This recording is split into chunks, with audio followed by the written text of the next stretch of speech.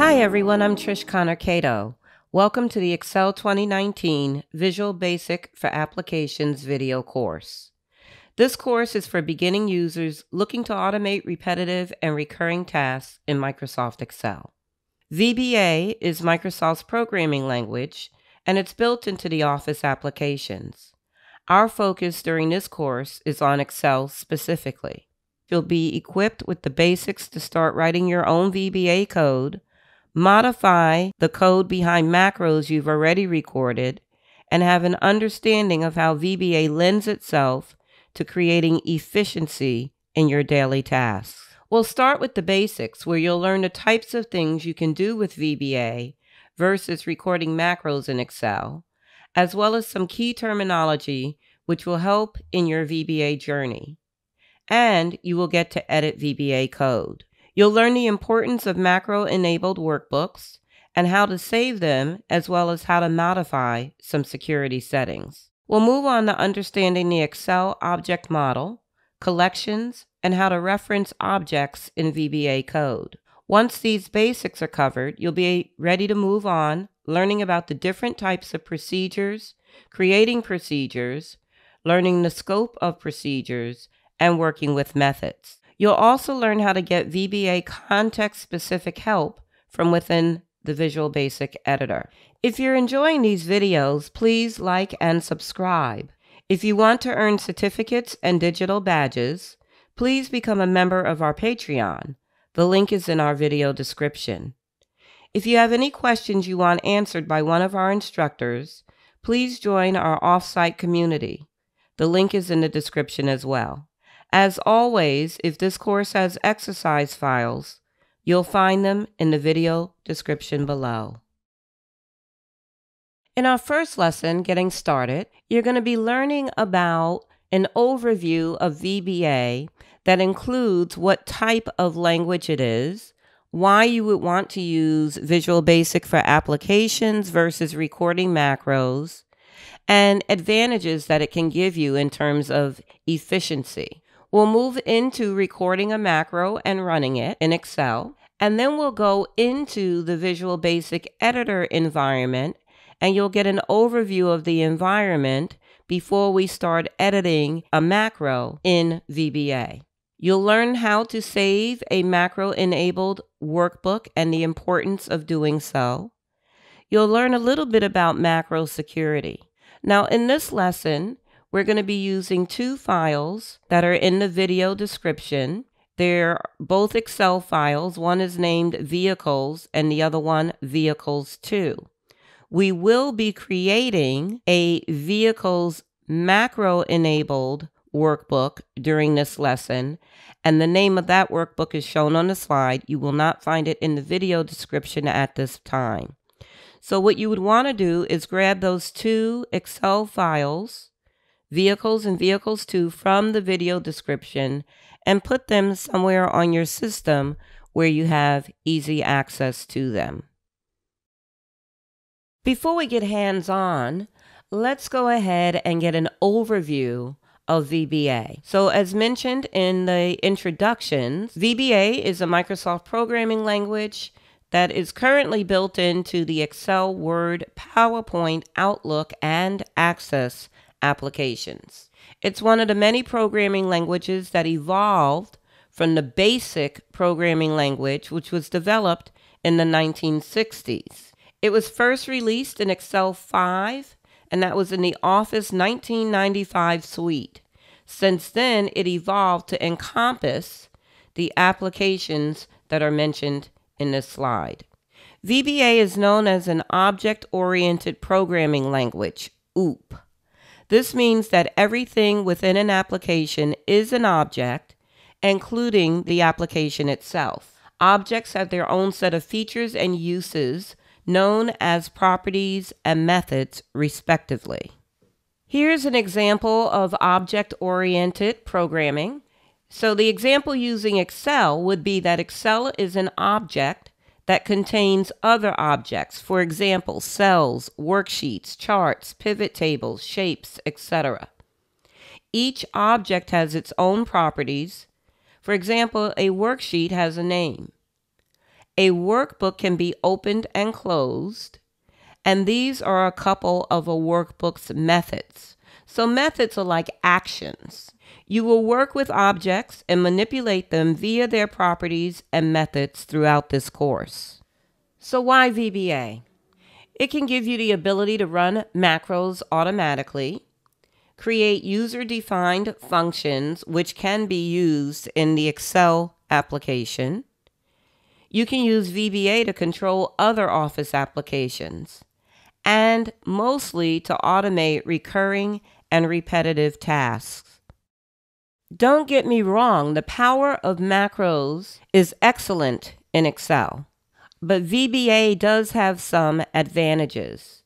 So, for example, there are no limitations. When you're recording macros, you are limited to those tasks that you can perform in the Excel interface. With VBA, you can attach code to events so that it runs automatically when the event occurs. For example, activating a worksheet would be an event. VBA allows for decision making, and it has several decision making structures ensuring code only runs when certain conditions are met. The looping structures in VBA ensure code runs multiple times based on a condition. And then there's forms and boxes. You can use VBA to create user input forms, dialog boxes, and message boxes in Excel. So we're going to get started. I have the vehicles Excel file open from the video description. And we are going to be recording a macro in this file.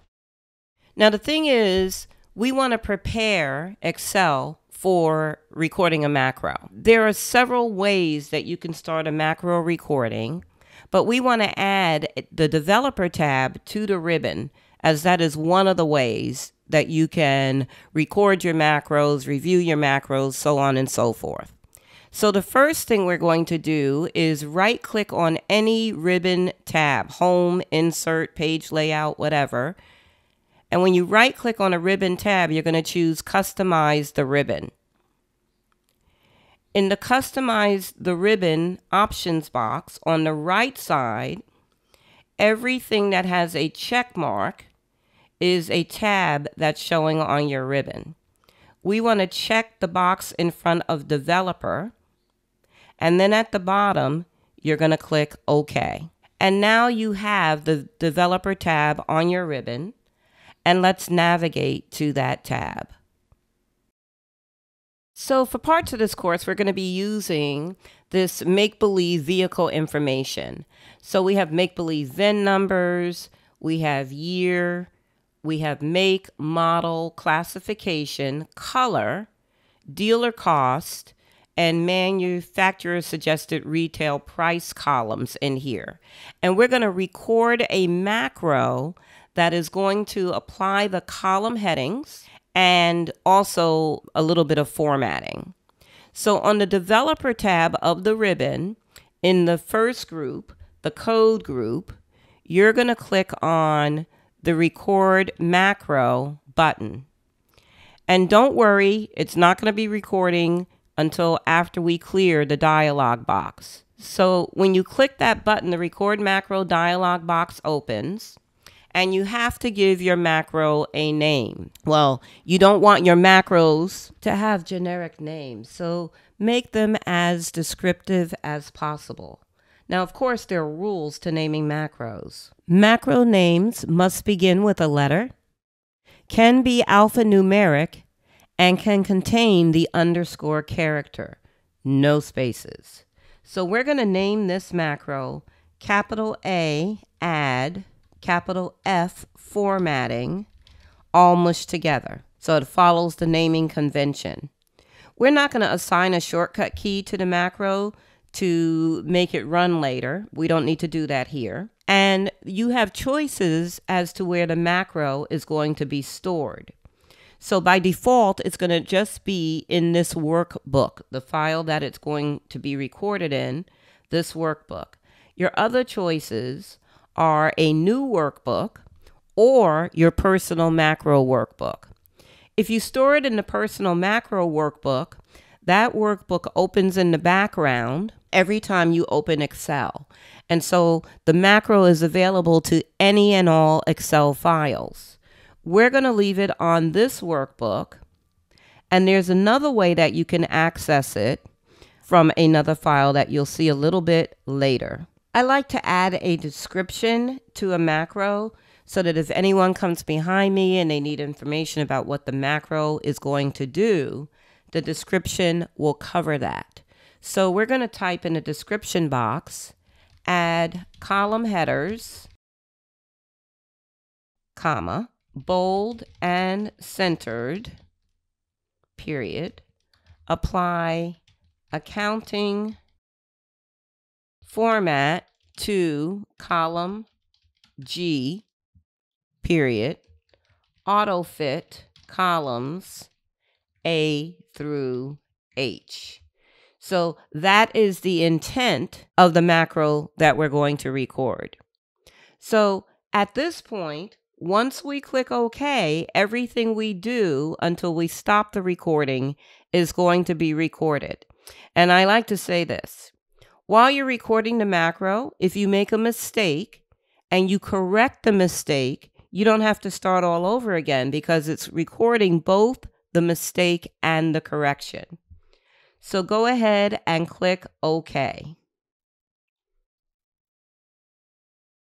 You'll notice on the Developer tab now, where it used to say Record Macro, we now have our Stop Recording icon there. And we'll use that when we're completely done going through all the steps that we're saving in our macro. So for right now, the first thing that we want to do here is right click on row heading one and choose insert. So we get a blank row, a new row one, and that's the row that we're going to be adding our column headers in. And so we're going to click in cell A1 and we're going to type VIN, V-I-N, and I'm doing it in all capital letters, so vehicle identification number. I'm going to press my tab key to get over to B1. And I'm going to type year, tab, make, tab, model, tab again, classification. The next one is color. The next one is dealer, cost, two separate words. And lastly, in all caps MSRP for manufacturer's suggested retail price. After that one, I'm going to just press enter. So we have our headers in where they need to be. And then we're going to select row heading one again. And we're going to go to the home tab of the ribbon. In the font group, we're going to make it bold. And in the paragraph group, we're going to use the center alignment button. So the headers are centered within their cells. Now, we're also going to add in adjusting column width in here, so don't worry about that right now. The next thing we're going to do is we're going to select column G by clicking on its column heading.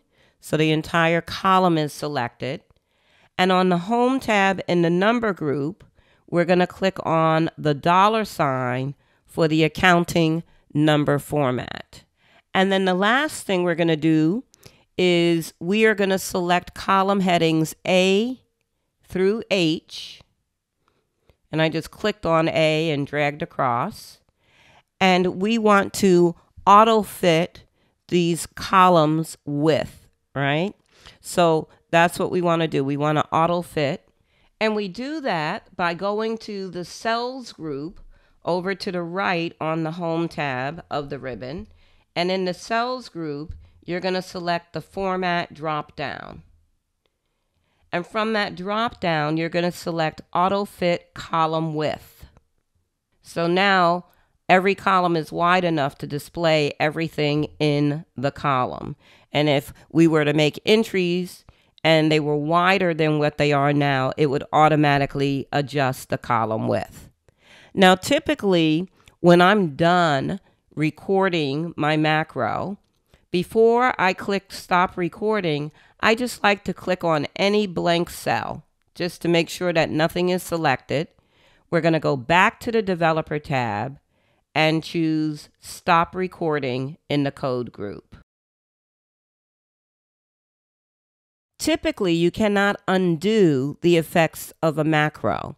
So we just recorded this macro. While we were recording it, we were doing the steps.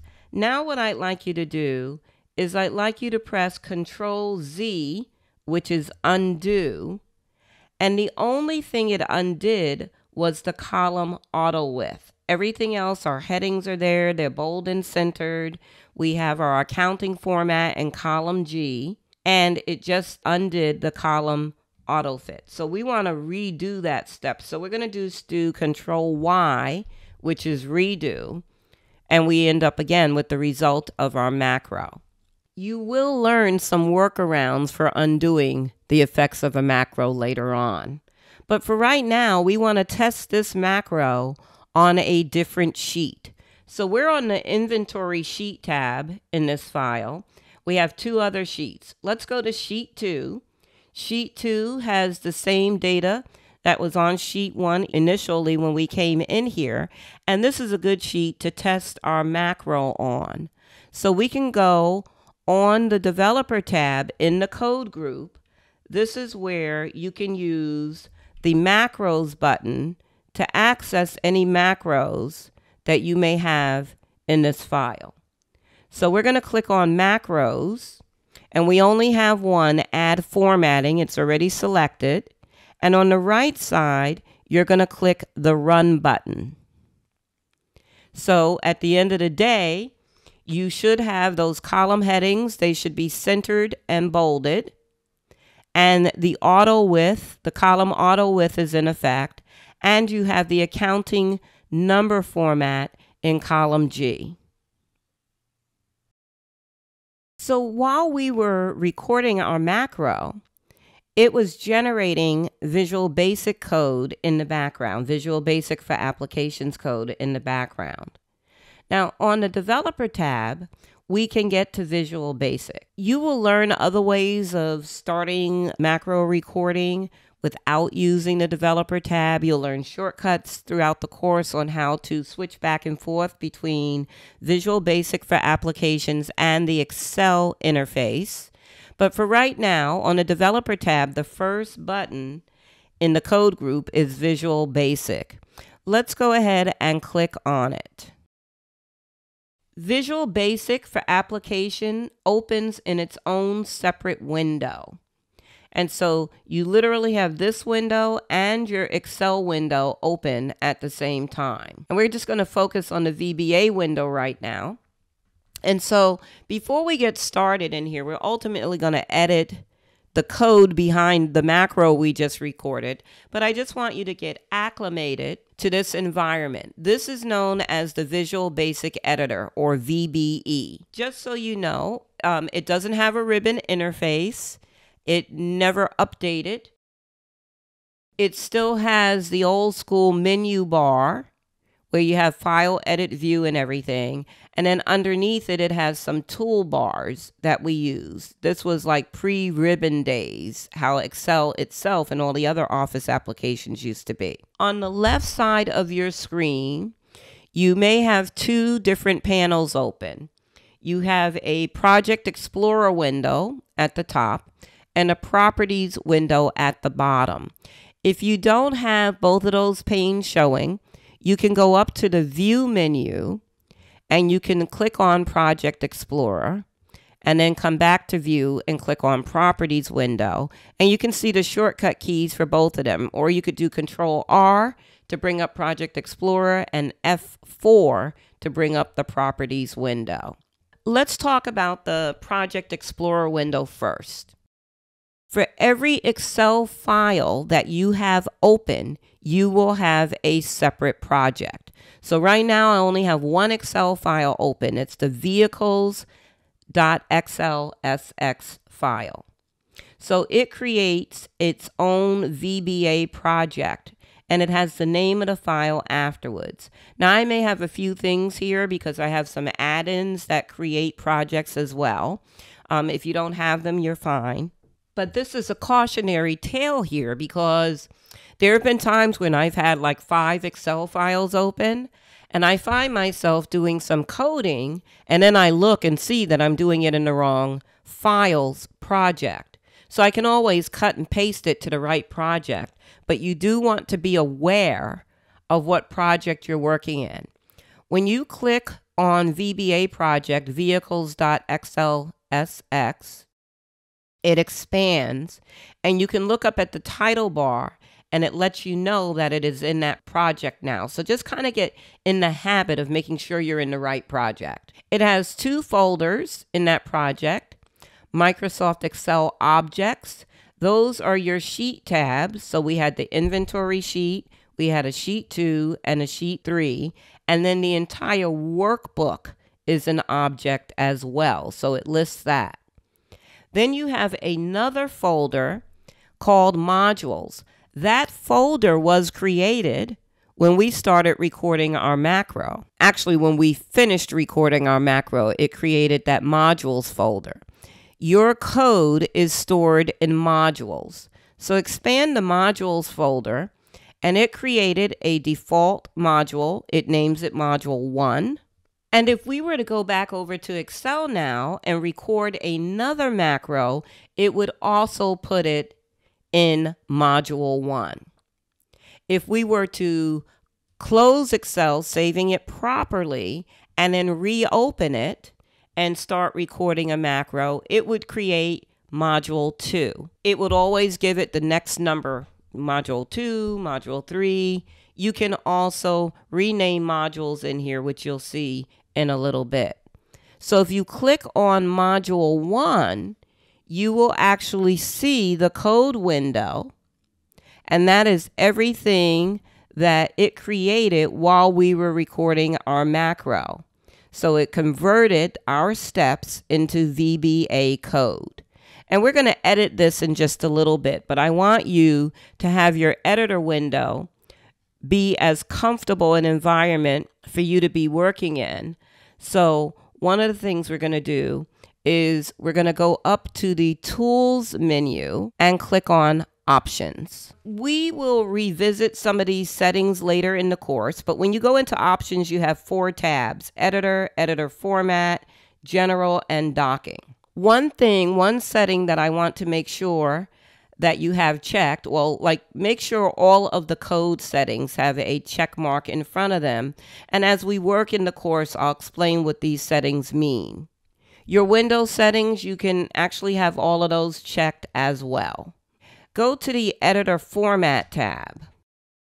And this is where you can set your font size. So I have my font set to 14 point, which is comfortable for me. I can bump it up to 16. And then at the bottom, I'm going to click OK. So font size, and if you want to go back in and change the font, I'm cool with the code looking font, Courier font. Um, that works for me. I'm just so comfortable with it. It doesn't bother me. So I just wanted you to know that you can change some of those settings in the environment for yourself. And for the ones that we are going to be utilizing in the course, we'll go back in there and talk about what those settings are actually doing. The other thing we want to customize before we edit our code is we want to add three icons to the toolbar that we'll be using frequently throughout this course. So what I'm going to do is I'm going to just right click in a blank area of any toolbar and go to customize. And the customize dialog box opens. You want to make sure you're on the commands tab at the top. And then you'll see a list of categories that mimic the menus that are up there file, edit, view, insert. So basically, you're going to have to tell it where it resides on the menu in order to add it to your toolbar. So under categories, we're going to select edit. And then all the commands from the edit menu show on the right side of your screen. And on the right side of your screen, you're going to scroll down we're looking for two commands. The first one is comment block, and the second is uncomment block. So what I'm going to do when I find comment block, I'm going to click and hold on it, and I'm going to drag it right after the question mark on my toolbar. And then I'm going to grab uncomment block and drag it right after comment block. Now we have one more command that we're going to add up there. Under categories, we're going to click on debug. And the command at the top of the list is compile project. I'm going to grab that and drag it right after uncomment block. So I have comment block, uncomment block, and compile project. When we get ready to use those commands, I will explain what they're going to do for us. They're going to be kind of helpers for you.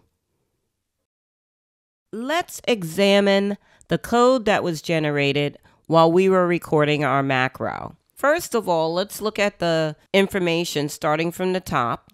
We'll talk about the option explicit statement a little bit later in the course. Don't worry about that right now.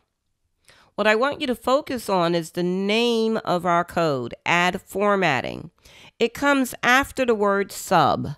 And you'll notice that both option explicit and sub are in blue. That means those are visual basic for application keywords. They mean a specific thing in this code and should only be used for their intended purpose. It creates what's called a sub procedure to contain our code. So it starts with the sub statement, and if you scroll down at the very bottom, it concludes with an end sub statement. You have to have both. If you have a sub and not an end sub, you're going to get an error message. But it did this automatically while we were recording our macro. It gave it the name that we named it, add formatting. And then after it, it put a set of parentheses. Some procedures have parameters that need to be defined, and that would happen inside the parentheses. We're not there yet, but that's why they're there, and they need to be there. Then you'll notice several lines that are in green beginning with apostrophes.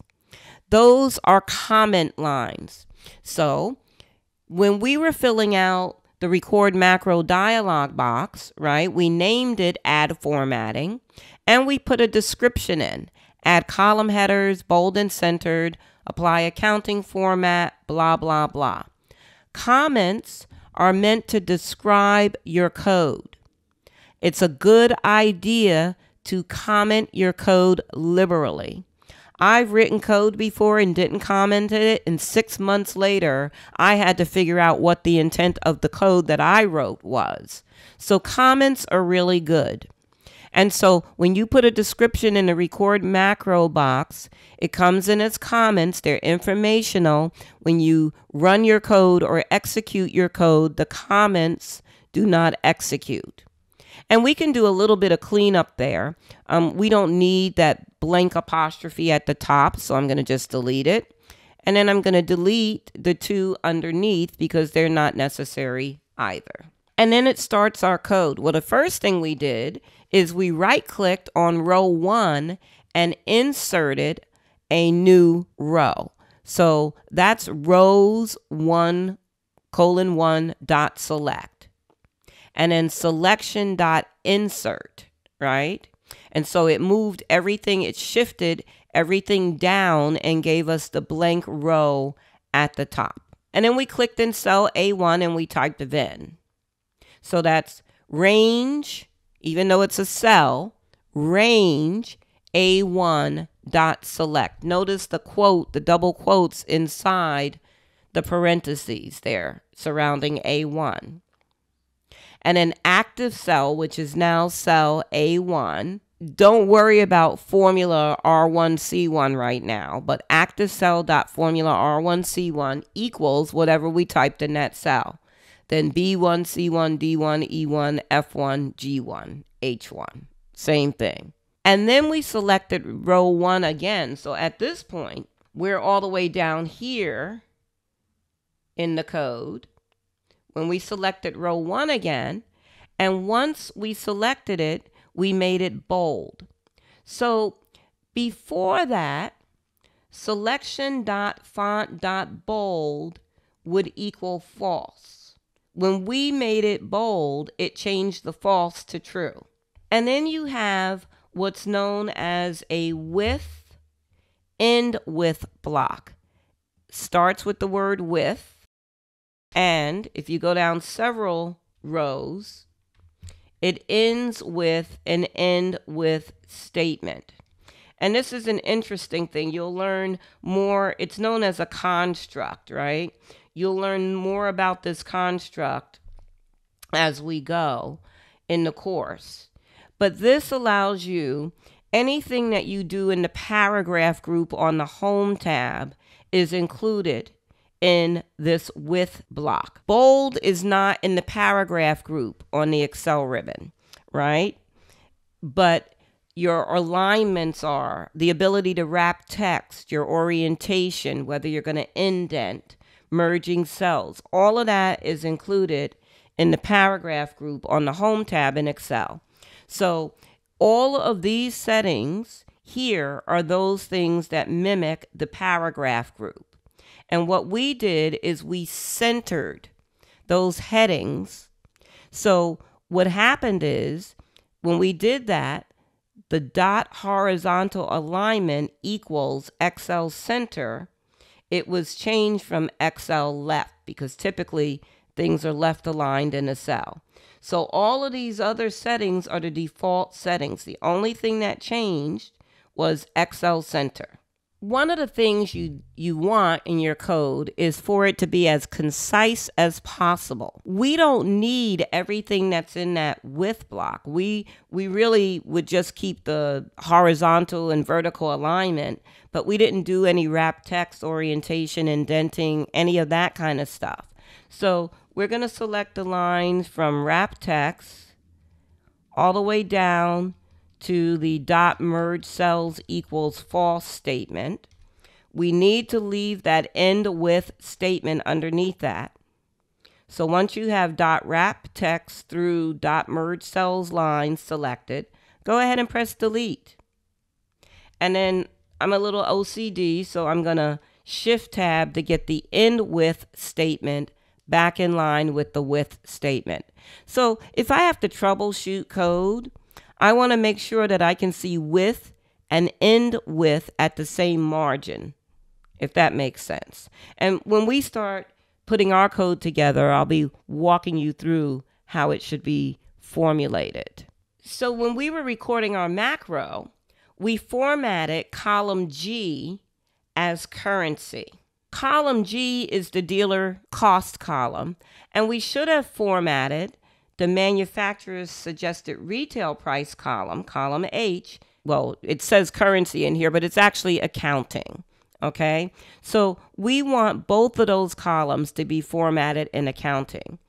Underneath your end with statements, you'll see columns and then in parentheses and double quotes, G colon G dot select. The second G, you're going to change to an H. So now we're telling it when this macro runs, select both of those columns and apply the format on both of those columns. And that's what we want to do. And then we have where we selected columns A through H and we did our columns auto fit.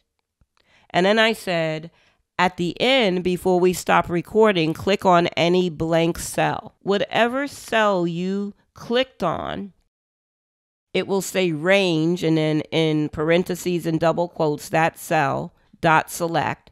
We're going to change whatever that cell is, that cell reference, we want it to be A1. And so we just modified the code that was generated for our macros. Now we're just going to modify our comment, our second comment line here to make it accurate. So apply accounting format to columns we're going to make that plural columns G and then and H. And when you move away from that line, it will turn green again, indicating that it's a comment. Now that we've edited our code, and we'll test it shortly, um, we want to change the name of Module 1. You want your module names to be as descriptive as possible. Um, it's kind of like folders that you're organizing your code in. So we're going to have several modules throughout this course, and we don't want them to be module one, module two, module three, module four. So we're going to use the properties window to make some changes to properties. So we're going to start with renaming module one. In your Project Explorer window, click on Module 1. And then if you look down at your Properties window, it says Properties for Module 1, the object that we have selected. And the only property a module has is the name property. So if you double click on Name, it highlights Module 1 for you. And we're going to talk about a prefix that we're going to use here. To identify it in a list as a module, we're going to use lowercase mod, M O D, to indicate that it is a module. And then we're going to give it its name, and that's going to be capital F and the rest of the word first. So mod first. If we're looking at a bunch of stuff in a list, we'll know that it's a module because it has that three character prefix of mod. And then when you press enter, you'll notice that it updated the name of the module in the Project Explorer window. You can change the names of sheet tabs in here as well. So in your Project Explorer, you have that Microsoft Excel Objects folder where you're seeing your three sheet tabs. We have one, and it's called Sheet 1, and then in parentheses, Inventory. Sheet 1 is how Excel knows that sheet. Inventory is what it was renamed to, but the system identifies it as sheet one. And then we have sheet two and we have sheet three. We're going to click on sheet three. And in the properties window, you'll notice that there are two name properties. The one at the top is indicative of the system name, right? So what Excel knows is that name is the name property at the top. My arrow got a little skewed there. And then you have a name property lower down in your properties window. And the one that's lower down is whatever you decide to name that sheet. So the second name property, the one that is not in parentheses, you can double click right on name and it selects sheet three. And we're going to type new vehicles, two separate words, just like you would do it in Excel if you were renaming the sheet tab, and press enter. So notice in your Project Explorer now, you have your sheet one, which had already been renamed to inventory, sheet three, which we just named new vehicles. We added the compile project icon to our toolbar and what that does is it kind of goes through your code for you and it checks to make sure that everything is okay. If there's a problem, it will let you know by highlighting that problem. So what we're going to do is make sure you're clicked anywhere between your sub and end sub statements. You can be anywhere between those two statements. And go up to your toolbar and find your compile VBA project icon that we added there and just give it a click. And it dims out and you didn't get any notifications of anything wrong. So your code is good. Good habit to get into, good icon to have on your toolbar. So now that we've modified our code, we want to save this file. And if you look up at the top, you know, your title bar, it's vehicles.xlsx, the standard four character Excel workbook extension. If we don't save this file in the right way, it's as if we didn't record a macro and we wouldn't have any VBA code in it. So you have to save it as a macro enabled workbook. As a matter of fact, let's check this out. On the toolbar, you have a save button. And notice when you hover over it, it wants to save the file. Go ahead and click on that save icon. And you get this pop up message that says, the following features cannot be saved in macro free workbooks. And then it says VB project. That's your Visual Basic project. To save a file with your code in it, click No and then choose a macro enabled file type. To continue saving as a macro free workbook, click Yes. We are going to click No. When you click No, it gives you the Save As dialog box. Now, we're going to leave the same name, Vehicles, but we need to change the type. Right underneath the file name where it says Save As Type, click on Excel Workbook and we want the second choice, Excel macro enabled workbook. Again, if we just save this as a regular Excel file, it's not going to keep your code. So we need it to be macro enabled. And part of that is for your security, which I'll explain in just a few moments. And after we have it set as Excel macro enabled workbook, we're going to go ahead and click save. So now if you look up at the title bar, it has a different extension .xlsm. That's your macro enabled Excel workbook extension. And so it will retain our code. And now that we've saved it as macro enabled, we're going to switch over to Excel to test our edited code. There's a couple of ways that you can switch over to Excel um, back and forth between Excel and Visual Basic. First of all, and I'm not going to use this way, but the first button on the toolbar is Excel. So I can use that to switch back over to Excel. I'm a real shortcut key person. So Alt F11 will also switch me back and forth between Excel and the Visual Basic editor. So I can just keep doing Alt F11 and you see that it switches back and forth between the two separate application windows that are open. When I am back in Excel, I'm going to do Control O to get the open dialog box to display. So this is where we're going to open the vehicles 2 file. And by the way, if you look at my screen, we have two files. We have vehicles and vehicles 2, right? We have two versions of vehicles. I'm pointing to the macro enabled worksheet. And then we have our original one, which is just a regular Excel file.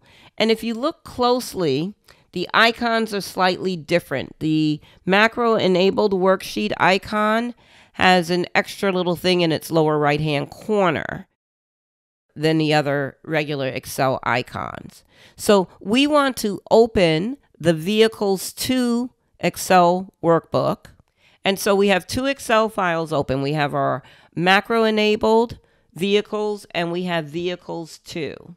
Earlier, when we went to record our macro, I said, if you save your macro in the personal macro workbook, it opens behind the scenes every time you open any file in Excel. This is a workaround. We save that macro in the vehicles file, but we can use it in vehicles 2 as long as the vehicles.xlsm file is open. I don't typically save in the personal macro workbook Eh, there are occasions that I do that if I'm going to use it across a wide range of files, but typically my files are structured so differently that macros from one won't work well with others. So what we're going to do here is we want to use the macro that we recorded, the add formatting macro.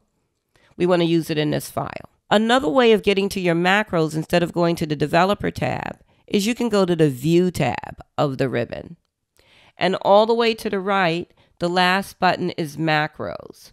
So check this out. If I do the drop down arrow under macros, I can view or record them. Um, and I'm going to just go to view macros. Notice that it gives the file name, exclamation point, and then the name of the macro. That vehicles.xlsm file has to be open and it's showing you macros in all open workbooks. If we did the drop down and we choose this workbook, right?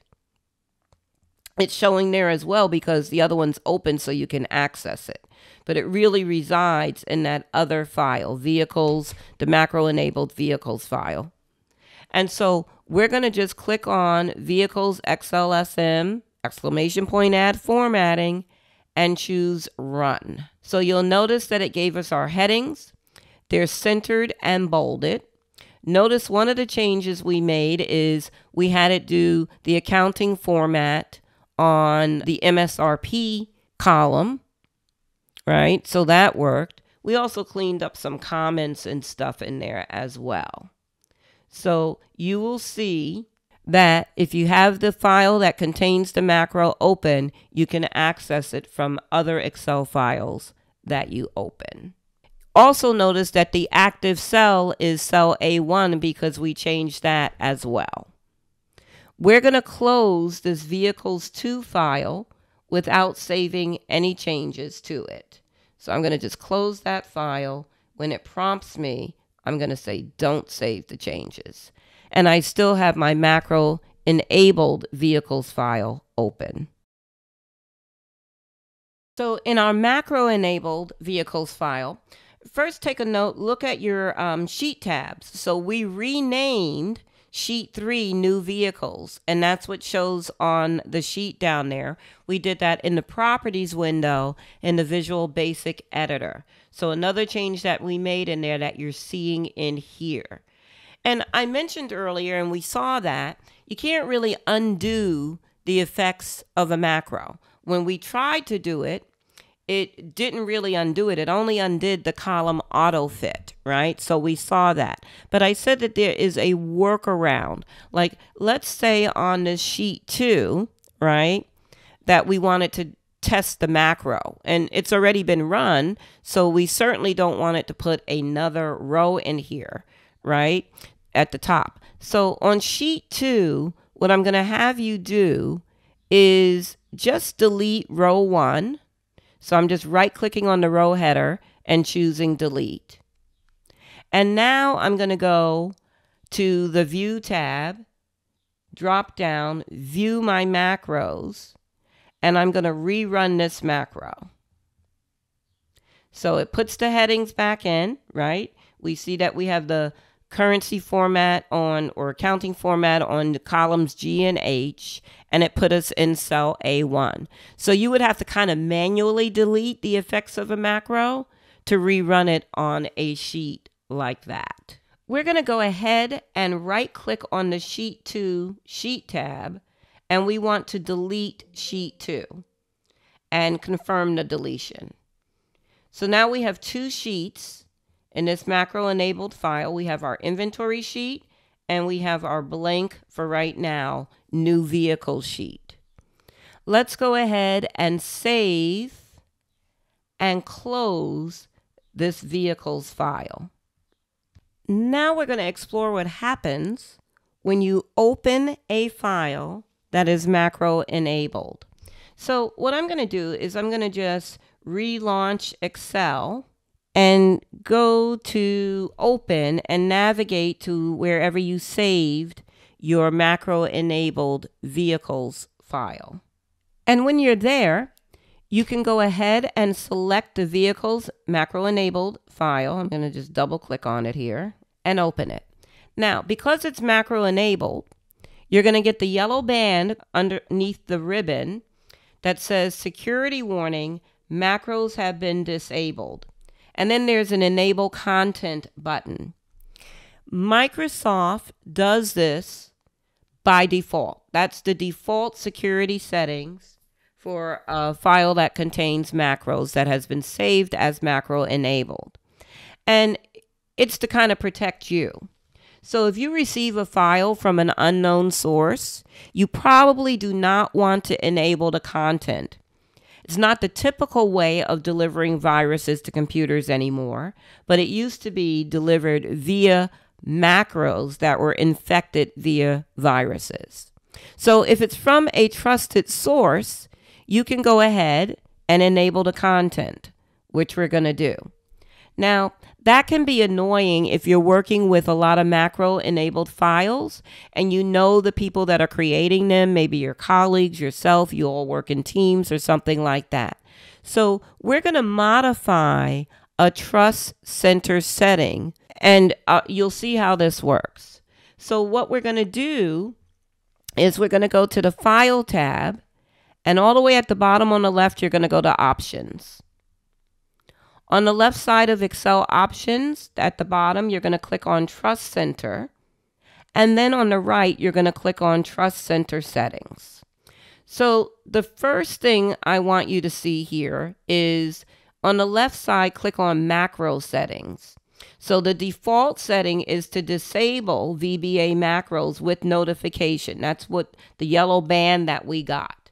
And I wouldn't suggest changing that what you can do to make it a little bit more convenient and you don't get that yellow band when you're you know using files back and forth amongst your teammates or colleagues is we can set either trusted documents on the left or trusted locations. I always do trusted locations. Um, it's more global than trusted documents. So click on trusted locations and i'll tell you um, how this works right? So I set up a folder on my desktop. It's called Files for Video Description, and it's where I've stored all the files that we're going to be using during this course. And I want to set that as a trusted location. So any of the macro enabled file formats that we're going to be using during this course, that folder and its any subfolders will be a trusted location. So what I'm going to do underneath here is I'm going to click on add new location toward the bottom right. And then I have to navigate to that location. So I'm going to just do that. I know it's on my desktop. So you're navigating to wherever you put the files that you're going to be using. So the folder name for me is Files for Video Description. And I'm going to click OK. And then I'm going to say subfolders of this location are also trusted. So any folders within that folder would also be trusted. And then I'm going to click OK. And once I do that, it shows up in this list of trusted locations. So it could be a shared network drive. If you're all of your files that you and your team are working together on are in a specific shared network drive, you can use that as a trusted location so that you don't get the yellow warning and have to enable content.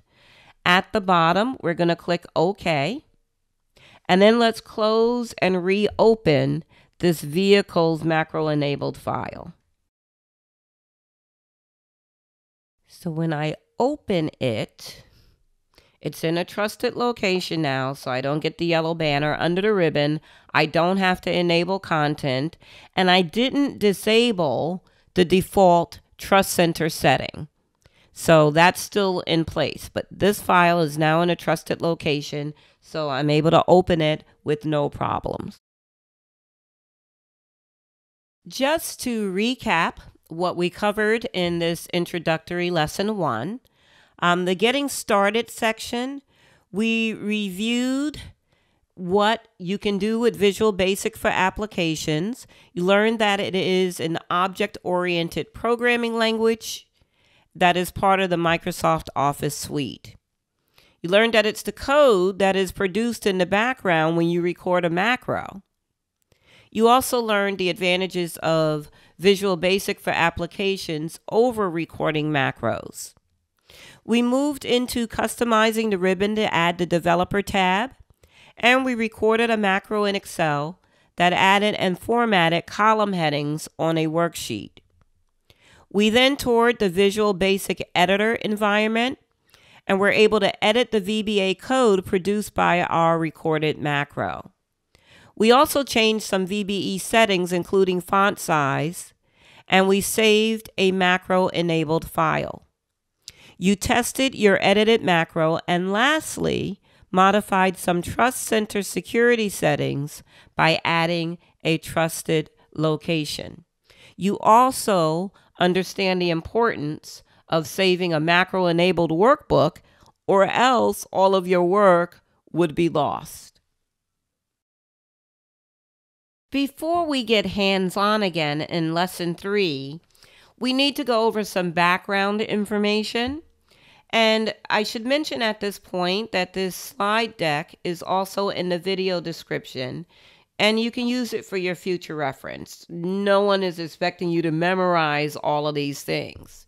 So we need to talk about the Excel object model. You need to understand collections and how to reference objects and also how to simplify object references you learned that VBA is an object oriented programming language, OOP. And we discussed that that means that Excel is an object that contains objects. Objects that have attributes known as properties can be manipulated through VBA. And objects also have methods, which are actions that can be performed on them via VBA. So this is a foundational lesson here. And again, you'll be able to reference this slide deck. So the Excel object model hierarchy is a hierarchical structure of Excel and all its objects. With Excel, the application residing at the top of the hierarchy. So you can see on this slide that we have the application at the top of the hierarchy here on the left. And then underneath the application, you would have add-in objects, window objects, workbook objects. And then we expand on the workbook object. A workbook object has a name, a Visual Basic project. A workbook also contains worksheets. Worksheets can contain comments, hyperlinks, names, ranges, and pivot tables, for example.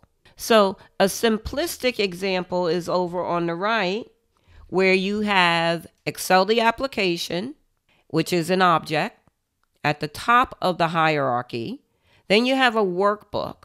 A worksheet is an object of a workbook, and a range is an object of a worksheet. And you're you're going to be seeing this as we're working in this video course. The next thing you need to understand are collections. Now, collections are key in VBA programming. A collection is simply a group of objects of the same type.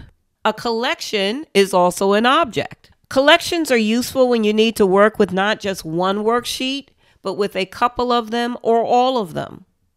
You'll learn later that your VBA code can loop through all members of a collection and do something to each one. We have a table that shows the collections, the most commonly used collections in Visual Basic. So you have the workbooks collection, and it would be all currently open workbook objects. So all currently open cell files are part of the workbooks collection. You have a worksheets collection, and it's a collection of all worksheets contained in a particular workbook. The charts collection is a collection of all chart objects. So these are Excel worksheets that only have charts on them. A collection of all chart objects contained in a particular workbook object. A chart sheet is not part of the worksheets collection as it is not considered a worksheet. It is, in fact, a worksheet, but it only has a chart on it. And then you have the sheets collection, plural, a collection of all worksheet objects contained in a particular workbook object. So you have a worksheets collection and then you have a sheets collection. What is the difference?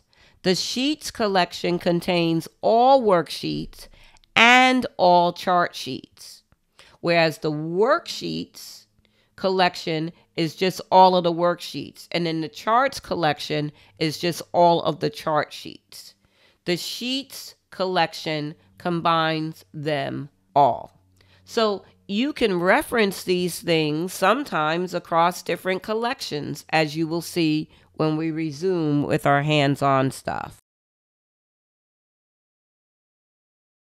In order to access the objects that you want to reference in your code, you're going to have to learn how to reference them. So you can work with an entire collection quite easily, but it's most often the case that you'll need to work with a particular object in a collection. For example, if you need to work with a particular worksheet, you'll need to know how to reference it. When it comes to referring to an object in a collection, you can either use its name or its index number. To reference a single object from a collection, you put the item's name or index number in parentheses after the name of the collection. So you have two examples on this slide that refer to the exact same object. The first worksheet in the workbook. So worksheets, and then in parentheses and double quote, sheet one by name, or worksheets, and in parentheses one by index number. When you refer to an object by its name, the name must be enclosed in quotes. When referring to an object by its index number, you need to know that the first object in the collection has the index number of 1. Using a workbook with three worksheets as an example, sheet 1 has an index number of 1, sheet 2 would be 2, and sheet 3's index number would be 3. And index numbers are not enclosed in quotes. We're going to spend a few slides on referencing objects. So each worksheet in the worksheets collection is an object in two collections, which we mentioned already worksheets and sheets. Each chart sheet is an object in two collections, charts and sheets. So there's another example of how to refer to sheet one. You could use the sheets collection instead of the worksheets collection. Like a typical Office application, you get several ways of referring to the same object. You know, there's multiple ways of getting the same thing done in Excel. And along the way, you'll find the way that works best for you, although I do have some suggestions. So, all Excel objects are under the application object in the hierarchy. Remember, Excel, the application, is at the top of the hierarchy. You access these objects by moving down the hierarchy and connecting each object with the dot operator. You can even access the value of a particular cell on the worksheet by using the range object, and you saw that when we reviewed our code. There is no cell object in VBA, really. It would be the range object, even with one element. And here are additional examples on this slide of object references. So referring to a specific workbook, application dot workbooks, and then in parentheses and double quotes, the name of the workbook, including its extension. And then a specific worksheet in the workbook. If you're using the entire hierarchy, application dot workbooks, the name of the workbook, and then dot worksheets one, the first sheet, referring to the value of a cell your application dot workbooks name dot worksheets one dot range a1 dot value the last example is known as a fully qualified reference it specifically refers to all the objects in the hierarchy from application down to range so again you have this powerpoint in your video description for future reference now i'm going to tell you about simplifying object references. You want it to be as concise as possible, and I, I, mentioned that earlier. It's easier to write and easier to troubleshoot should there be any issues. So, Visual Basic for applications can assume some of the object references for you. For example, it assumes that the workbooks collection is within the application object. And that means that you don't have to reference that object in most cases. Another example here is that if you only have one workbook open, one Excel file open, it is the only one in the collection. So VBA assumes it is the active workbook and you don't have to reference the workbook's collection.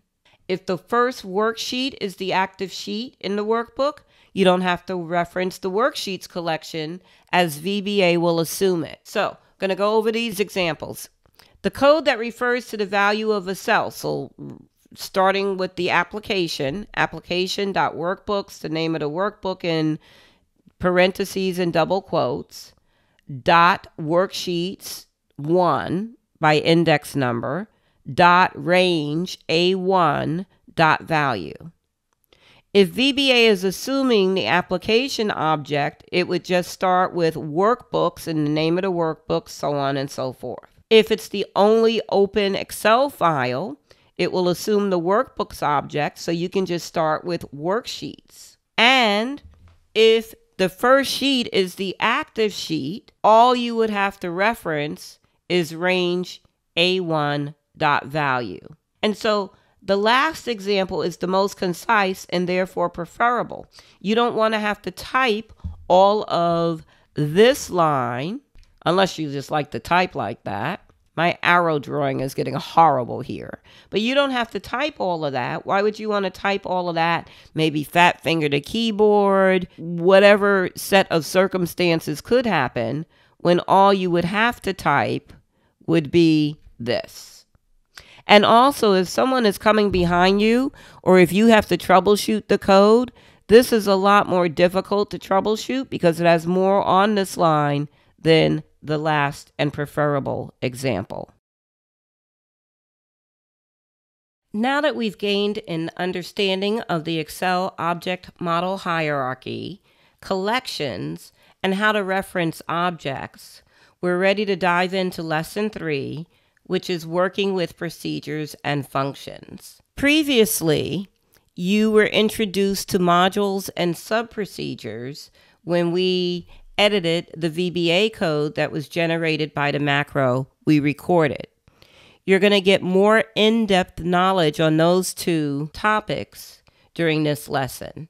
So we're going to start by doing a deeper dive into modules and then procedures then we are going to move on to creating a standard module as well as creating a sub procedure. You'll learn different methods of executing procedures or running them, including how to call procedures in this lesson. Then we're going to create a function procedure and we're going to use the immediate window within the Visual Basic Editor to run it. You're going to learn how to get context sensitive help within the Visual Basic Editor, which is really cool. We're going to use the vehicle's macro enable file that we created, as well as another file in the video description. And it's another Excel file named received vehicles. Those two files need to be in the same directory for this lesson. You saw earlier that when we recorded a macro, VBA created a module to store the Visual Basic Code in. And so we discussed how a module is a container of sorts that stores your VBA code. Well, there are two different types of modules. There are class modules, which allow you to create your own objects and we'll begin using class modules when we get to lesson seven. And then there's standard modules, one of which you already saw, and it uses the application objects. We also discussed that our code was put in a procedure. Specifically, in our case, it was a sub procedure, began with the sub statement and ended with the end sub statement. So a procedure tells the application what to do as it defines a specific task. Specifically, it's a named group of statements that are run as a unit. For example, a block of code. A sub-procedure defines specific tasks. Like our add formatting sub-procedure, it told the application what to do. So insert a new row and then we typed in the headers, that kind of thing. When responding to events, you'll learn about these later, they can be known as event procedures. There are also function procedures, and you'll be introduced to creating function procedures during this lesson. A function procedure actually returns a value. Property procedures are outside of the scope of this course, but they exist. And they're a series of statements that allow a programmer to create and manipulate custom properties. For example, read only properties for forms. Before we dive in, we're going to go over the naming rules and conventions for procedures. Now, the rules cannot be broken. Conventions are suggestions, but just so you're aware of them, you need to know what they are. And I use conventions as well as the rules. So if you inherit an Excel macro enabled workbook and you're looking at somebody else's code, they may be using the conventions. So, anyway, let's go over this and then we'll get hands on and learn more about procedures and modules by recording another macro. So, when we're naming procedures, the name may be up to 255 characters. It can be alphanumeric. The first character must be a letter. You can't use any spaces or any of the special characters listed on the slide. And the names must be unique within a module. So you can't have to add formatting sub-procedures within the same module. It will disallow it. You just can't do it. And then the conventions. Begin the names with a verb. Use proper case for each word within the name. When two or more procedures are related, place the words that vary at the end. And there are some examples. So you could name a procedure close workbook, get new inventory, get selected date begin, and get selected date end. So if you're looking at these in a list, the ones that have the words that vary at the end would still be all together in the list. So you know that they're related procedures.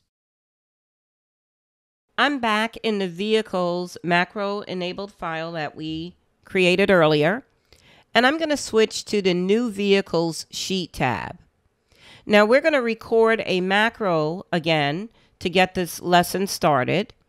And along the way and going forward beyond this lesson, whether we're recording macros or we're writing VBA code from scratch.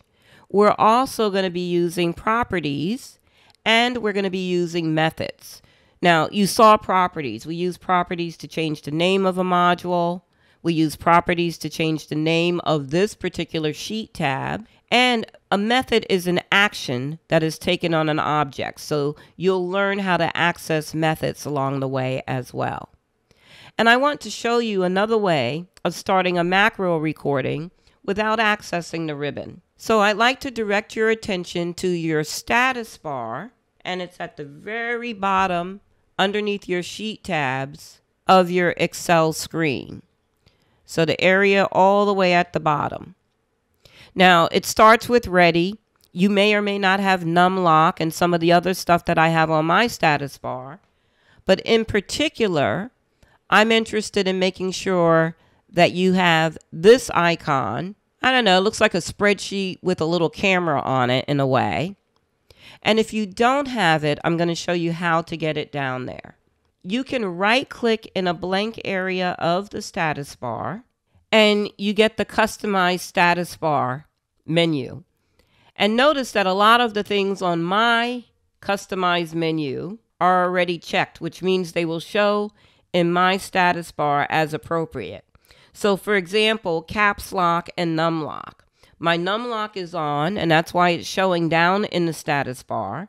My caps lock is currently not being held down. I'm not enabling caps lock on my keyboard, I should say. So that one is not showing there. But were I to enable it, it would show in my status bar. The setting that we're interested in having you have down there is macro recording. That's that icon. So if it doesn't have a check mark in front of it, and you click on it, it will check it. If it does and you click on it, it unchecks it like it just did on mine. So I'll click on it again. And then you just click on any blank cell. You want to make sure you're in cell A1 before we start recording this macro. And what we're going to do is we're going to go down to that icon in our status bar that looks like a spreadsheet with a looks like a camera lens to me. But if you hover over it, it says no macros are currently recording. Click to begin recording a new macro. And we're going to do just that. And it gives us our record macro dialog box. So you could start this process from the developer tab, or you can start it from that icon on your status bar. Now, for this macro, we want to name it using our rules and conventions. So we're going to start with a verb. Capital G, get. Capital N, new. Capital V, vehicles. So remember, you can't have spaces. You could use the underscore character, but I prefer to just use this convention. We're not going to use a shortcut key. We're going to store it in this workbook.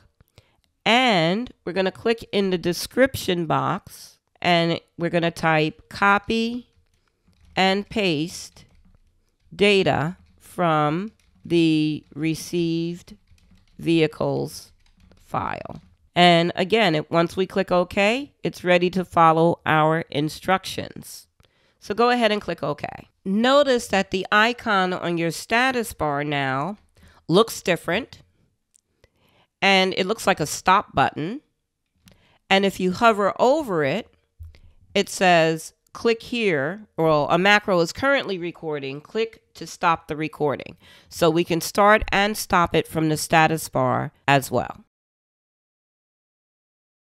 So what we want to do is we want to open the received vehicles file that is in the same directory as this file.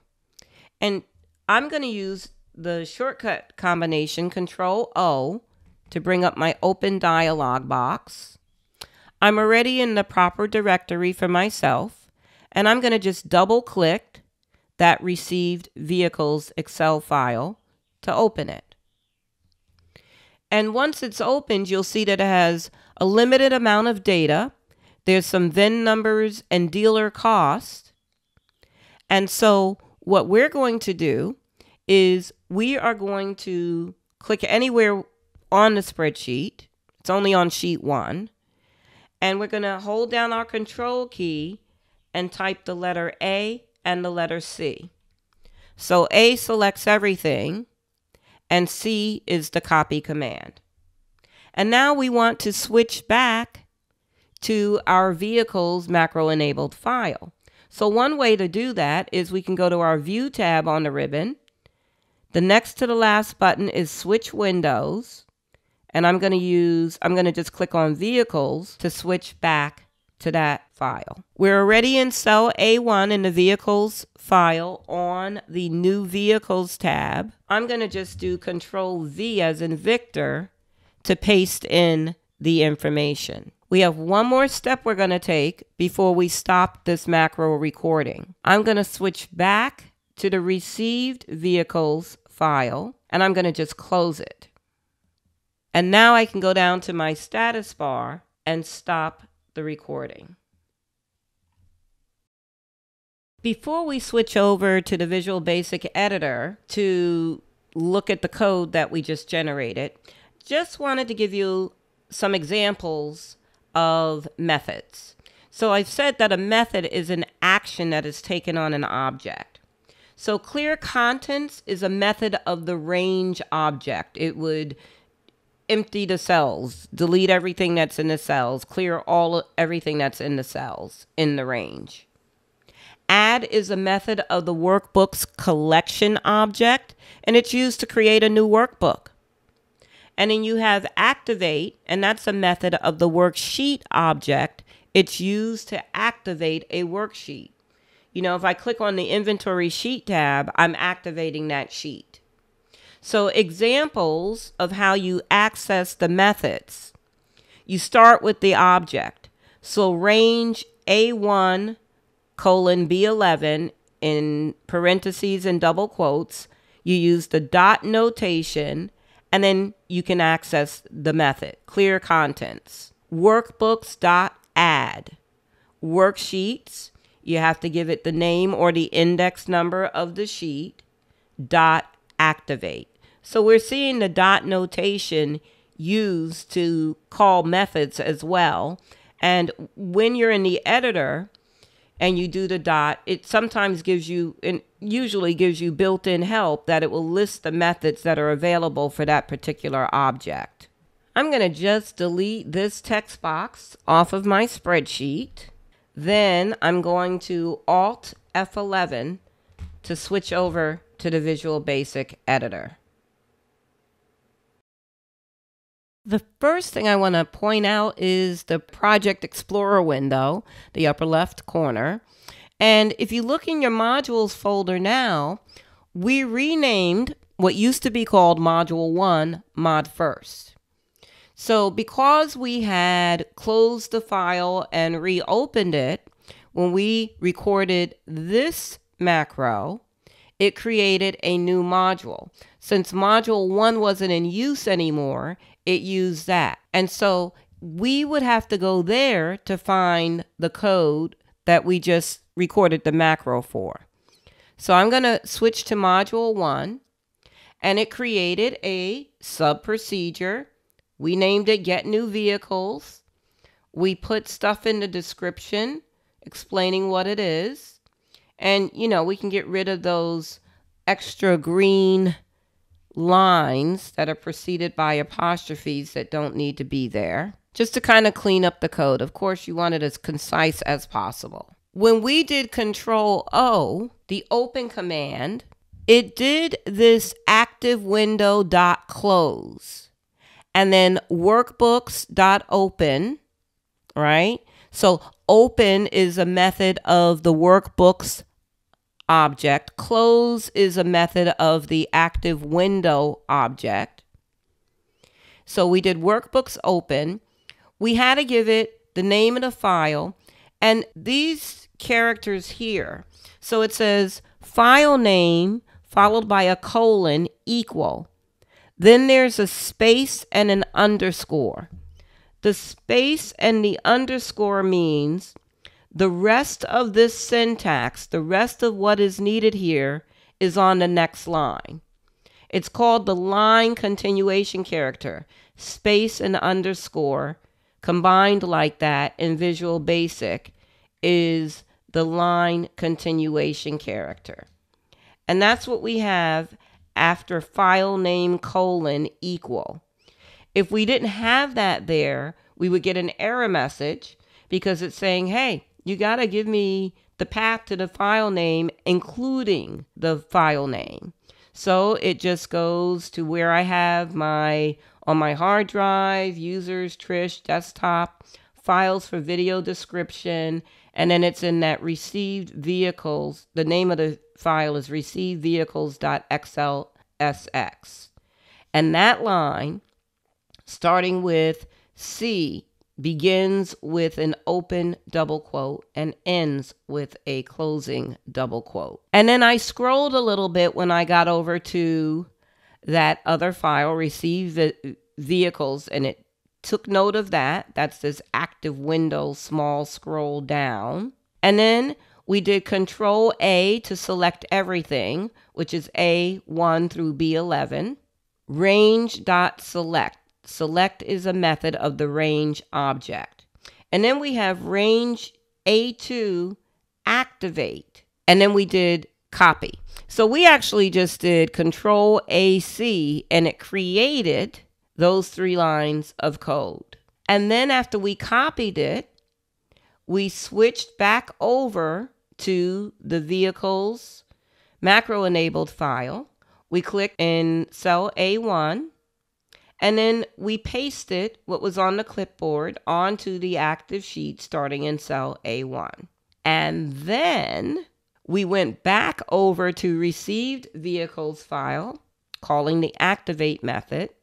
And then we said close that window. And then, of course, with every sub statement, you have your end sub statement at the bottom.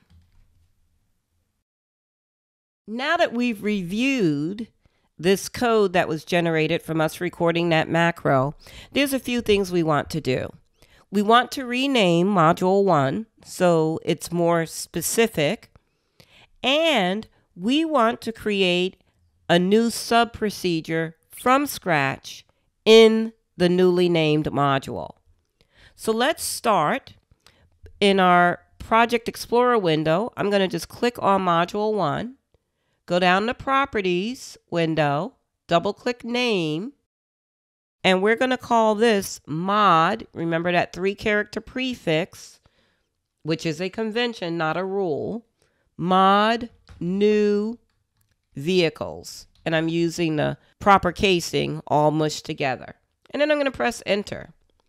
So we have mod first and mod new vehicles. In mod new vehicles, click at the end of your end sub statement and press enter.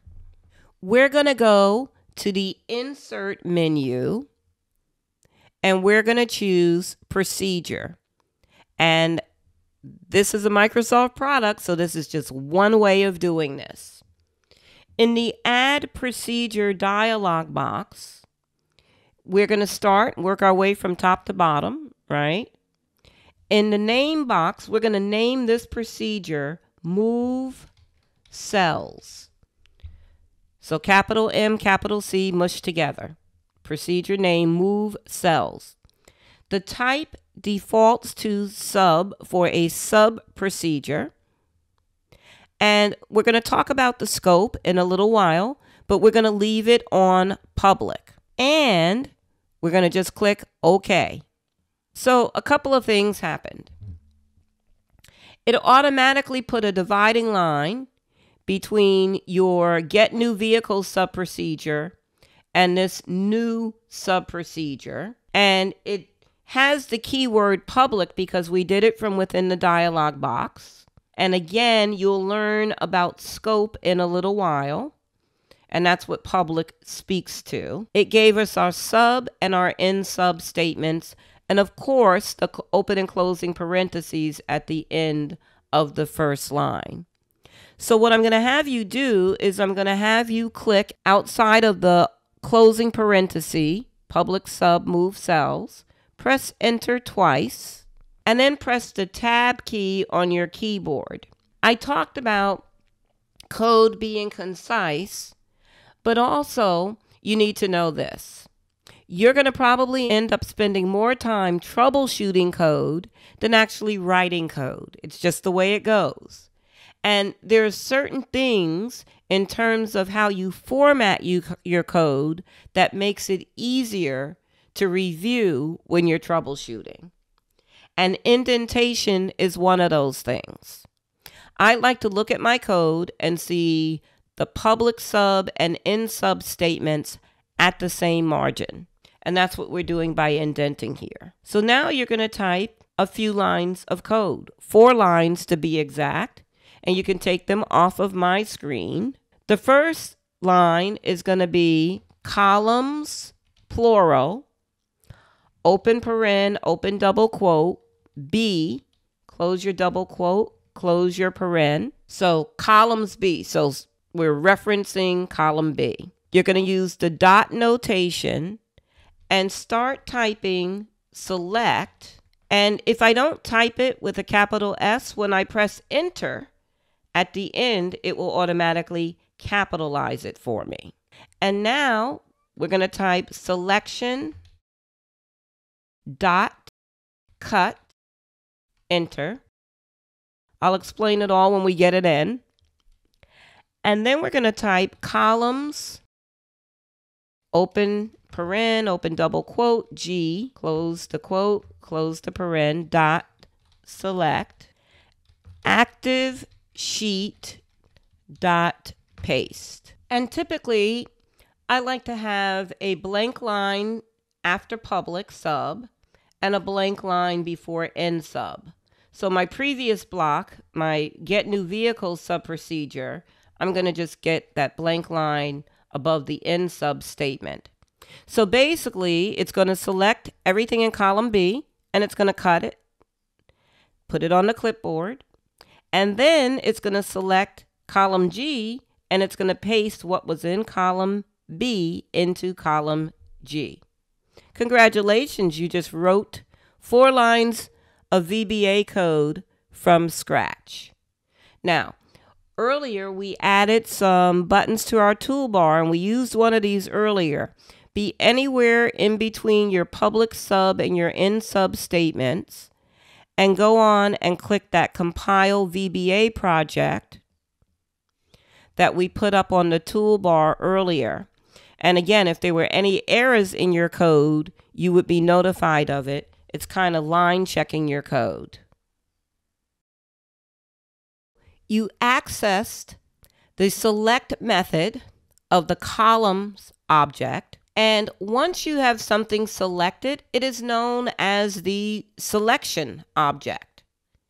So you access the cut method of the selection object and the paste method of the active sheet object in that code block. So let's go ahead and save. There's save on the toolbar or you could do control S.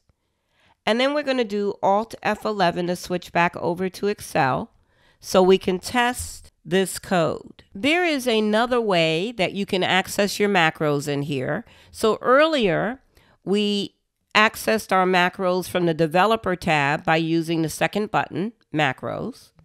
We also accessed it from the View tab of the ribbon by going to the last button, which is Macros. Well, there's another way of doing it, and it's a shortcut key. So you can use Alt F8 to open the macro dialog box. And so in here, you'll see your add formatting macro, your get new vehicles macro. Both of those were based off of macro recordings, I should say. And then move cells is listed in here, even though we created that sub procedure from scratch. So this is a, just another way, Alt F8, that you can open the macro dialog box. And we're going to double click the move cells procedure. So you could click it once and then choose run, or you could just double click it to run it. And it did exactly what we asked it to do, just very quickly. Selected everything in column B, cut it, and then pasted it into column G. So the next part we're going to do is going to further our automation. What we want to do is we want to edit the add formatting sub procedure so that it works on this sheet, the new vehicle sheet that we're currently on. And before we do that, um, we're going to delete everything on this sheet, new vehicles. We're going to do Control A to select everything, and then we're going to just press delete. And then just click in cell A1. Now we want to go back over to the Visual Basic Editor. Alt F11 will get you there. And in the Project Explorer, we're going to double click mod first, which is where our add formatting subprocedure resides. Now, notice the first two lines in our code block. That's when we right clicked on row one and we inserted a new row. Well, we don't want to do that again. We want to keep the row headings that we already have. So we don't want it to insert a blank row above row one, which now contains the headings. So we need to delete just those two lines of code, rows 1 colon 1 dot select and selection dot insert, shift, blah, blah, blah. The first two lines. So I already have them selected and I'm going to delete those two lines.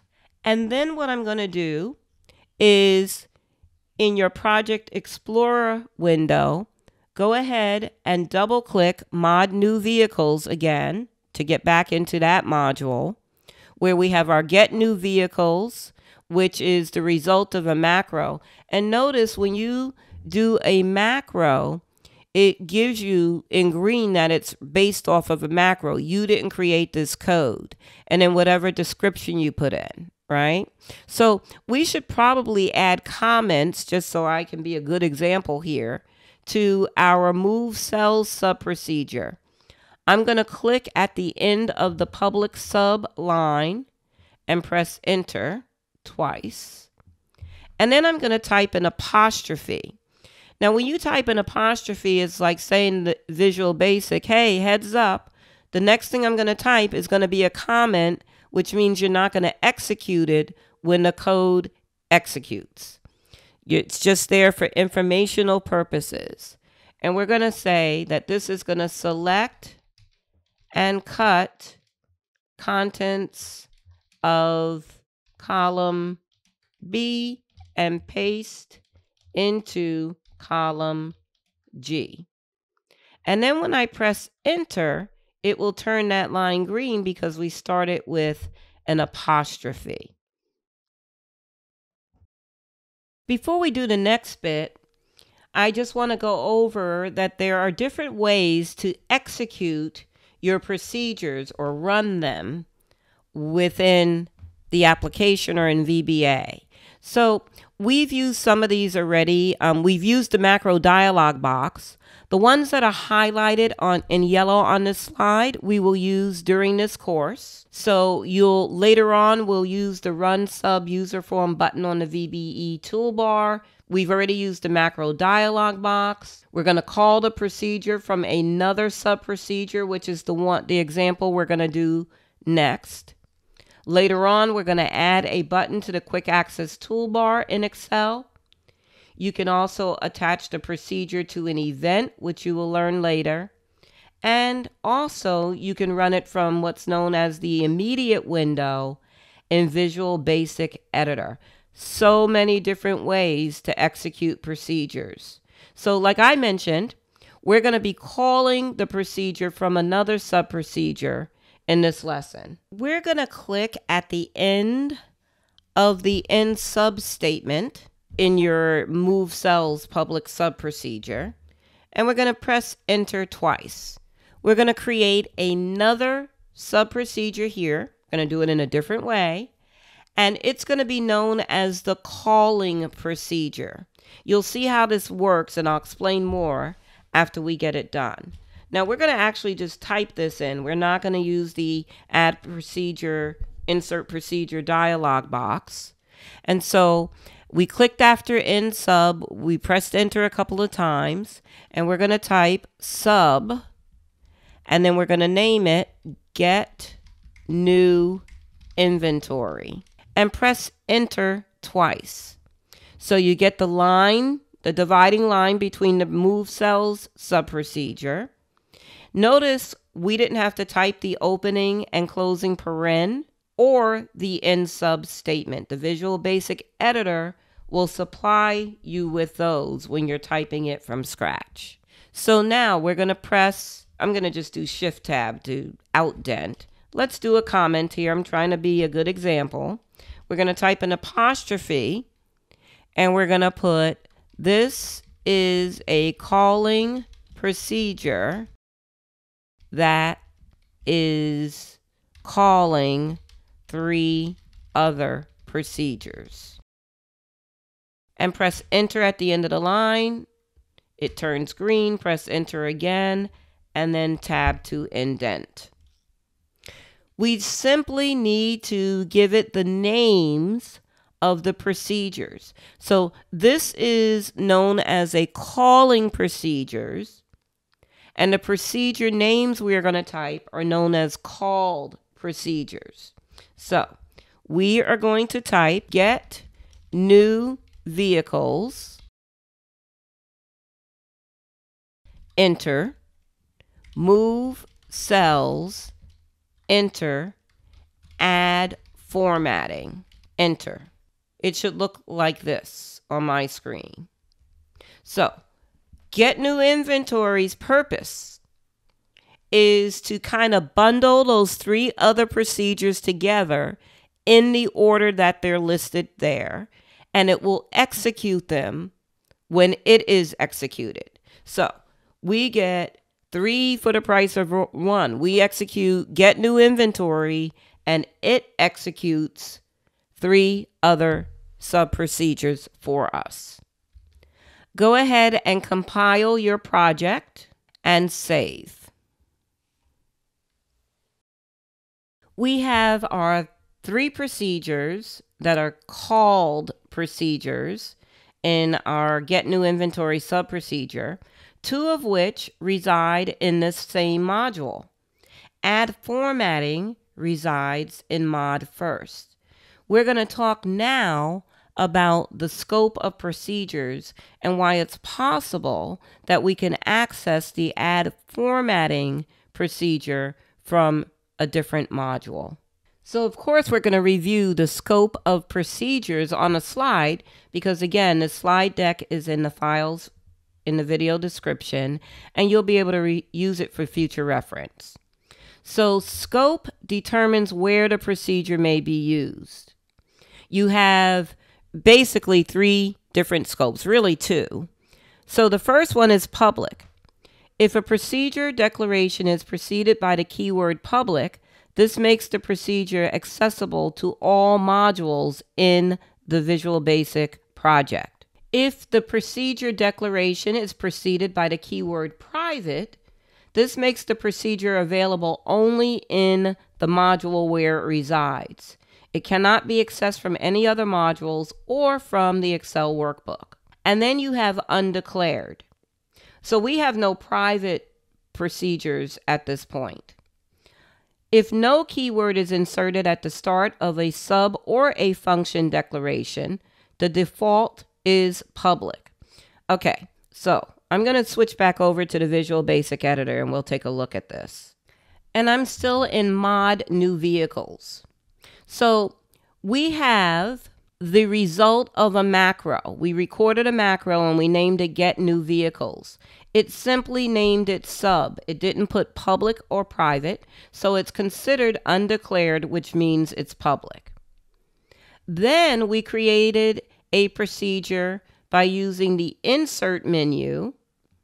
And because in there, and I'll bring up that dialog box, the scope is defaulting to public. So when we created the move cells procedure, it added the public keyword. And then we created from one from scratch, sub get new inventory. We didn't type public before sub. We left it undeclared. So all of these are public procedures. And if we go to mod first, add formatting is also undeclared, which means it's public. And I look at the end of that and I want that blank line above end sub. So I just modified it and did that. So because add formatting is public, I'm going to go back to mod new vehicles. We can access it by calling it from this module. That's why that's possible. The scope of procedures matter.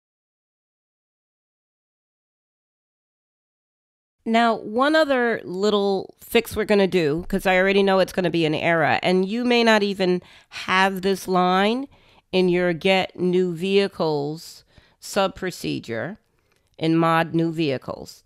But that first line of code, since get new vehicles is included in our calling procedure, if we have the first line saying active window close, it's going to just close the file and then it won't be able to run the rest of the code. So that very first line, active window close, if you have that line, you know, could cause you to have an issue with the code. If you don't have that line as your first line, if your first line is workbooks.open, file name, so on and so forth, you're good to go. But if not, you want to delete that first line, active window close. We're going to leave it at the bottom but not at the top. And then go ahead and save your code. And now we're ready to Alt F11 to switch over to Excel. And we're on the new vehicle sheet in cell A1. We're going to do Alt F8 to bring up our macros box. And we want to run our calling procedure, get new inventory. So I'm going to just double click it and my screen will flicker for a moment and then ultimately stop. Okay, so what happened? Well, it ran the bundle. let's switch back over Alt F11. The first thing that it did is it ran get new vehicles. So it opened the received vehicles file, it selected everything, and then it copied everything. And then it went back over to our vehicles macro enabled file, made sure it was in cell A1, and it pasted the data. And then it went back over to received vehicles file and closed it. After that, it did the move cells sub procedure. So once it brought in that information from received vehicles, it selected everything in column B and it pasted it, it cut it, and then it pasted it in column G. And then after that, it did add formatting, which is in mod first. And that's where it added the headings for us, right?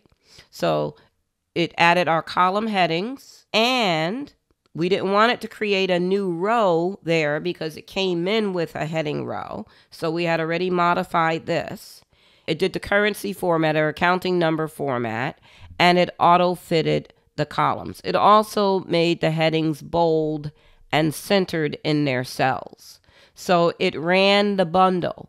We ran one sub procedure that called three other procedures. So when I go back and look at it in Excel, we're still on new vehicles, right? It moved the dealer costs to the appropriate column, applied the appropriate formatting to it, and it added the headings instead of the headings that came in from the received vehicles file and the formatting that it did. So you saw that calling procedures lend themselves to efficiency, but there's further efficiency to be had. Earlier, we discussed how sometimes a sub procedure is known as an event procedure, and that happens when you attach it to an event. So, first thing we're going to do here is we're going to do Control A on this new vehicles sheet to select everything, and then we're going to press delete. We're going to clear the sheet. Just click in cell A1 and switch back over to your Visual Basic editor. Now on the left side, you attach to, in order to make something an event procedure, you have to access an object's events. So we're going to double click in the Project Explorer window. We're going to double click Sheet 3, New Vehicles. Now notice at the very top of your screen, you have two different drop downs above option explicit, which we still haven't talked about, but we're getting there. You have a general box, and to the right, you have a declarations box. Both of them have drop downs on their far right sides. The left side, where it says general, is known as the object list. The right side, where it says declarations currently, is known as the procedures or events list. So we're going to do the drop down arrow to the right of general. And the only thing, because we have sheet three selected, the only object we're going to see is worksheet. So we're going to select worksheet. And it creates this whole like sub procedure framework. It's private, so it's only available within where we're putting it. It's attached only to the new vehicle sheet, which the system knows as sheet three, right? So the first thing, the default event for a worksheet, if you look at the right now, where it used to say declarations, it says selection change. That's just the default event. That's not the event that we want. What we want to happen is we want our calling procedure to run whenever the new vehicle sheet is activated. So we're going to do the drop down all the way to the far right of selection change. And these are all worksheet events right? Activate, before delete, calculate. You have a whole list. We want to select the activate event. So now it gives us the framework for a private sub procedure that it names worksheet underscore activate. Typically, with event procedures, you don't change the names, right? It's kind of like hard coded. So it's that particular worksheet's activate event that we're going to code. So we don't need this second block. We don't need this. This is just what was created as soon as we selected worksheet. It selected the default event, which is selection change. So we can just delete that. Click at the end of the parentheses on the private sub worksheet activate line. Press enter twice, just so you get that blank space again. We're going to press tab so it's indented. And we're simply going to call our calling procedure by name. We named it get new inventory. So that's the one that has the, the three called procedures within it. So we're saying whenever the new vehicle sheet is activated, go ahead and run that bundled calling procedure known as get new inventory. Go ahead and compile your VBA project using the toolbar. You want to get in the habit of doing that and save and switch back to Excel. Just make sure you're in cell A1 on new vehicles, which we deleted everything off of. And now we're going to go to our inventory sheet tab at the bottom. And then we're going to click back on the new vehicle sheet tab to activate it. And voila! As soon as we activated that sheet, it ran our get new inventory calling procedure. So we get the same result we didn't have to do Alt F8 to get into the macros dialog box to make it run or anything like that. We simply made it an event procedure and it was the activate event for this particular sheet. We are going to once again clear this sheet by doing Control A and delete. Just click back in cell A1 and go ahead and save your vehicle's file. So now we're ready to create a function procedure. And if you remember from earlier, uh, function procedure performs a calculation and returns a single value or an array of values. So differs from a sub procedure. So when you create a function procedure in VBA, it can only be executed in two ways compared to the nine ways you can execute a sub procedure. You can call the procedure from a sub procedure or another function procedure, or you can use the function in a worksheet formula.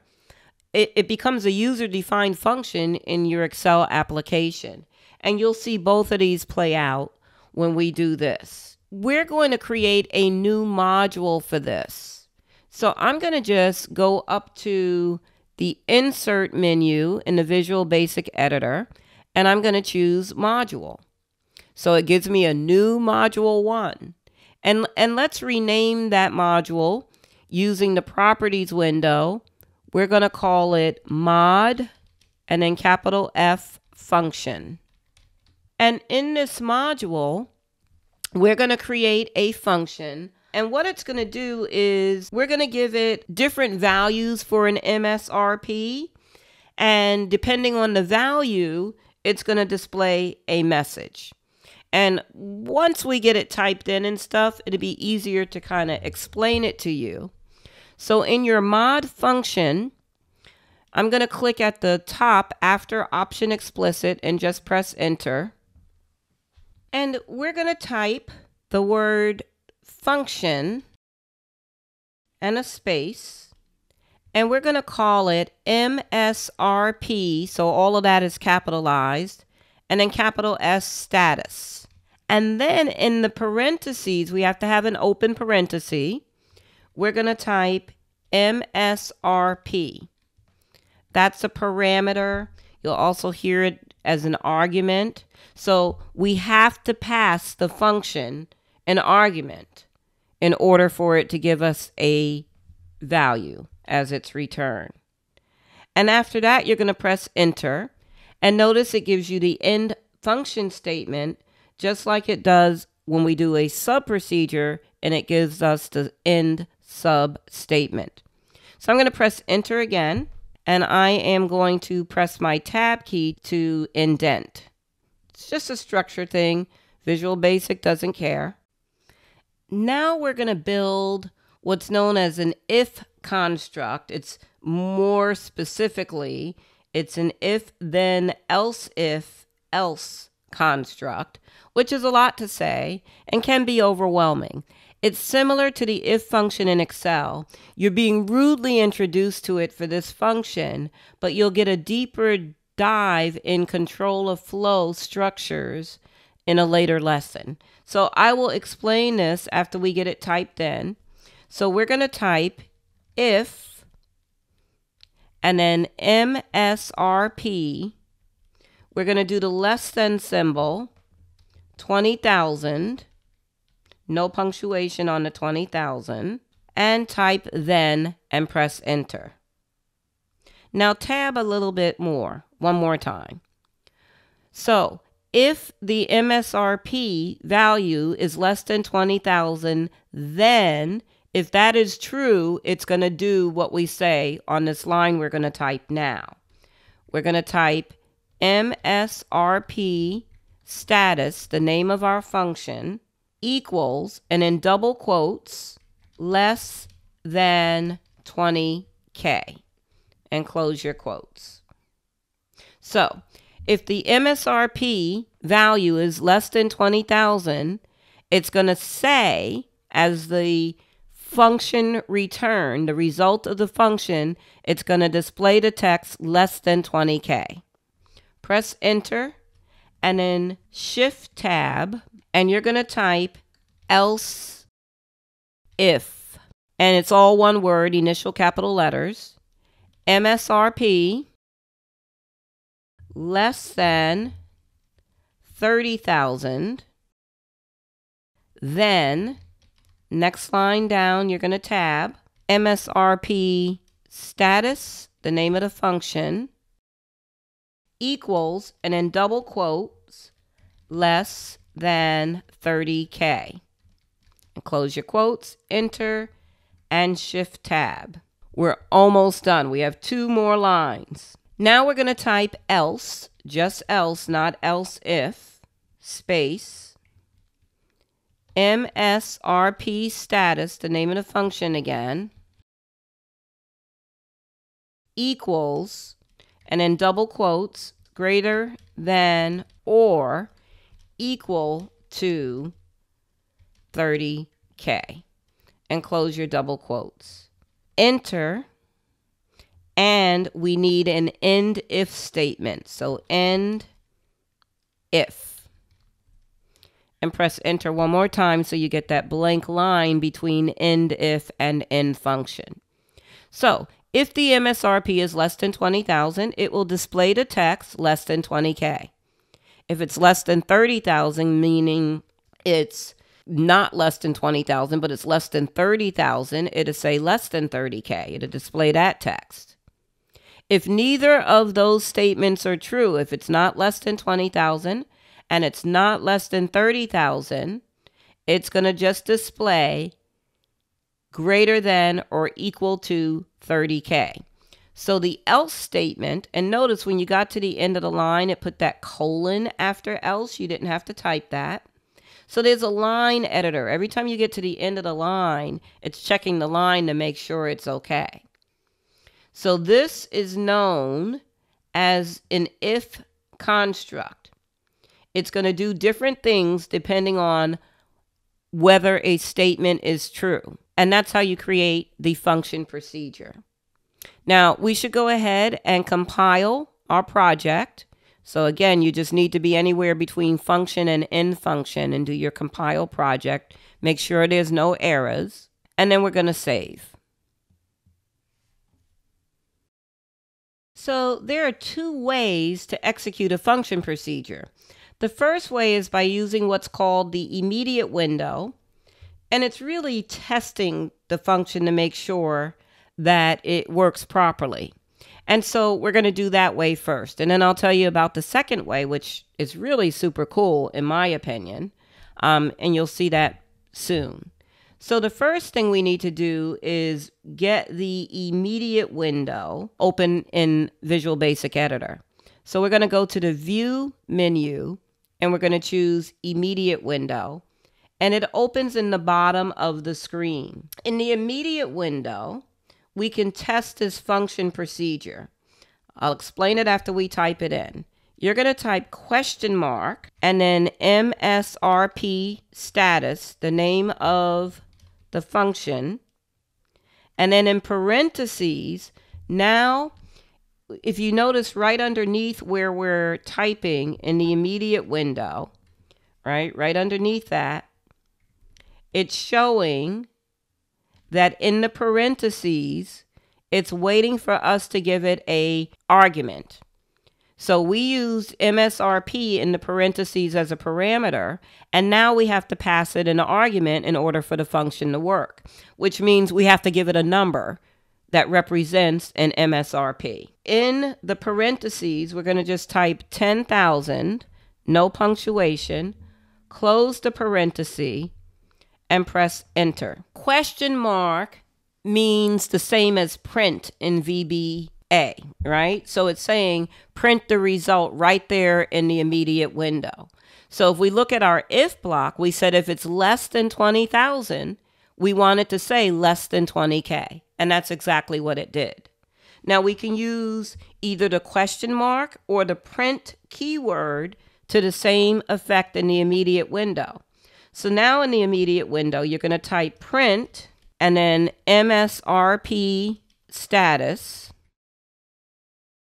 open paren, and we're going to put 20,000 in there and close the parenthesis. And now press enter. So it's giving us less than 30,000. So question mark and the print keyword do the same exact thing in the immediate window. We're testing our function to make sure that it works. So let's do another one. We could do either question mark or print, whichever your preferred one is and we're going to set it up again, MSRP status. And this time in the parentheses, we're going to put 40,000, close the parentheses, press enter, and we should get the greater than or equal to 30K. The else statement is working because it's not less than 20,000. It's not less than 30,000, the parameter that we gave it, the argument that we gave it in the parentheses it's 40,000. So we're getting greater than or equal to 30K. If you're creating super complicated function procedures, you would want to test them in your immediate window, giving it different values to make sure it works. The other way to test it, let's go ahead and switch over to Excel. I'm doing Alt F11 there. Okay. And let's go to the Inventory Sheet tab and click in cell I2. In cell I2, you're going to type an equal sign like you would for any built-in Excel function. And then you're going to start typing the name of the function. We're going to type MS, and our MSRP status function shows up here. It's a user-defined function in the Excel application. Once you create it, unless you go and delete that function, you will be able to use it in Excel. We're going to click on, or since MSRP is already selected, I'm going to just tab key. It's called tabbing it in. And then we are going to click on cell H2, the very first MSRP. And we don't even have to type the closing parenthesis here because we're doing it in Excel application. So go ahead and press enter. And then click on I2 and the little notch in the lower right hand corner of the cell is known as the fill handle. And once I put my mouse on top of the fill handle, it looks like a thin black cross. and I am going to double click. So you'll notice it'll fill it all the way down to the bottom until it runs into a blank, right? So if I do control N, it filled it all the way down to row 105. And it's looking at each MSRP's value and determining what to display in the adjoining cell. And so we are going to right click on the column I column heading and delete that column. And I want to show you something else since we're in here. Go to the Formulas tab on your ribbon, and the first button is Insert Function. Click it. Where it says, or select a category most recently used, do the drop down arrow, and you might have to scroll down to see it, but you're looking for a category called User Defined. Now, there's going to be stuff in here that you are like, what does that mean? Don't worry about it. There's stuff that comes into Excel automatically. But you'll see your MSRP status in that list. So that is a user-defined function in the Excel application, which I think is just pretty cool. We can just cancel out of that and go ahead and save your file. So, our last topic in this lesson is getting context sensitive help in the Visual Basic Editor. So, I'm going to do Alt F11 and switch back over to VBE. And in VBE, I'm still in my mod function module. I'm going to just click anywhere in the word function at the beginning of that function procedure. And I'm going to press F1 on my keyboard. So it brings up the context help box because you're in Excel Visual Basic for applications and it's saying that there's an object in both Visual Basic and Excel called function.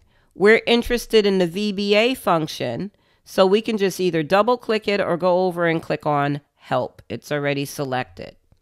So it launches your browser and I can tell you that the VBA documentation from Microsoft is awesome. So it gives you the function statement from VBA. It lets you know that it declares the name, arguments, and code that form the body of a function procedure. It gives you the syntax. So, you know, just like sub procedures, there's different statements public, private, right? If it's undeclared, it's public. Um, there's also friend and static. And then the function name, and then in parentheses, the argument list. And you can give it a data type as its return as well, which we didn't have to do on ours, right? Um, there's also an exit function statement that we didn't need to use. So it gives you the breakdown about everything, descriptions on everything, right? And so, and then there's remarks at the bottom.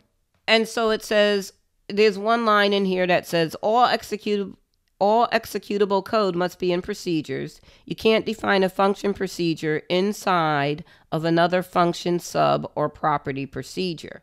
And notice that sub there is a link.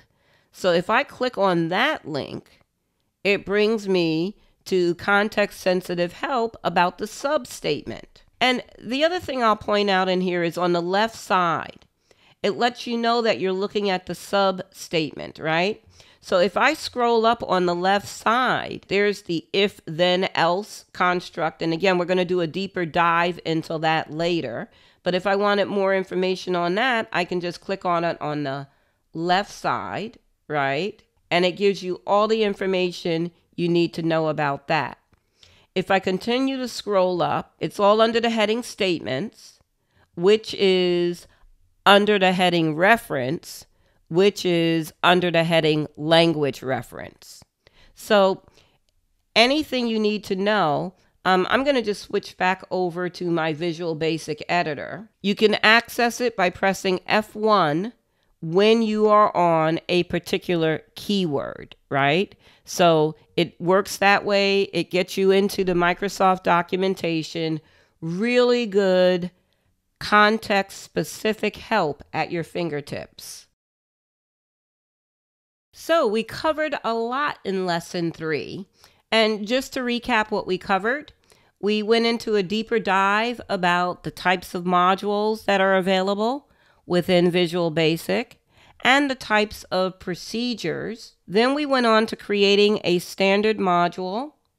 We created a sub procedure and we called procedures by creating a calling procedure. You also learned about the scope of procedures. Then we created a function procedure and we tested it using the immediate window before going into Excel and accessing it in its interface as a user defined function.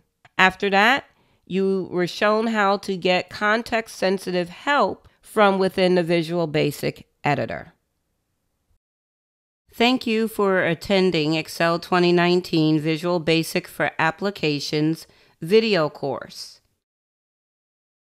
Hi everyone, I'm Trish Connor Cato. Welcome to the Excel 2019 Visual Basic for Applications video course. This course is for beginning users looking to automate repetitive and recurring tasks in Microsoft Excel. VBA is Microsoft's programming language, and it's built into the Office applications. Our focus during this course is on Excel specifically.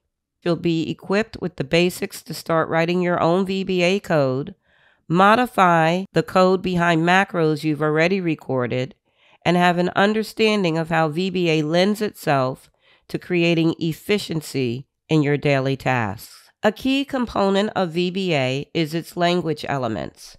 You'll learn about this important topic by learning about variables, their scope, and how to declare them.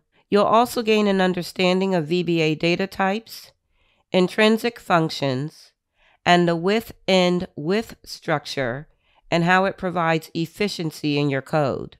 You'll also learn to create message boxes and input boxes in this lesson, as well as gaining an understanding of object variables. The next lesson will teach you how to control program flow through supported control of flow structures. This lesson begins with an overview of structures and Boolean expressions. You'll then learn how to utilize conditional branching and the lesson ends with learning about how to use looping constructs. If you're enjoying these videos, please like and subscribe.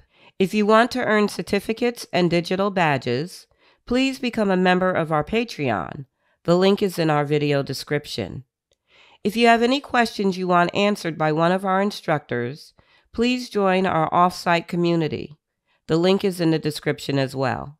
As always, if this course has exercise files, you'll find them in the video description below. In our fourth lesson, we're going to dive into expressions, variables, and intrinsic functions. You've already experienced comments, seen them when we fill out the description in the record macro dialog box. And we've actually modified comments and added our own comments to code that we created from scratch. And comments are known as a foundational VBA language element. Well, there are others, and we're going to get into them in this lesson. So, we're going to get started by learning and understanding variables. We'll go over VBA data types and intrinsic functions, which include expressions. We saw the with end with structure. In the first macro we recorded, the add formatting macro, it created that structure with everything that resides in the paragraph group on the home tab of the Excel ribbon. And we deleted a lot of extraneous lines just to make our code more concise. You're going to learn about the offset property using message boxes and input boxes and object variables. We're going to be using our regular vehicles macro enabled file, as well as two other Excel files that are in the video description. And you should be putting these files all in the same directory. So we're going to be using an Excel file named VIN numbers and another one called sales fiscal year. Variables are often considered the most important VBA language element. Since one of VBA's main purposes is to manipulate data, variables store data in your computer's memory when procedures are executed, and the data may or may not end up on disk. Some data resides in objects like worksheet ranges. Other data is stored in variables you create. Data that is stored in a variable usually changes while your procedure executes. There are, of course, naming rules and conventions when it comes to variables, very similar to the rules and conventions, well, the rules for naming procedures. Variable names can be up to 255 characters, alphanumeric. The first character must be a letter, cannot use spaces or any of the characters listed on the slide. And then it has another one that is not a procedure rule. VBA is not case sensitive, but it is case preservative. So you'll learn about declaring variables in a moment, and you'll see this play out. When you declare a variable, if you declare it in proper case, right, using the rules and conventions, and then let's say the next time you reference it, you type it in all lowercase, Visual Basic Editor is going to automatically change it to the case it was when you declared it, and that's what case preservative is. A convention is used proper case for each word within the name of the variable, and we have a couple of examples. Today's date, VIN num. Before you can use variables, they need to be declared. And just like procedures, variables also have a scope. So there are two declaration methods. There are implicit and explicit. Implicit declaration means you declare the variable by just using it without writing a declaration statement. And this method can lead to code errors. So, for example, with implicit declaration, let's say I name a variable green, for example, and then when I go to use it, I misspell green. It's going to think that I'm implicitly declaring another variable, and you can see how that could lead to coding errors. Explicit declaration is the preferred method. You write a declaration statement to officially declare the variable. Now, when it comes to variable scope, you can use either the dim or the private keyword. They mean the same thing. They're used interchangeably, they have the same result.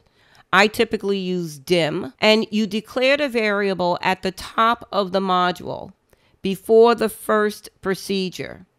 And that area at the top of the module is known as the declaration section. If you want the variable available to all procedures in a module, you would use dim or private and declare it in the declaration section. The public keyword is also used in the declaration section at the top of the module, and you use it if you want the variable available to all procedures in all modules. And then there's a static keyword. Static variables retain their value even when the procedure ends. And you declare a static variable at the procedure level. It means it's only available in that procedure. And when you declare variables, you should assign them a data type. So on this slide, it's talking about the data types that are available in VBA. And you can see the name of the data type, the number of bytes that are used, and the data type's range of values. A byte uses the data type known as a byte, uses one byte, and has a range of values from 0 to 255. A Boolean data type uses two bytes and has either true or false as its range of values you have integer, long, single, double, currency, and then at the bottom you have decimal data type. Those are your numeric data types.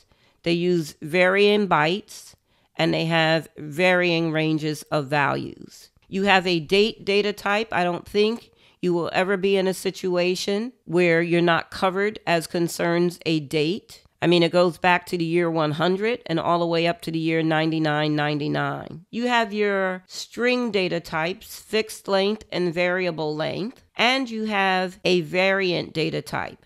So if you declare a variable and you don't assign it a data type, it will automatically assign it the variant data type. Look how many bytes that's using. If it's a value, it's going to use 16 bytes. And if it's a string, it's going to use 22 plus bytes. So you want to be careful and really try your hardest to assign data types when you're declaring variables. I've gone ahead and opened the VIN numbers Excel file that was in the video description. And I still have my vehicles macro enabled file open, but our focus right now is going to be on this file. So it only has one sheet, it has one VIN number, and it has several other columns.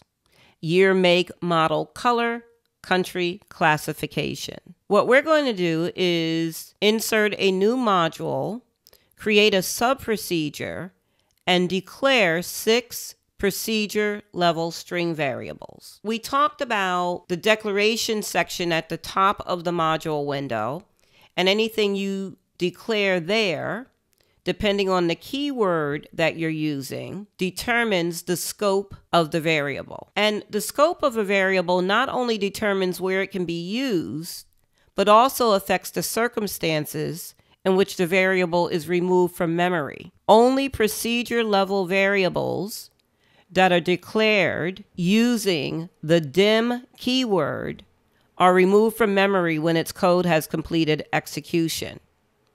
If you use the static keyword in a variable that's declared at the procedure level, that means it's going to retain the value of the variable after it executes. So you'll see what this means and how we're going to use it when we switch over to VBE, which we're going to do right now by doing Alt F11. So I want to point out a few things to you now. Since I still, and you do too, have the vehicles file open, there's a VBA project that we've been working in this whole time for that particular file. I'm going to collapse that project. Because we have another open workbook, we have another VBA project, and it's vinnumbers.xlsx file that we just opened one thing I want to point out at the very top of the screen, and I'm going to just select like sheet one in here to get rid of the code that's on my screen. And at the very top of the screen, we have that option explicit statement. This is when it's time to learn why that's sitting there and what it means. So let's go to the tools menu and go into options like we did earlier in the course. And one of the options under Code Settings on the Editor tab is Require Variable Declaration. And that way, we can't do an implicit declaration. We have to do an explicit declaration. The implicit ones are where you don't write a declaration statement, you just use the variable, but that's the type that can lead to code errors.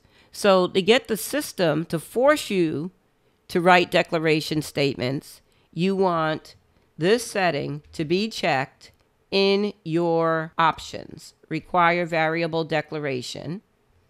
And that means that it produces, I'm going to just cancel out of options, it forces that option explicit statement to show at the top. So it's going to force you to do variable declaration. The other thing we talked about just a moment ago is that the scope of a variable determines not only where it can be used, but the circumstances in which the variable is removed from memory.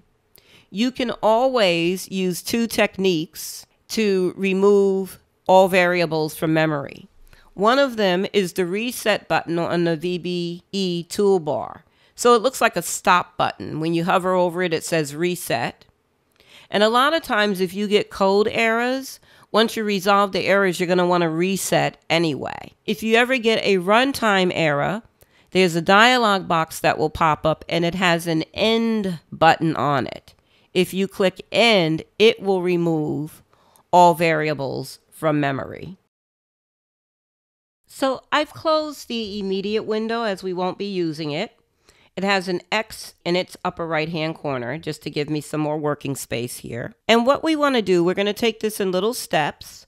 Like I said, we're going to set up the framework of a sub procedure and we're going to declare six string variables. We are going to look up at the top of your screen, right underneath the option explicit statement is known as the declaration areas. That's why it says declarations over to the right in the procedure box. We are going to first insert a new module.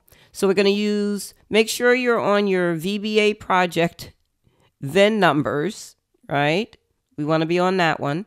We're going to go up to insert module. So it gives us a module one, which we are currently in. And again, I always verify in the title bar up at the top what file or what project I'm in, and then what module I'm in. And this is where we're going to create a sub procedure. We are going to type sub and we're going to name it parse VIN.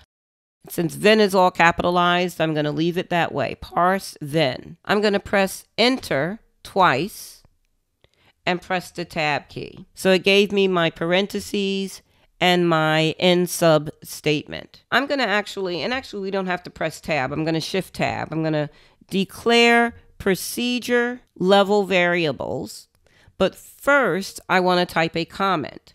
So I'm going to do an apostrophe and type this procedure will parse the VIN number into the appropriate columns and then I'm going to press enter and enter again. So I have my comment line. Now we're going to use the dim keyword. So I'm going to type dim and I want to show you two examples here. Again, you want your code to be as concise as possible. So you guys, you don't have to type or do anything other than watch my screen. Just want to show you an example here. So hopefully this example is going to show you how to make your code more concise. I'm going to highlight the lines of interest here. These variables are all using the string data type. And I typed a separate line item using the dim keyword for each item. Why would I do that if they're all the same data type? I can type this line just using the dim keyword once separating the variable names by commas, and at the very end, giving it the as string data type. So that's the line that you're going to end up typing and then I'm going to end up keeping. But I have another example. Let's say you were only declaring two variables and they had different data types. So in that case, you would end up with two lines. Dim dealer cost as single dim VIN number as string. The ones that have the same data type, I grouped them together on one line. Easier to type, easier to troubleshoot.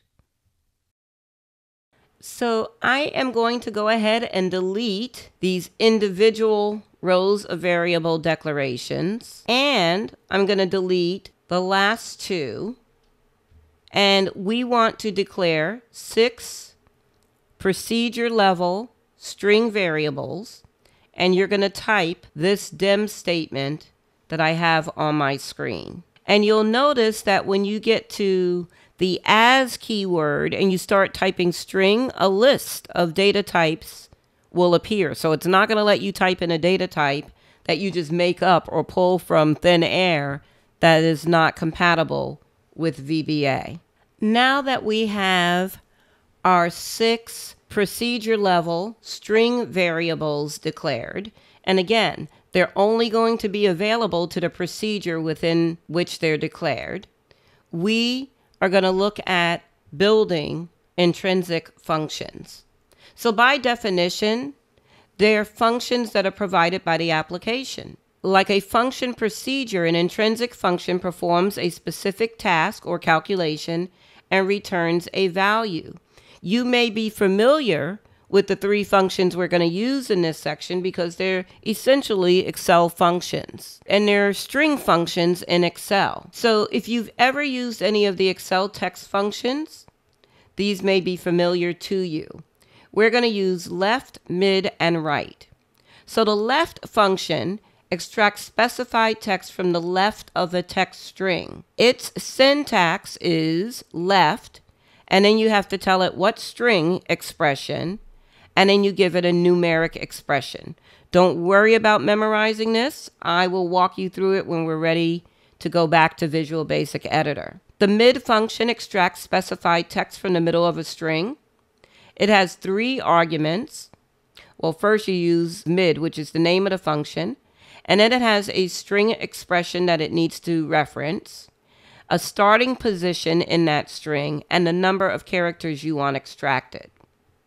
And then the right function does the opposite of the left. It extracts specified text from the right of a text string. It too has the same arguments as left.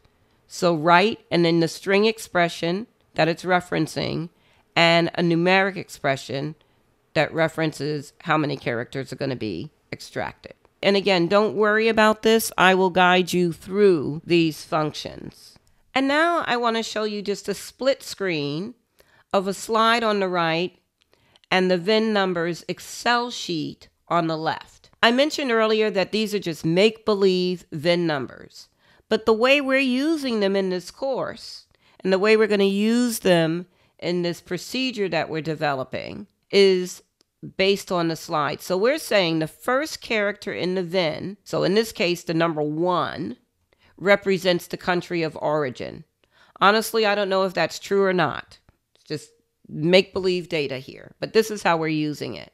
The second character of the VIN would represent the make. The third and the fourth characters would represent the model. The 11th character would represent the year. 12th character would represent the color. And the 17th character of the VIN would represent the classification. Again, I will guide you through this as we're using our left, right, and mid functions. But you have the slide for future reference if you want to kind of run through it again on your own. You'll know how we're using the VIN number. Now we're ready to use our intrinsic functions in this parse VIN procedure. We already created a blank line underneath our variable declaration dim statement in this procedure and we're going to press tab on the keyboard to indent. And what we're going to type is range, and then in parentheses and double quotes, A2, close your double quotes, close the parentheses. We're going to use our dot notation, and now you'll see the list pop up with methods, properties, bunch of different things. We're going to start typing select, and when it shows up on the list and it's highlighted, I can stop typing and press my tab key to get it in. And I'm going to press enter. So it's going to select cell A2. And then we're going to reference one of our variables. But we're going to reference it in all lowercase. So we're just going to type VIN num and then a space bar equals, and we're going to type active cell dot. And when the list comes up, start typing value. When I see it on the list, I highlight it and tab it in. So we're saying select cell A2, and then that is the active cell once it's selected. We want the VIN number variable to be populated with whatever is in cell A2. So in Excel, you can see that the only VIN number in this file is in cell A2. So it's going to select that cell and then assign the VIN num variable that VIN number. Go ahead and press enter at the end of that line and notice that it adjusted the casing on VIN. Remember, VBA is not case sensitive, it's case preservative. So when we declared that variable, we did uppercase V, uppercase N, and then when we typed it in, we did it in all lowercase. As soon as we press enter at the end of that line, it goes back and preserves its original declaration case. That is an example of case preservative. So now we're going to type year. So we're going in the order of the way we declared the variables. That's easy to keep yourself organized. So we started with select cell A2 and then populate the VIN num variable with the VIN number that is in cell A2. Now we're going to say what to populate the year variable with. So we type year equal, and then we're going to type the mid intrinsic function, open paren. So right underneath it, it's telling you the arguments that it's looking for. So you'll see that yellow banner there, right? Right now, it's waiting for the string argument, and then you have a numeric argument, right? And the string argument is bold because that's the one that it's waiting for. In the open parenthesis, we're going to type VIN num, the name of our variable. And again, doesn't matter how you do the casing because it's case preservative. VIN num, comma, 11, comma, 1. So the mid function has three arguments. The string argument, the start as long argument, right? That's the starting position. And then the last argument is the number of characters. So we're saying the year is going to equal the 11th character of the VIN. We're saying in that VIN num variable, which now holds the entire VIN number, we want you to go to the 11th character and extract one character, which is the 11th character. You're going to type a closing paren. So the 11th character of the VIN represents the year and press enter. Our next one that we're going to do is the make because we're doing them in order here. So instead of you watching me continue to type, I finished this part of this procedure. So we left off with doing the year. So I'd like you to just copy from my screen and assign values based on the character or characters in the VIN to make, model, color, and classification. You can pause the video until you get it done. And once you have the other variable assignments done, go ahead and compile your VBA project. So just be anywhere between sub and end sub. Make sure there's no errors. By the way, if you just watch my screen, I'm going to take out this classification line. And I just want to show you something. You don't have to worry about spacing. You know, the variable's a case preservative. So I could type that line as classification, no space, equal, mid, open paren. I'm typing VIN num in a weird mix of capitalization, 17, comma, 1 and I'm not typing spaces at all. I'll type the closing parenthesis, and when I press enter, it gives me the appropriate spacing and it case preserved the name of the variable. So you don't have to worry about your spacing. There's a line editor. So when you get to the end of the line and you press enter, it will fix little stuff like that for you. So you don't have to worry about that. Now, for the classification, since we have 17 character VIN, 17 characters total in the VIN, we could have used the right function. It would have just been right VIN num 17, right? The last character. But you can also use mid there. Same result. Now we're going to go ahead and I'm going to compile again since I made a change. And it's saying the variable is not defined. So I got a compile error this time. Class because I misspelled classification. So it's not defined. I spelled classification and it's like, uh, nope, sorry.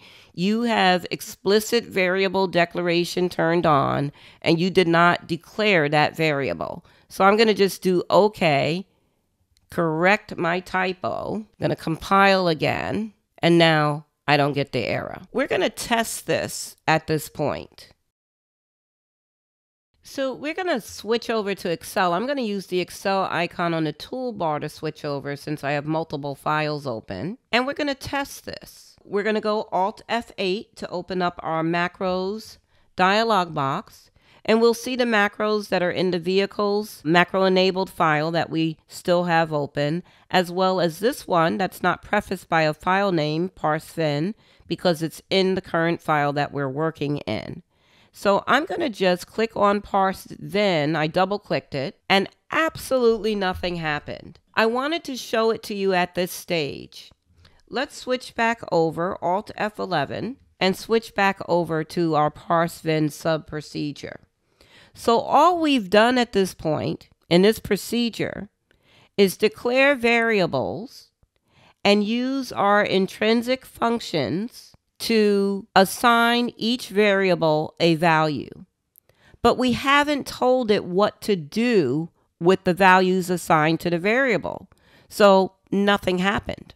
It assigned the values to the variable, but we didn't say how to display those values. In order to tell it where to display the values of the variables on the spreadsheet, we're going to take a look at the with end with structure and the offset property.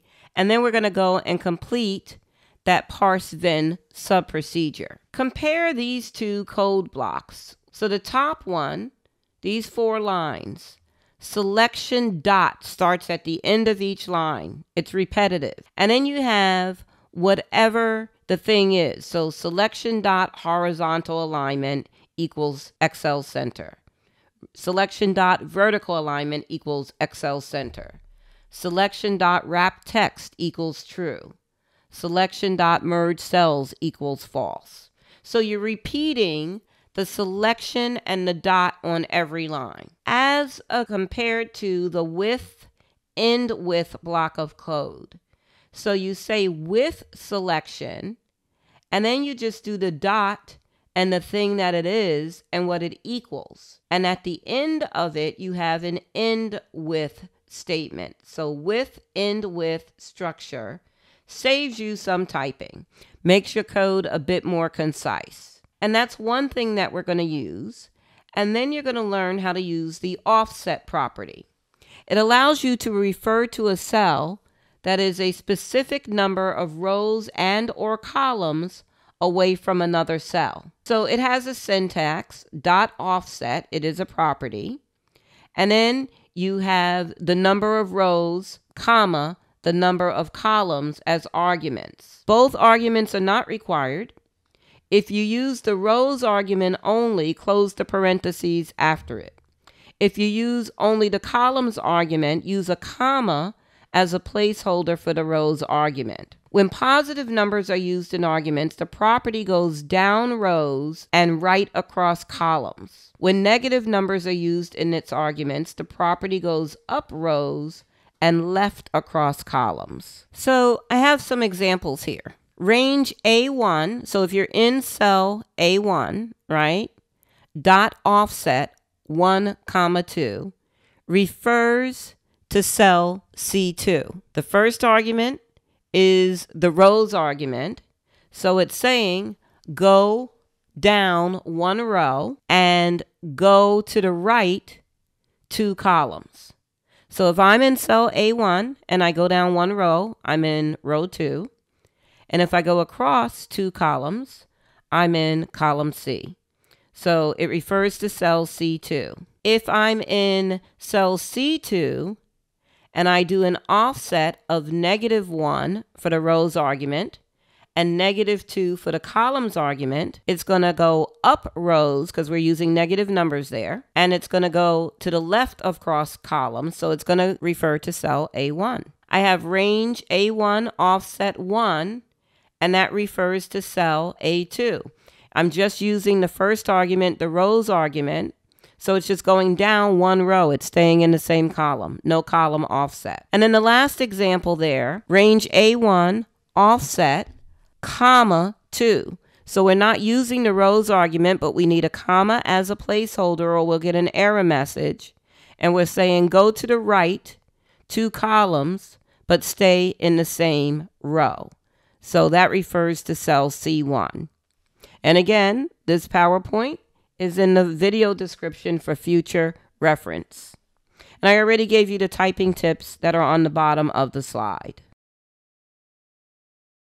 So now we're going to add our with end with structure and included in it will be our offset statements. We're going to click at the end of the classification line and press enter and then tab and we're going to type with active cell enter tab again and type dot and the letter O. So the offset property shows at the top of the list. Notice it's a property. You can tell by the icons over time, you'll learn the different icons in the list. But the one that looks like offset, it looks like a spreadsheet or a piece of paper that a hand is holding, that indicates it's a property. If you look down at the green icon that's in the list for parse and paste special, those are methods. So just visual cues for you. Since offset is selected, I'm going to tab it in so I don't have to type. And then I'm going to do an open paren, comma, because we're not going to use the row offset, but we have to use that comma as a placeholder. We're only doing column offsets here. One, close the paren, dot value, and you'll see value on your list so you can double click it or tab it in, equal year. It's saying the active cell is still cell A2.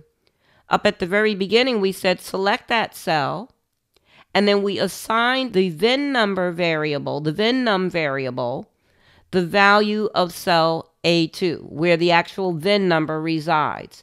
That is still our active cell. So we're saying, starting with cell A2, offset one column.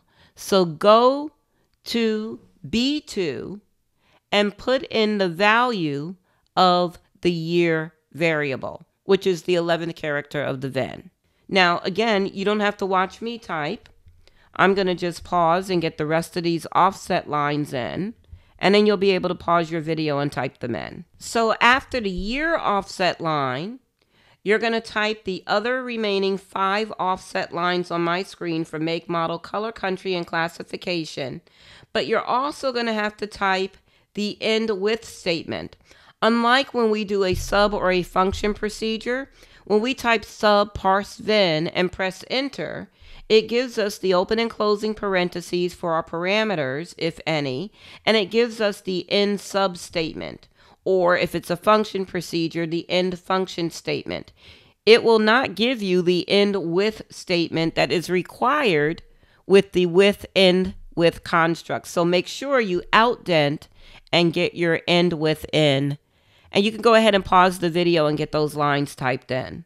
And once you're done, you're going to go ahead and compile your project. Check to make sure there are no errors.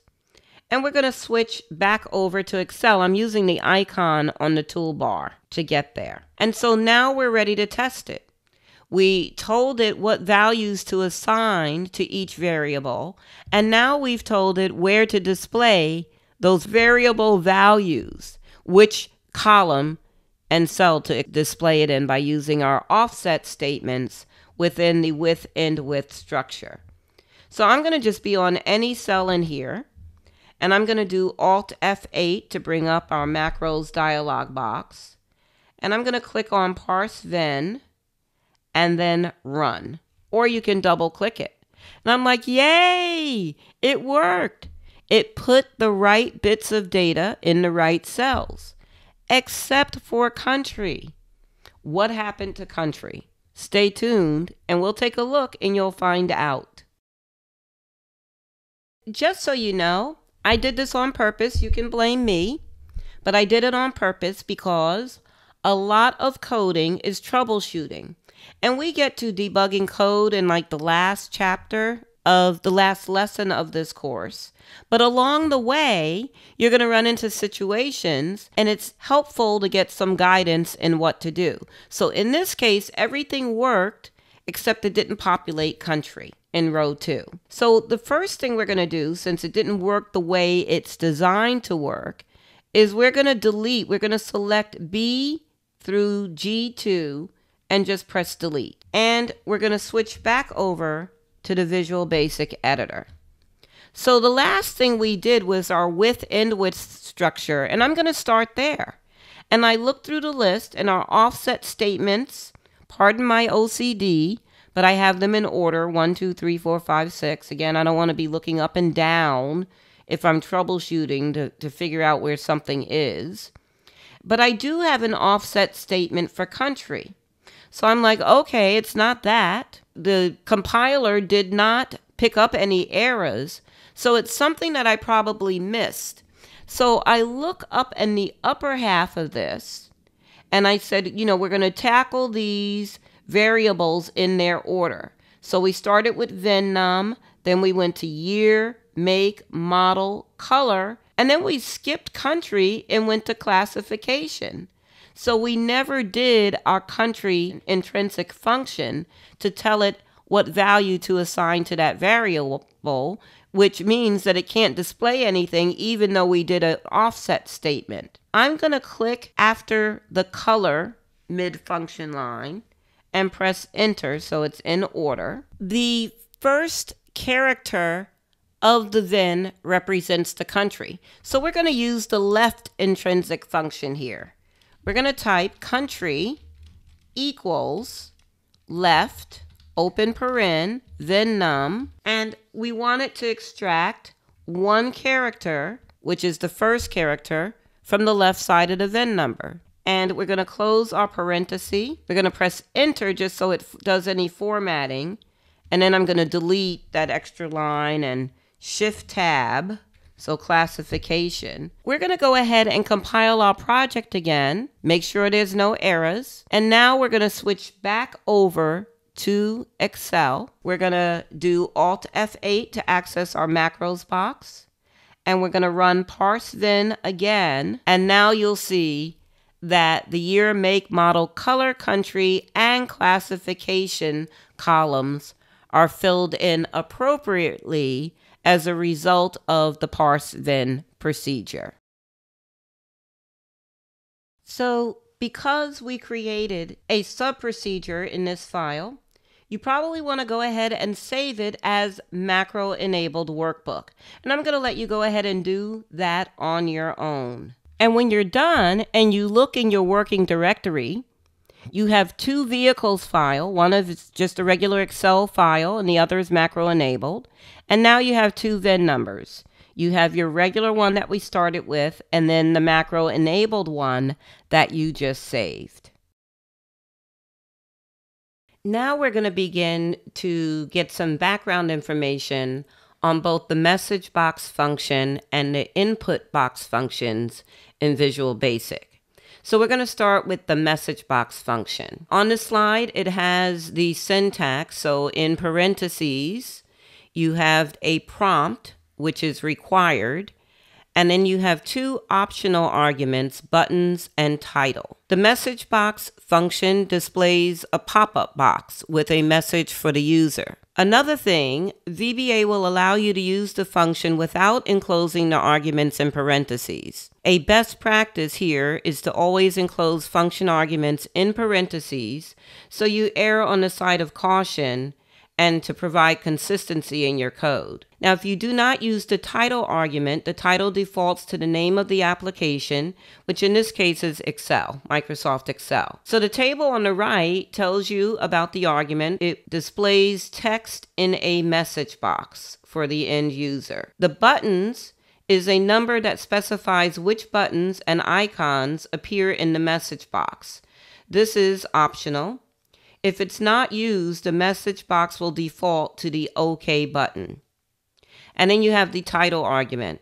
like I said, if you don't use the title argument, it defaults to the name of the application. But if you want it to say something else in the title bar of the message box, then you would use this argument. To choose which buttons and or icons display in your message box, you do that by using what are known as VBA constants.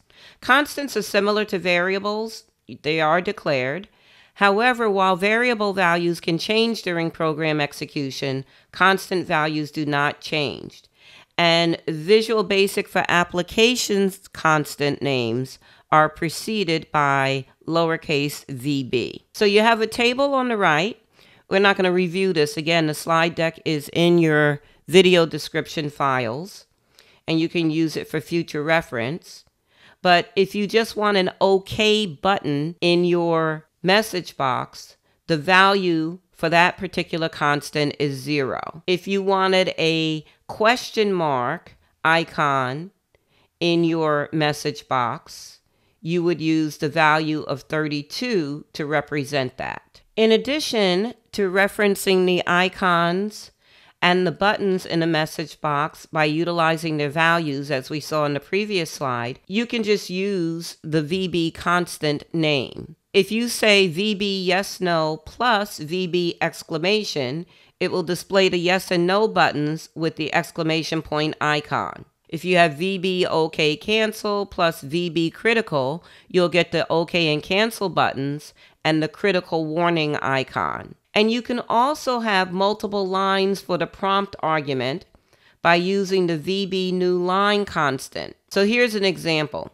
MSG box, that's the message box function, in parentheses, in double quotes because it's text. Do you want to continue? Question mark. Then we're using the concatenation character, the ampersand, to combine everything.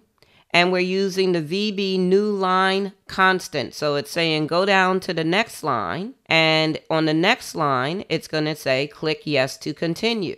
Then after that, so all of that is the prompt argument. And then we say VB yes no plus VB question. So we want the yes and no buttons and the question mark icon. And then the last argument is the title. And we're going to put in step one of three for a title. And when we get back into Visual Basic Editor to use the message box function, you'll use the assignment operator, which is the equal sign, to assign the return value of a message box button to a variable. You'll see that in a bit. And we're also going to be using the input box function, similar syntax to message box, has three arguments, one of which is required, which is the prompt. It has a title argument and a default argument. And an input box is used to obtain a single piece of information from the user. The information could be a value, a text string, or even a range address. Input boxes always display OK and cancel buttons. So the prompt argument is just like the prompt argument for a message box. The title argument is the same as well. It's optional, but it's the text value that appears in the title bar. And if you don't use it, it would be the name of the application. And then the default argument is new to you here. It's the default argument for the user's input. So it's optional, but you can pre-populate it. And if the user doesn't want what you pre-populate it with, they can type over it. So we're going to get ready to use both the message box and the input box functions. We'll be working again in our vehicles macro enabled file. I'm in the Visual Basic Editor for our vehicles macro enabled file. And in the Project Explorer window, I'm going to go ahead and double click Sheet 3, New Vehicles. So this is where we use the event procedure. When the new vehicle sheet is activated, it runs the get new inventory calling procedure, which bundles all the other procedures to retrieve that data. And so we're going to make this further automated by modifying this procedure here. And it's going to give the end user a choice whether they want to get the new inventory or not. So we're going to modify this worksheet activate sub procedure and click right in front of where it says get new inventory and press enter a few times. And then use your up arrow to go back up. So we want that blank line after private sub worksheet activate. Again, just for spacing purposes and when you have to debug your code, it's easier to read. So what we're going to do is we're going to declare a variable and it's a procedure level variable. So it'll only be available in this sub procedure. So we're going to use our dim keyword and we're going to name the variable response and we're going to declare it as an integer. And then I'm going to press enter. And this is how you assign the user input from a message box results to a variable. Our next line is going to do just that. We're going to type response equals, remember the equal sign is the assignment operator, and then we're going to type MSG box. We want to use our line continuation character here. We're going to do a space and then an underscore and press enter. And remember, if we didn't do that and we just press enter, we'd get an error because it's expecting the rest of the message box arguments, the rest of its syntax rather, on the same line unless we tell it to continue to, on the next line. So that's what we've done here. And then we're going to tab again. And we're going to do an open paren, double quotes. Do you want to run the get new inventory procedure? Question mark, closing double quote, comma. So that's our prompt argument. And your argument separated by commas. Now we want another line continuation. So we're going to do a space and an underscore and enter. We're ready for what combination of buttons we want in the message box, as well as which icon. So we're going to type, we're going to use the constant names. VB, yes, no, plus VB, question, comma. And for our title bar argument, our title argument, it's going to be in double quotes, run, get, new inventory. And I'm going to put a question mark at the end of that and close the quotes. And now we're ready to do our closing parenthesis. Now we're going to press enter.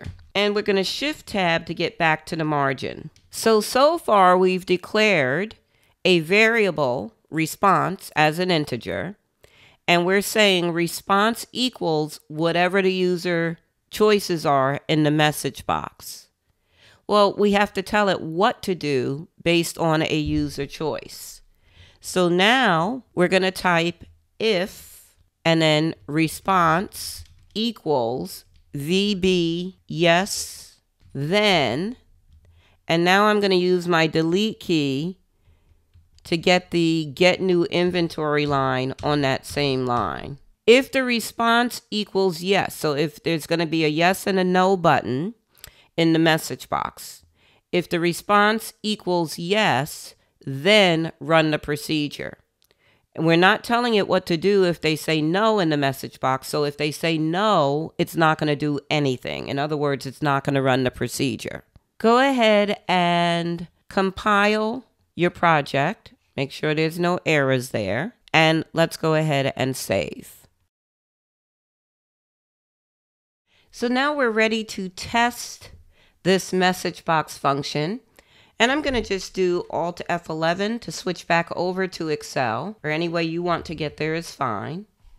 And we're going to click on the New Vehicle Sheet tab and let's just say no at this point, right? So this time when we click on it, instead of just running the procedure, it gives us our message box. Let's say no on the message box and it doesn't bring in any of the new vehicle information. Go back to your inventory sheet tab, click on new vehicles again, and now you'll see your title bar, run get new inventory. You see it has the question mark icon in the message box and it has yes and no buttons.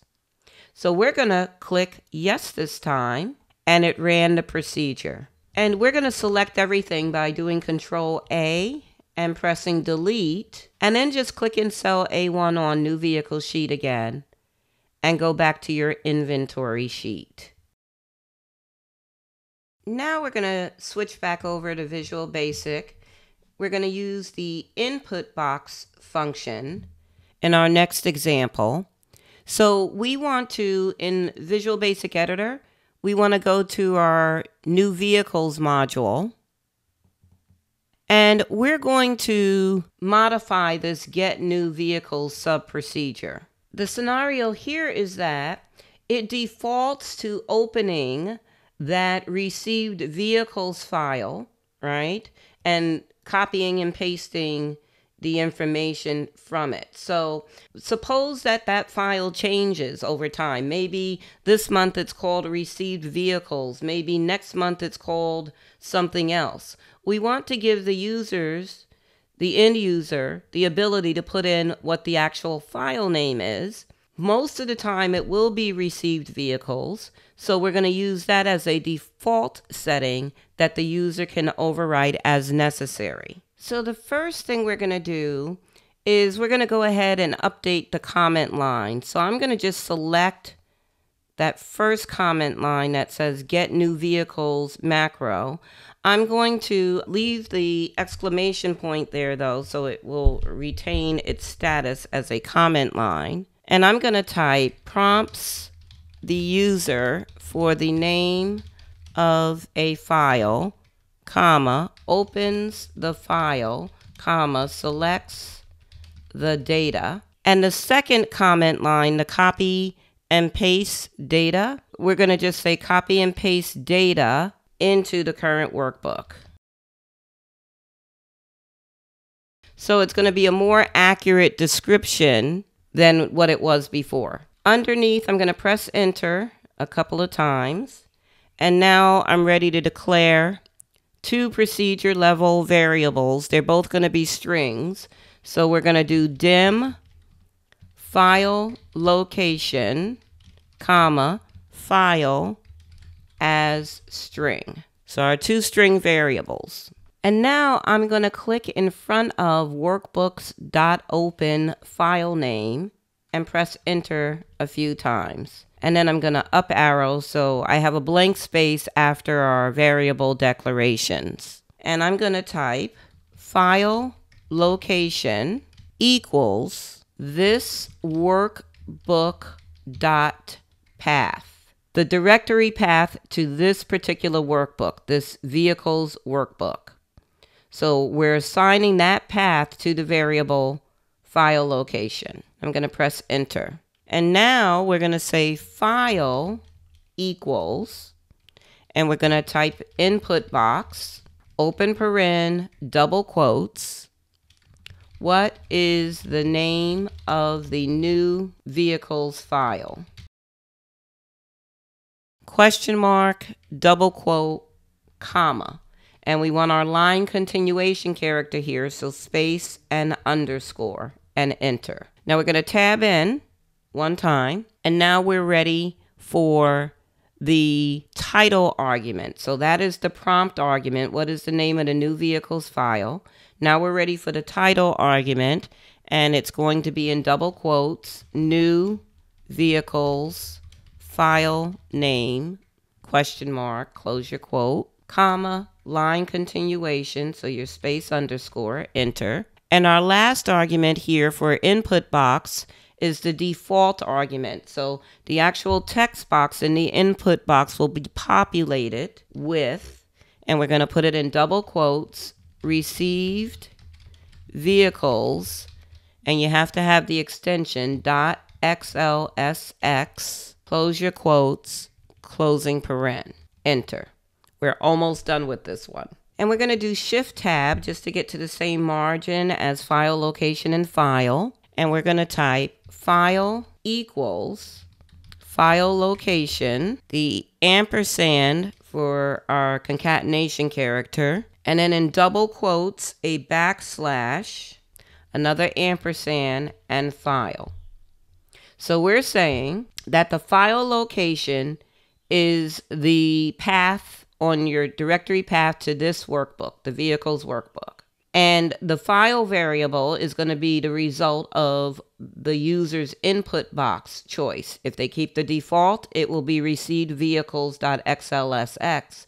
If they overtype that, it'd be whatever they overtype it with.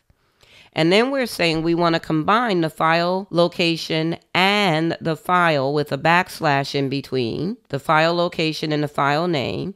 And that is then going to be what the variable file represents.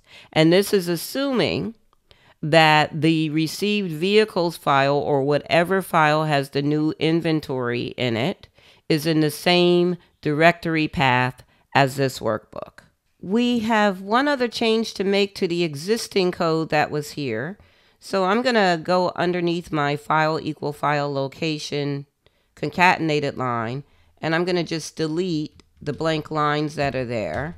And now we're going to change that workbooks.open file name line. So what I'm going to do is after the equal sign at the end of that line, I'm going to type file. And then we're going to delete the continuation character. Notice how we get that red line underneath because we don't have, we're not telling it to continue on the next line. And we're going to delete that whole path there because now we're saying open the file based on the variable file. So file is now the file location path and whatever file is in not name is in the input box, whether it's received vehicles or whether the end user types in something else. So we don't need the rest of that stuff that we had there. Go ahead and compile your project and save. So now we're going to be ready to test this. And I will say, we've given now the end user the ability to say no or yes that they want to run the get new inventory procedure. And now the additional use of being able to dictate which file to bring the data into from. I'm going to just go over to my Excel and I'm on the inventory sheet tab. Going to click on new vehicles and there's our message box and we're going to say yes that we do want to run the get new inventory procedure. And now we see our input box. We point out the title argument, new vehicles file name, question mark, right?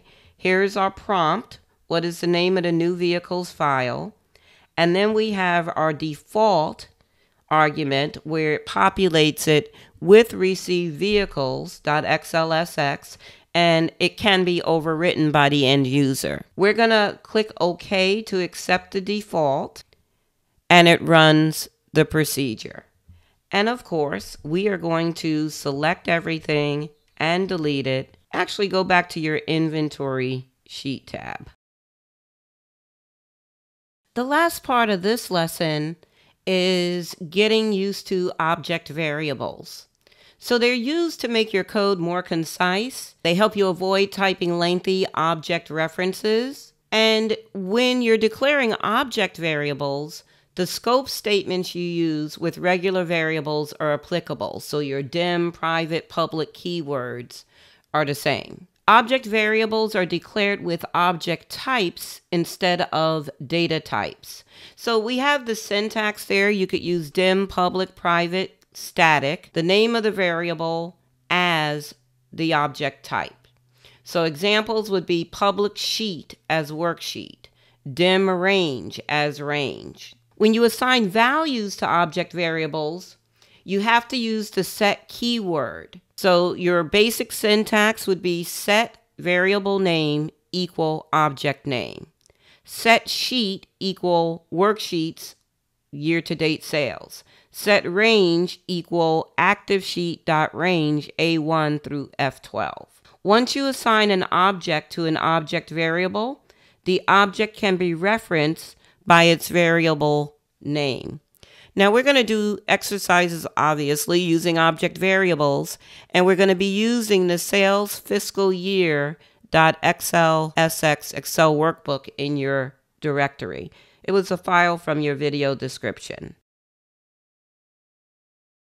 So in this Excel file, we have multiple sheet tabs. If I just right click on your tab scrolling arrows, you'll see going from June 1st, 2016 to August 26, 2016. Each sheet is representing sales on that day.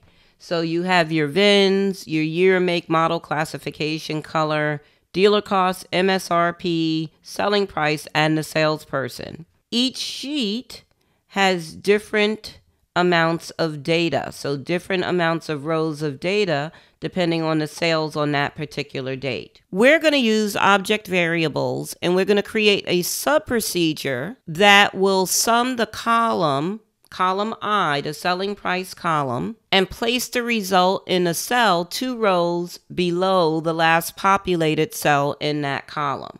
So, for example, on the 26th of August sheet, we want the selling price sum to be two rows underneath the last selling price in column I. And we're going to use object variables to set that up. Let's go ahead and switch over to the Visual Basic Editor and make sure you're in the right project. If you still have your vehicles file open, you may not see it here. If you don't see your file, your sales fiscal year file listed over here, sometimes you have to close the Visual Basic Editor like mine's been open the whole time.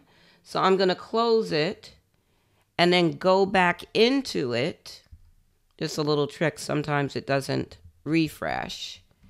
And now I can see projects for sales fiscal year, which has a lot of Microsoft Excel objects because of all the sheets. I can collapse that and I still have my vehicles project there as well. Collapse that. What we want to do in here is start this code where we're going to declare object variables. So we're going to expand our sales fiscal year project and you can collapse your Microsoft Excel objects folder. Right click on your sales fiscal year project in Project Explorer, hover over insert and choose module. And in module one, we're going to start a sub procedure. We can just, this one's not going to be very long. We can just type it in. So we're going to type sub and we're naming it add totals and I'm going to press enter twice. And then I'm going to tab and I'm going to declare my object variables. So we're going to use the dim keyword and the variable name is going to be last cell as a range. So as an object, not a data type. So we're dimming last cell, we're declaring last cell as a range. Enter and we're to dim total formula as a string and enter. So two object variable declarations. I'm going to enter again and then tab. We're going to set. So we have to use the set keyword when assigning a value to an object variable. Last cell equals and then range and in parentheses and double quotes, we're going to type I2, so cell reference I2. Close your quotes, close your parenthesis, type the dot notation, and then end. And now when you type an open parenthesis, you'll have a list that pops up, and we're looking for the entry that says xlDown. That's an Excel constant. And we're going to close the parenthesis. So that line is saying, starting in cell I2, go all the way to the end of that column until you find the last populated cell. We're going to press enter and we're going to type last cell dot select, right? So the last populated cell is now selected in column I. Press enter and we're going to do active cell dot offset. You remember our offset before. In parentheses, we're going to do two, close the parenthesis.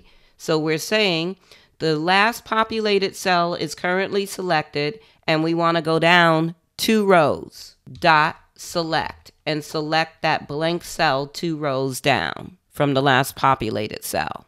Now we have to tell it what the object variable total formula is going to be.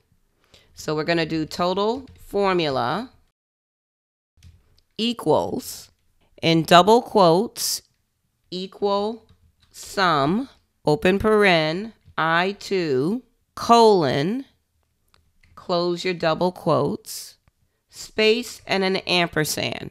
We'll get this one typed in and then I'll explain it. And then a space last cell dot address, which will be on your list, open paren, false, false, closing paren, space ampersand, and then in double quotes, a closing paren. And you're like, what? Okay. So basically, it's saying we have that last cell, right, selected. The last cell uh, object variable is set to the last populated cell. So it's saying give the total formula, give me the sum from cell I2 through the last cell address, wherever that last populated cell is. It could be I-24, could be I-26, whatever it is. And then it wants to know if that last cell address is absolute, and we're saying false. It's not absolute by row, it's not absolute by column. And then we just need to enclose it in a parenthesis, a literal parenthesis. So we have that in double quotes as well. And now we just have to assign it so we're going to go down and we're going to type active cell dot formula equals total formula. Declared two object variables. We set both of them. Well, last cell we we said it's from I2, the last populated cell starting in cell I2 and then select that last populated cell, offset it by two rows, and populate the total formula result in that cell that's two rows underneath the last populated cell in column I. That's what you just did. And we have our end sub statement there. And you're going to go ahead and compile your project and save. So when we get to the save part, right, it lets us know that this is a macro free workbook. We could lose our code here. So we're going to do no on that message box and you're going to save it, same file name as macro enabled. We are going to test this sub procedure in a different way than we've seen our procedures run before. So normally we've been running our procedures and the entire block runs. We want to see kind of like the behind the scenes, step by step version of what happens when we test this add total sub procedure with our object variables. So I've arranged my windows. I have my Visual Basic Editor on one side of my screen, and I have the Excel Sales Fiscal Year Now Macro Enabled workbook on the other side of my screen. So take a moment and get your screens arranged that way. And then in the Excel portion of your screen, you're going to do Alt F8 to bring up your macro dialog box. Now I still have my vehicles file open. So you'll see the macros that are in that file, the, the code blocks that are in that file. But you also see our add totals code here. And so what you're going to do is you're going to just click once on add totals and over on the right, you're going to click on step into. So now in your Visual Basic editor, you'll see that the name of the sub procedure is highlighted in yellow and there's a yellow arrow in the margin. So at this point, if we were running the procedure, it would be at this step. It would just be highlighting the sub line of the procedure. There's no change in our Excel window at all. We used step into from the macro dialog box. The shortcut key for step into once it's started is just the F8 key on your keyboard. So now we're going to press F8. So it skipped the lines, our object variable declarations, right? It, it skipped those lines and it went to the first line of code. So it's saying set last cell equals range I2 and xlDown. So we want the last cell to be the last populated cell in column I. But notice there's still no change on your Excel workbook at this point. Press F8 again. And now it's on the last cell select line. Again, you're not seeing any change in Excel. Let's F8 again. Now you're seeing a change in Excel. In Excel, it has now selected the last populated cell in column I. So when this active cell dot offset line is yellow highlighted, you'll see the step before it. You're now seeing the results of last cell dot select. Press F8 again. So now you're seeing the results of active cell offset by two rows. So now it's selected the cell two rows underneath the last populated cell in column I. We're going to F8 again. No change in Excel because we told it what the total formula is, right? It's the sum of from I to the last populated cell in column I. At this point, we haven't told it where to put that result. So go ahead and press F8 again, and you'll get the result now. Active cell dot formula equals the result of the total formula object variable.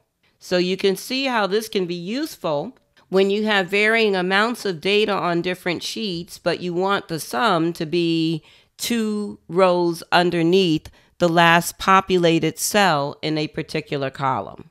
We're going to press F8 one more time to finish the procedure. So now all your yellow shading is gone in Visual Basic. And on that one sheet, the 26th of August sheet, we do have the sum of column I's selling prices. In this lesson, we did a deeper dive into foundational VBA language elements, and we started by getting an understanding of variables. And you learned that variables store data in your computer's memory when procedures are executed, and the data may or may not end up on disk. Some data resides in objects like worksheet ranges, and other data is stored in the variables that you create. And so you learned about the naming conventions um, when you declare variables, how to declare them. You learned about the data types that are supported in VBA and the importance of assigning data types to the variables you declare so that it uses the least amount of memory on your computer. You learned about the scope of variables, meaning where they can be accessed from, as well as two methods of declaring them, which is implicit and explicit. And we have the option explicit statement at the top of all of our modules. So it forces us to explicitly declare our variables, which is the preferred method because implicit declarations can often lead to code errors. And so we moved on to covering some intrinsic functions, and we used the left, mid, and right functions to extract data from the VIN string. We learned how to make our code more concise by using the with end with structure, it decreases the amount of typing that you have to do. And we did that when we used the offset property to put the extracted data into the right cells. We moved on to using the message box function to give the end user more control over whether a procedure runs or not. You learned about Visual Basic constants which are used to control which buttons display in the message box as well as which icon displays in the message box. And then we moved on to input box, which gave the end user the ability to change to a different file to get that data brought into the main vehicles file. And you saw that it has similar arguments to the message box function but it also has a default argument which we populated with the name of the file and the end user can overwrite that. And then we ended up with declaring object variables. And we did that so that we can configure a sum function on a sheet that shows two rows below the last populated cell in a particular column. And this is useful when you have sheets with varying lengths of data on it to be able to set up object variables and get the result in the same position relative to the last populated cell in a column. So, lesson five is about controlling program executions. We're going to start by learning about control of flow structures as well as Boolean expressions. You'll learn about conditional branching, looping constructs in this lesson as well. We're going to be using our regular vehicles macro enabled, sales fiscal year macro enabled files, as well as two text files in the video description. One is called inventory append and the other is called model. To this point, we've worked with code blocks, either the ones that we created via macro recordings or by writing sub and function procedures that progress line by line through the code. This is known as a sequential structure. There will be situations where a sequential structure is not what you need for your project. And we actually got to visually see a sequential structure where we did our object variables and we stepped into the code, seeing line by line how it works in the background. In VBA, you use control of flow structures in your code to make decisions such as which statements to skip, testing conditions to determine what the code should do next, and to execute some statements multiple times. You've seen a small example of that when we did our message box function where we modified that event procedure with an if then construct. So if they did the yes button in the message box, it would run the code. If they did the no button, it would do nothing. So you've had a small example of that already. So here you're seeing the common control of flow structures. You have sequential, which we've already discussed. You have unconditional branching, and you've seen that already. You're just not aware of it yet. And that's a statement directs the flow of execution to another location in the program without condition. So when we created a calling procedure, that is unconditional branching. You're going to learn about conditional branching. The code to be executed is based on the outcome of an expression that evaluates to true or false, a Boolean expression. And that's also known as a decision structure, and it is used to implement conditional branching. And then we have our looping structure, which a block of code is executed repeatedly as long as a certain condition exists. Within the conditional branching and looping structures, there are constructs that you use to carry out the job of the structure. So we're going to focus on our conditional branching right now. We'll revisit this slide later to go over our looping structures. But within your conditional branching, there are two different constructs. There's if then and select case. So if then statement does something if something is true. Your select case statement does any of several things depending on something's value. And we're going to focus right now on our if then constructs. And you also need to know a little bit about Boolean expressions here. So let's do that first. So Boolean expression evaluates to true or false. They usually contain two expressions on either side of a comparison operator. If the expression evaluates to true, the condition is met and the structure passes control to the code to be executed. So we have an example here, sheets.count less than 3. If the count of sheets in the workbook is less than 3, the expression is true. If the sheet count is greater than or equal to 3, the expression is false. Boolean expression, expressions are of the integer data type, so they're stored as 0 for false and negative 1 for true. But now we're going to just briefly go over these comparison operators. The ones that I like to know about when I tackle a new programming language is how is not equal to represented because it varies according to a different programming language. So in here, it's less than and equal to symbols together in VBA. Also at the bottom of the slide, you use the is keyword to compare object variables, and you use the like keyword to compare string expressions in Visual Basic. Then you have the logical operators.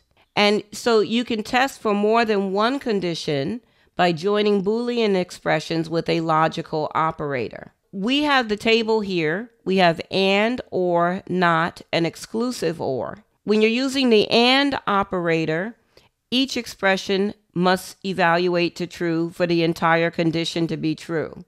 When you're using or, only one of the expressions must evaluate to true for the condition to be true. The not logical operator says the expression must evaluate to false for the condition to be true. And then you have exclusive or, which returns true if the expressions are different. So I have a couple of examples of joined expressions here. Year greater than 2017 and make equals Chevrolet. Both of those conditions have to be true because it's using the and keyword in order for the expression to evaluate to true. Selling price less than or equal to 15,000 or list price greater than 15,000. Only one of those statements has to be true in order for the expression to be true because it's using the or logical operator. The if then construct has four variations that can be used in Visual Basic for applications. So we've already seen if then. If the condition evaluates to true, it executes the code after the then statement. If the condition evaluates to false, it does nothing. The next variation is if then end if. It's the same as if then, but it closes the if block with the end if statement. And I'll just let you know now, most of the time it needs to be closed with that end if statement or you'll get an error. Then you have the if then else end if variation. If the condition evaluates to true, it will execute the code after the then statement. If the condition evaluates to false, it will execute the code after the else statement. This is the one that's most similar to the if function in Excel. In the if function, you give it a condition and you tell it what to do if the condition is true and what to do if the condition is false. And then we have if then, else if, end if. And by the way, you can also have if then, else if, else, end if. And this is used to test multiple conditions and it can take an action on any that evaluate to true. And again, the else statement can be used if all conditions evaluate to false. So if condition is true, let's say if condition one is true, then it will execute the code after the then statement. Else if condition two is true, right? Or condition three, condition four, condition five. So the ability to test multiple conditions and say what to do if any of them are true. There is another conditional branching structure which we'll talk about before we use, and that's the select case statement. But for right now, we're going to go ahead and use our if then constructs. I'm back in the Visual Basic Editor and I'm in the code window for our Sheet 3 new vehicles. So that event procedure, which we already modified um, to add our if-then statement, we're actually going to put in a if-then end if statement in here. Imagine if there's something already populating cell A1 on your new vehicle sheet.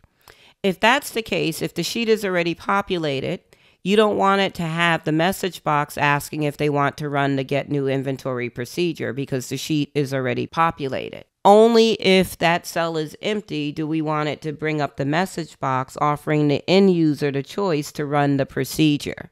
So we're going to create an if statement and let's click at the end of our dim response as integer line and press enter. and I'm actually going to press enter twice. And then I'm going to do my tab key. And we're going to start typing this if then end if construct. So I'm going to type if and then active sheet dot range and then in parentheses and double quotes A1 for cell A1 and you want to close your quotes and close your parentheses dot value equals and we're going to have a set of double quotes which means it's empty so two double quotes no space in between and then we're going to type the then keyword if cell A1 on the new vehicle sheet is empty, then, right, we wanted to do response equals message box. Do you want to run to get new inventory procedures? So all of the stuff that we have there. And now what we need to do, click after that if response equals VB yes line, press enter and tab and type end if. Now, the other thing we're going to do is we're going to click in front of that if response equals VB yes line, and we're going to press tab twice. We have an if construct nested within an if then end if construct. It will only bring up that message box. Do you want to run the get new inventory procedure if cell A1 on new vehicles is empty? Let's go ahead and compile and then save and switch over to Excel. Go to your new vehicle sheet, say no, you don't want to run the procedure, and just type anything in cell A1. It could be number, text, anything. Now go back to your inventory sheet and back to new vehicles and you'll notice that the message box does not pop up because cell A1 is not empty. So now you can click on cell A1 and delete that information, go back to inventory, back to new vehicles, and because the sheet is not populated, or at least cell A1 is not populated, it displays the message box. And we're going to say no on that message box. So now we're going to create a function procedure and we're going to do it in our new vehicles module for our vehicles macro enabled file. And we're going to create a function procedure with two arguments. This is going to evaluate the character in the VIN that represents the model year and then mark up the cost based on whether the vehicle is from the current or previous year. So the then character is the 11th character in the VIN. So we're going to use an intrinsic function here within an if then else end if structure. So we're giving it something to do based on two different things, right? What to do if our condition is true and what to do if it's false. So the 11th character of the VIN is either populated with an A or a B. The A means it's the previous year, in which case it will get a 10% markup. The B means it's the current year, and it will get a 15% markup. So I'm going to guide you through this now. So I'm in mod new vehicles and I did control end to get to the bottom of the module. And I'm going to type the name of the function that we're using here. So it's going to be function and it's going to be called get MSRP. And in parentheses, we're going to give it two parameters, dealer cost and VIN num and press enter twice. So now you'll have your function and end function statements. And this is where we're going to now set up the if construct using the mid function.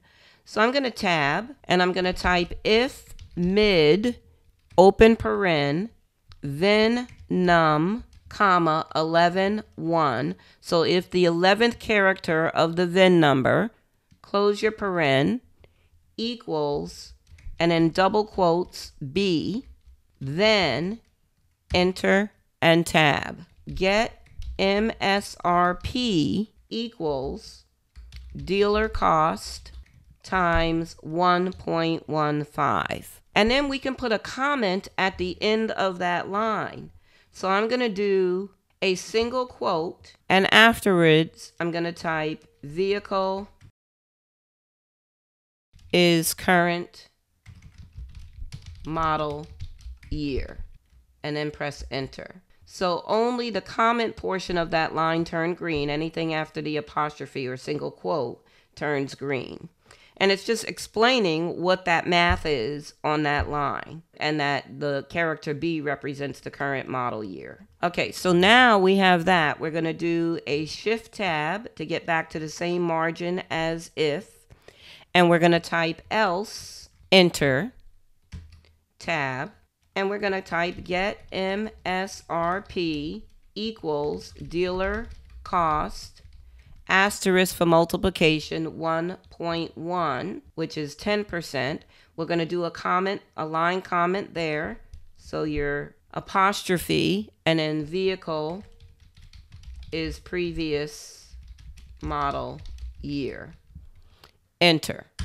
Shift tab and you need to type an end if statement here. And then I'm going to press enter again so I have that blank line between end if and end function. Now we're going to go ahead and compile and save.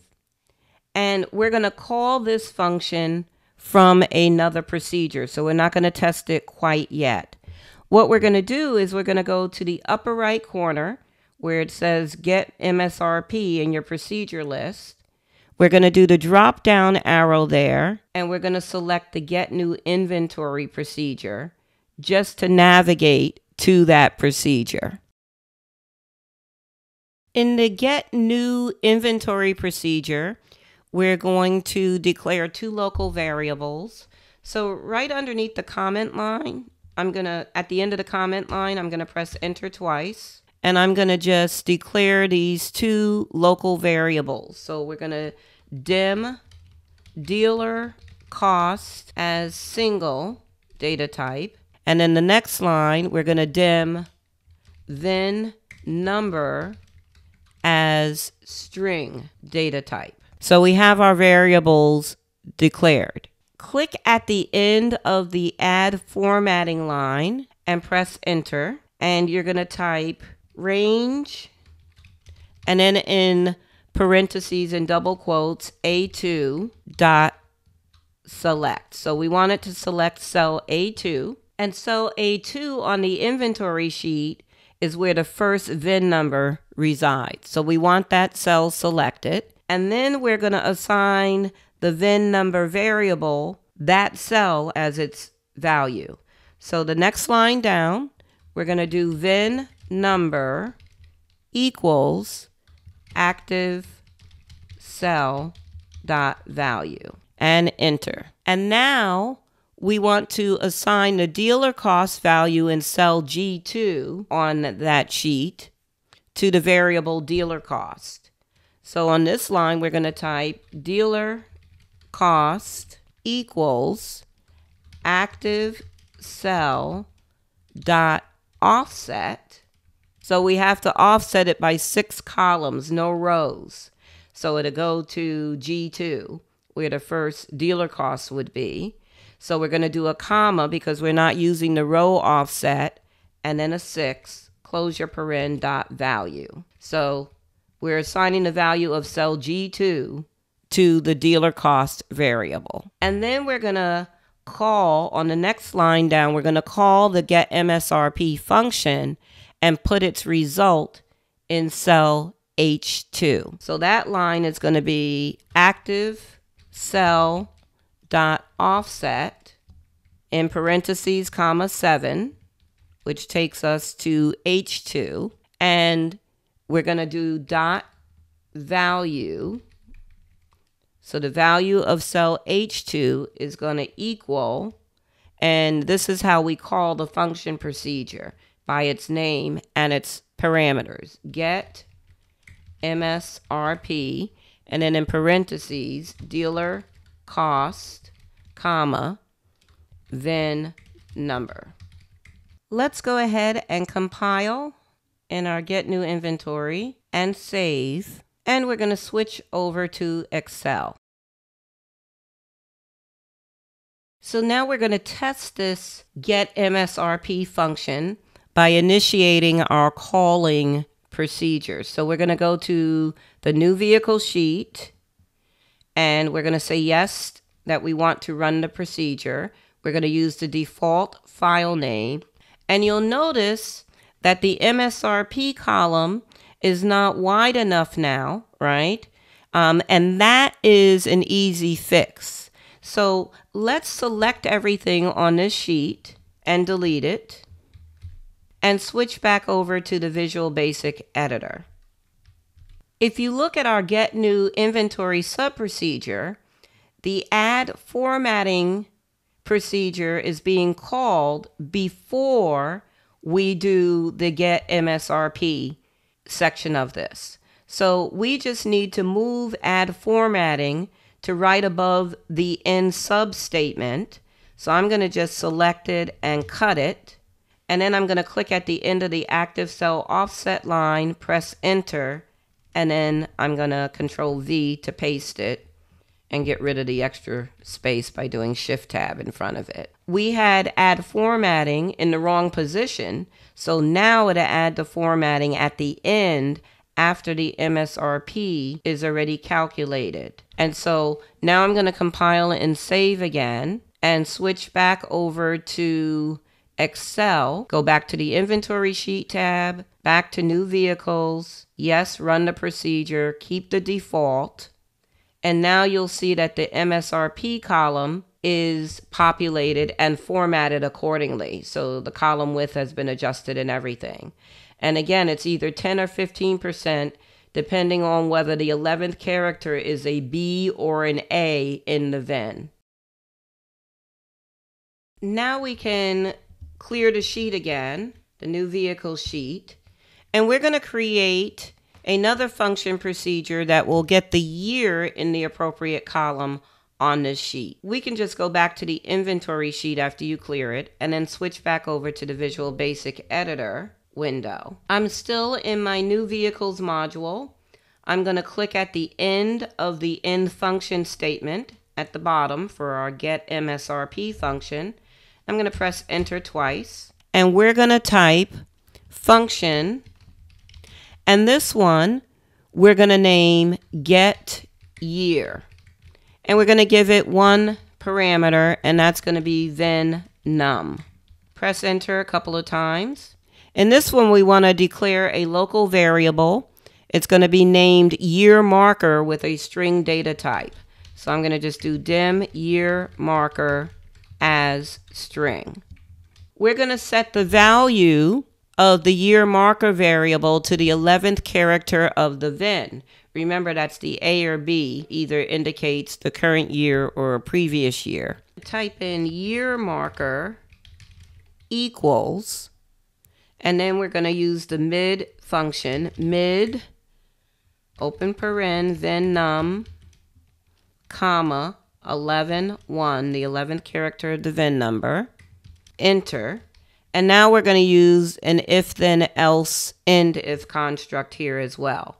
So I'm going to tab over if mid and then VIN num and you can copy and paste this if you want 11 1 equals, and then in double quotes, A, then enter tab, get year equals 2018. And then I'm going to do a shift tab so I can get my else statement at the same margin as the if statement. So else, enter, and then tab, get year equals 2019 enter, shift tab, and end if. And I'm going to press enter again so I get that blank line between end if and end function. Now we have to tell the get new inventory procedure where to place the result of the get year function. So in your get new inventory procedure, I'm clicking at the end of the line that starts with dealer cost press enter and you're going to type active cell dot offset and then in parentheses comma 1 dot value equals get year and you have to put in the argument. So it's going to be uh, get year, we just use VIN number. And then you can go ahead and compile your get new inventory, compile get year if you haven't. It compiles everything in the module actually, so you only have to compile one. And then save. And then go ahead and switch over to Excel. Let's switch back to Excel and test our work. So at this point, we should be getting the MSRP and the year extracted from the VIN. Let's go ahead and test this. So I'm going to just go back to the new vehicles tab. Going to run the procedure, accept the defaults, let it click and whir, and we have our year in column B and our MSRP in column H. Again, we're going to select everything and delete it. Go back to your inventory sheet and switch back over to the Visual Basic editor. Now we're going to create another function procedure to extract the classification from the VIN. The classification is the 17th character of the VIN, the last character of the VIN, and depending on what its numeric value is, it would either be a classification of a car, a truck, a van slash minivan, or an SUV. So we're going to put that function at the bottom of our new vehicles module, and we're going to just type function get classification is what we're naming it, and we're going to give it VIN num as a parameter. Press enter. We're going to do our function level or procedure level variable declaration. So we're going to do dim class marker is what we'll name this variable as string. Enter twice. Now we have to tell it which character of the VIN is the classification code. We're going to do that by saying class marker equals, we're going to use the right intrinsic function, and then in parentheses, VIN num, comma, 1. Just extract the last character on the right of the VIN number, which is the 17th character representing the classification. Now we're ready to do an if, then, else if, end if construct because we're going to actually be testing four different things. So we're going to have our test that we do on the if line, and then we're going to have three else if lines so it tests three other things. We'll start that. I'm going to press enter twice and then I'm going to tab. I'm going to type if class marker equals 1, then enter and tab, get classification equals, and in double quotes, car. Enter, shift tab. Now we're ready for our first of the three else if statements we're going to do. Else if is one word, initial capital letters on each one in Visual Basic. So else if class marker equals 2, then enter tab, get classification equals, and in double quotes, truck. Enter shift tab. Your next else if, else if class marker equals 3, then enter tab, get classification equals, and in quotes, van slash minivan. And do your last else if. So if the class marker is 4, then the classification is SUV. And you can see my else if statement for the SUV. I'm going to press enter and shift tab, and then I have to type my end if. And you want to make sure you have press enter so you get the blank line between end if and end function. Now we're going to navigate, and again, I'm using the procedure list. I want to go back to get new inventory procedure. And so we've been adding these active cell offset lines to put the year and the MSRP in their correct cells, right? We have one there for dealer cost as well. And we want to make this code more concise. So we're going to create a with end with block because we have other things that we're going to be extracting as well. So it'll make this code more concise. I'm going to click at the end of the dealer cost equals line and press enter. And I'm going to type with active cell. And then on the next line down, I'm going to double click active cell before the dot offset and delete it, just leaving the dot offset. Do the same thing on the next line. Go to the end of the last dot offset line, press enter, and type end with. So now you're going to go back and click after the dot offset comma one line, press enter, and we can add the offset here for the classification. So we're going to do dot offset, and this one's going to be comma four dot value equals get classification, the name of our function, and then we're using VIN number as the argument here. So this way we have the offsets in order so far, 1, 4, and 7, and that makes it easier to troubleshoot. Now I'm going to press enter at the end of that line just to get the spacing, and then I have to delete and shift tab again. So now we have our with block set up. I'm going to select from with down to end with and press my tab key so that that with end with structure is indented. Now we can compile and save and switch over to Excel and we're going to test this. So at this point, we should have the year, the classification, and the MSRP populate when we test this. So go ahead and switch over, start your procedure, accept the default, and now we have the year, the classification, and the MSRP extracted from the VIN. And we can switch back over to Visual Basic Editor.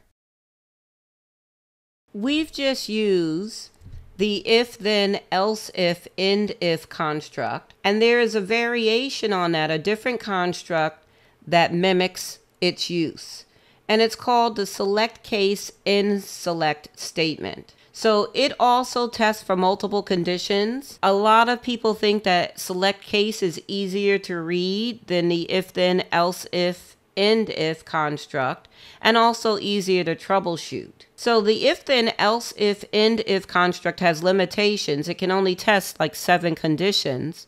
But with select case, you're unlimited in the number of conditions that it can test. So I have a slide in here giving you the syntax, but we're going to just go ahead and use it. Before we set up our first select case construct to extract the color from the VIN number, I'm going to have you switch back over to Excel and select everything on the new vehicle sheet, delete it, and then go back to the inventory sheet, and then come back into Visual Basic Editor. I'm at the bottom of the new vehicles module underneath the get classification function. And I am going to type function and we're going to call it get color. And we're going to use VINNum as a parameter. Press enter twice. We're going to do a variable declaration here. So dim, we're going to name it color marker as string and enter twice. We need to tell it which character of the VIN number represents the color. And it's the 12th character of the VIN. It's only one character, so we're going to use the mid function here. Color marker equals mid, and then in parentheses, VIN num, comma, 12, comma, 1. So extract the 12th character of the VIN number that represents the color. Gonna press enter twice and then tab. Now we're ready for our select case construct. So we're gonna type select case and then color marker. Press enter and tab. case 0, enter tab, get color equals, and in double quotes, black. So if the 12th number of the VIN is the 12th character of the VIN is a zero, that represents the color black. Press enter and we're going to shift tab just till we get to the case margin. And we're going to type case one, enter tab, get color equals white in double quotes. And press enter, shift tab. Now I'm going to fill out the rest of the cases and the rest of the select case statement and then you'll be able to just copy it from my screen. Now you can pause the video and complete your select case statement. Uh, don't forget the end select at the bottom if you need to make sure that that is there as well. So you have your other cases there. Go ahead and get those populated. And once you have that function, get color completed, we need to go back to the get new inventory procedure and we need to add the appropriate offset in our with end with block for the color. And so it's an offset of five columns. So I'm going to click at the end of the get classification offset line and type another offset with a comma five dot value. And that one's going to equal get color and it's using VIN number as an argument. So we have that all set up. Now we'll test the color in just a moment, but first we're going to create another function procedure and we're not going to have to type this one from scratch because I have a text file that you're going to access that's in the video description that we'll use for this one. So in the meantime, just go ahead and compile and save.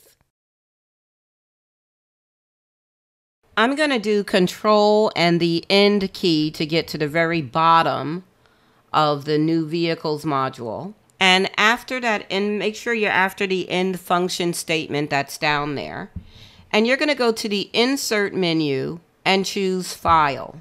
In your files for video description or whatever your working directory is where you pulled in these text files, you're going to open the text files folder and we're going to double click the get model text file.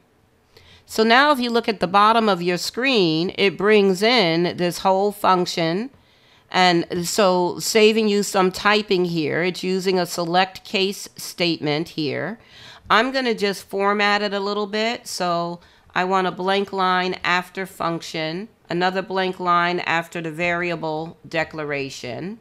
And then I want to have my yeah we're we're assigning it we're telling it what numbers from the VIN number represent the model by using the mid function so it's actually two characters the third and fourth characters of the VIN number represent the model so I'm going to put an enter after the model marker equals mid line then I'm going to select everything from select case to end select, and I'm going to tab to indent it.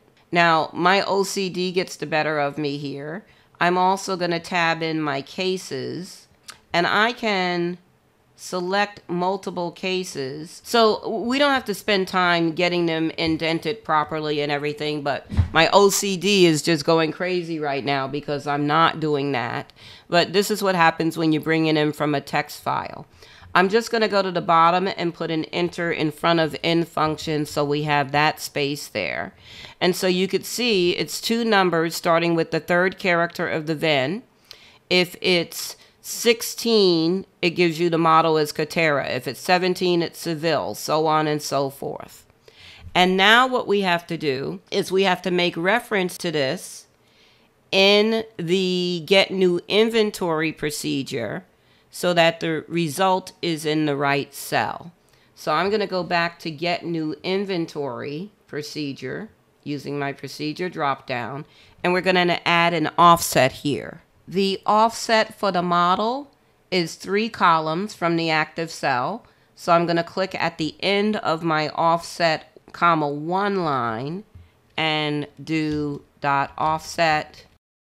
It's going to be comma 3 dot value equals get model with an argument of VIN number. And we're going to compile and save. Now we have one more that we're going to do by typing it ourselves and then we'll test these three. So the last one we're doing here, um, if you look at the very bottom of my new vehicles module, I have the framework of the function get make already set up and you need to copy that onto your screen, recreate that onto your screen.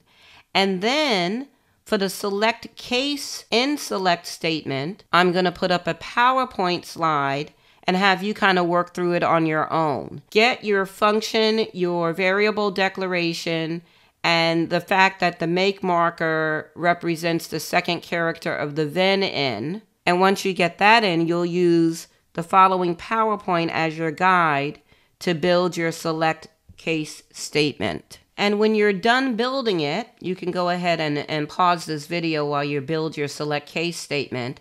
You'll be able to see my completed block of code. And so you can see my completed get make function. And now the only thing we have to do is get its offset reference. And by the way, the make is offset by two columns. And we need to put that in our get new inventory procedure. So I'm going to switch to that procedure and put them in numerical order. So I'm clicking at the end of the offset comma 1, pressing enter, and I'm going to do offset comma 2 dot value equals get make and with an argument of VIN number. And now we can compile and save. And we can switch over to Excel. So we're just gonna get our procedure, our calling procedure running by clicking on the tab. You know how to do this. Go ahead and yes, select the default of received vehicles. And now we should have everything extracted in row two, the year, the make, the model, the classification, the color, dealer cost was already there, and we have our MSRP, which is a calculation either 10% or 15% markup, depending on the year. Well done, everybody. You can clear that sheet and return to the inventory sheet tab. So we just used our conditional branching constructs, all variations of the if-then construct, and the select case construct. Now we're going to get into our looping constructs. We have the for to next loop, which executes a series of statements a specified number of times. We have a for each next loop, which is used on collections and it loops through each object in the collection. And then you have your do while and do until loops. The do while loop statement does something if something else is true, and the do until loop will do something until something becomes true. We're going to get started with our do loops. So they're used to execute a block of code repeatedly. As we've been setting up our function procedures, we've been seeing that it's extracting the pertinent information from the VIN number, but it's only populating the second row, whereas we have other VIN numbers on the sheet. And so we're going to use these looping constructs to populate the rest of the sheet. Now there are two variations of the do loop, do while and do until. So the do while loop runs until as long as a condition is true and do until will run when a condition becomes true. Each of your do loops have two different syntaxes. Both of the constructs test a conditional value, but the differences between the two control how they handle the tested condition. Here's the two different syntaxes for do while. You can start with do while and give it the condition, And if that condition is true, it will run the statement block. Or you can have it run the statement block before testing the condition, which is the second syntax there. So the first syntax will execute the statement block zero or more times, depending on whether the condition is true. The second will execute the statement block at least once because it's not going to test the condition until it has executed the statement block. And the same holds true for do until. You can have it execute zero or more times by testing for the condition up front, or you can have it execute the statement block at least once because it tests the condition at the end. And then we have our for loops. So for to next and for each next. For to next executes a series of statements a specified number of times. The for each next loop is used on collections and it will loop through each object in the collection until there are no more objects. So they do the same thing just in a different way. So we're going to switch over to the Visual Basic Editor. And what we're going to do is we're going to modify our get new inventory sub procedure by adding a do while loop to it. The end result of this is that when we run the procedure in Excel, it is going to populate for all of the VIN numbers on the sheet. So all of the years, makes, models, color classification, all of that will be populated for all of the VIN numbers. We're going to start the modification. Look for the line in your get new inventory sub procedure that says VIN number equals active cell value. Click at the end of that line and press enter. And we're going to indent. So I'm going to press my tab key and we're going to do do while, two separate words, VIN number, and we're going to say not equal to, so that's the less than or great and greater than signs together. Do while VIN number is not equal to, and we're going to put two double quotes to represent a blank. So it's going to run this loop as long as the VIN number is not empty.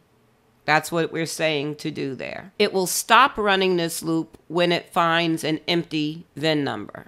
And now what we're going to do, we're going to go down to add formatting line, click in front of it, press enter and up arrow, and you have to give the loop keyword here.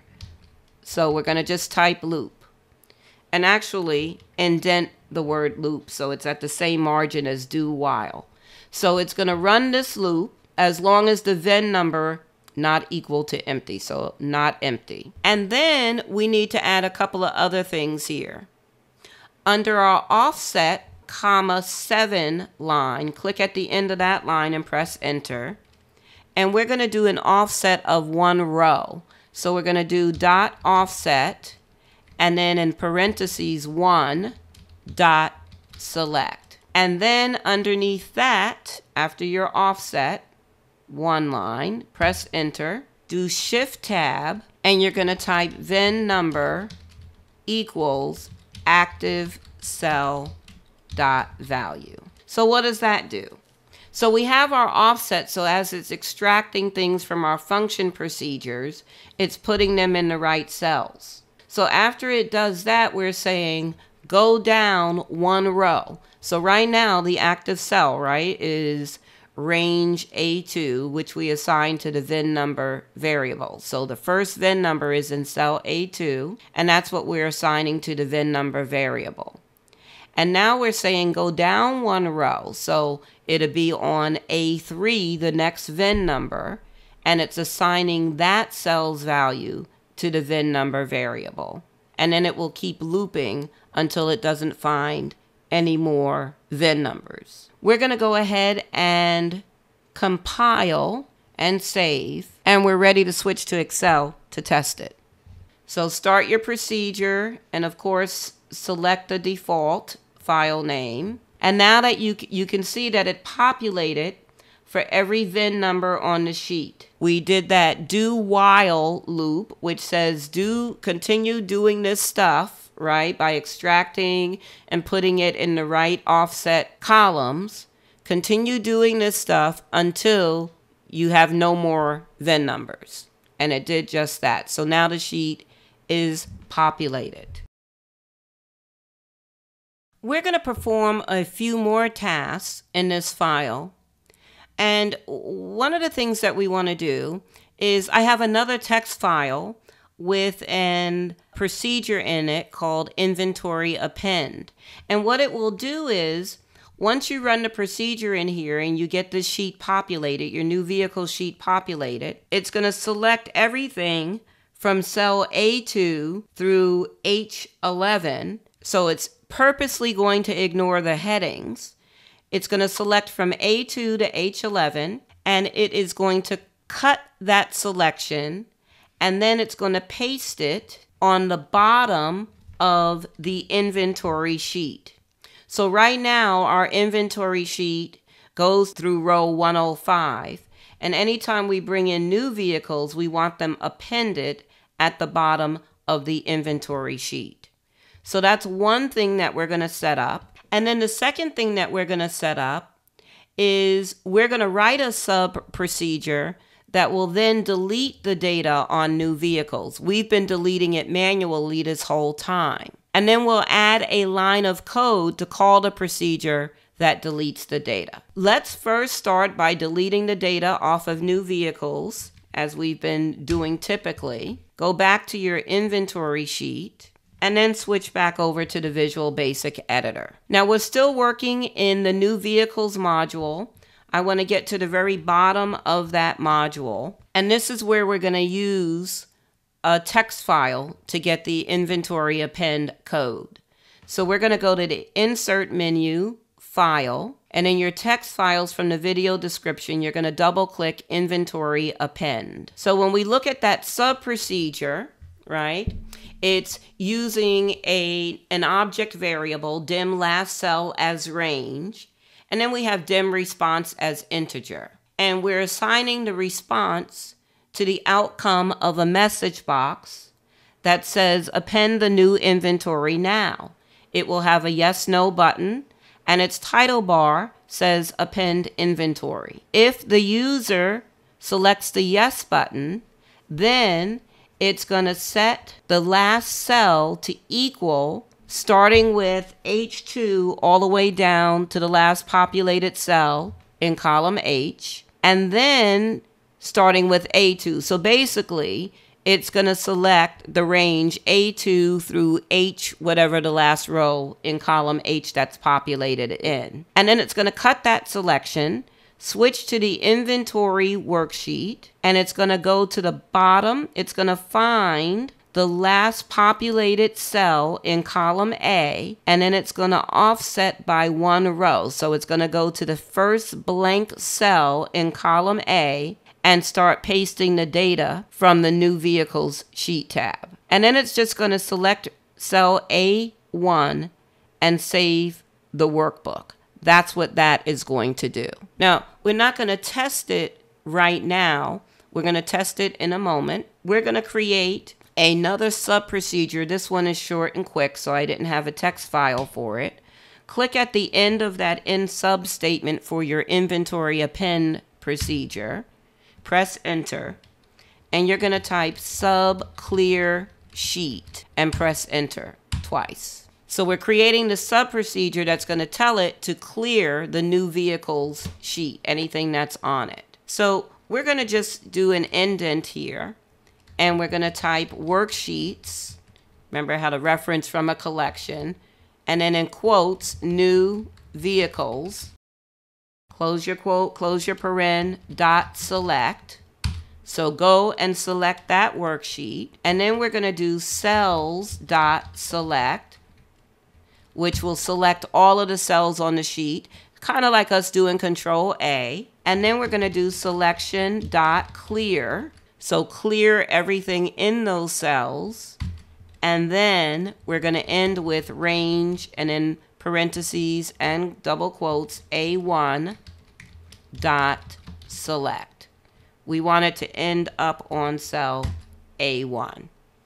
So that's our clear sheet sub procedure. So we're going to call clear sheet from within inventory append. In inventory append, we're going to click in front of active workbook dot save and press enter and up arrow and we're going to just type clear sheet to call that procedure. So we want it to clear the new in, the new vehicle sheet before the workbook is saved. And last but not least, we are going to call the inventory append sub procedure from our get new inventory procedure. So I'm going to go to my procedure drop down, make my way back to get new inventory, and we're just going to add the call line here. Click at the end of the add formatting line, which is right above end sub. Press enter, and we're going to type inventory append to call that procedure, and that procedure is going to call the clear sheet procedure. Now we're ready to compile and save and switch over to Excel. So now we're going to test to see if our append functionality works well by activating our new vehicle sheet. Go ahead and start your procedure, use the default, it will pop up and ask you if you want to append the new inventory now. You're going to select yes. It clears the new vehicle sheet. And when you switch back over to the inventory sheet, remember we were at row 105 before, and now we're at row 115 because it appended the information from new vehicles onto this sheet. You can go ahead and save your file. We're going to be using the sales fiscal year macro enabled file that we used earlier. And in that file, we're going to use both of the for loops. I'm going to go ahead and close this vehicles file. And I already had sales fiscal year file open. I'm going to just bring it back up and maximize it. And I'm going to actually switch over to Visual Basic Editor here and make sure that I'm seeing this project because again, sometimes if you have multiple files open, you switch over, it doesn't update. I want to make sure that I have the sales fiscal year project in Project Explorer. Then I go back to Excel. So this is the file earlier. We had it do a sum function and place its result two rows down from the last populated cell in column I. We did that earlier. Now we're going to use our for loops because we have several sheet tabs of sales data on it. And you'll see how the for each next loop and the for to next loop are similar to each other. We're going to get the same result. We're just using two different loops. So what we're going to do now is we're going to start with the for to next construct to repeatedly call that add totals procedure so all the worksheets have the selling price column totaled. And I'm going to just switch over to the Visual Basic Editor for that. The Project Explorer window, I'm going to collapse Microsoft Excel objects so that I don't have all of those sheet instances showing up. So we see our, I'm looking at the Module 1 code window, and we see our Add Totals sub procedure. I'm going to click at the end of the end sub statement and we're going to create another sub procedure. And the first time we do it, we're going to use the for to next construct. So that's when you have it run the loop a specific number of times. And we're going to create a sub procedure and we're going to call it all totals and press enter twice. And then we're going to tab and we're going to declare by using dim just the small letter i as an integer and press enter twice. And then I'm going to tab again. So my for loop is indented. And for this one, we're going to tell it what i equals. So we're going to say for i equals 1 2 worksheets dot count. i equals 1 to however many worksheets are in the file. And we're going to press enter after that line and tab. We're going to type worksheets and then in parentheses I dot select enter add totals.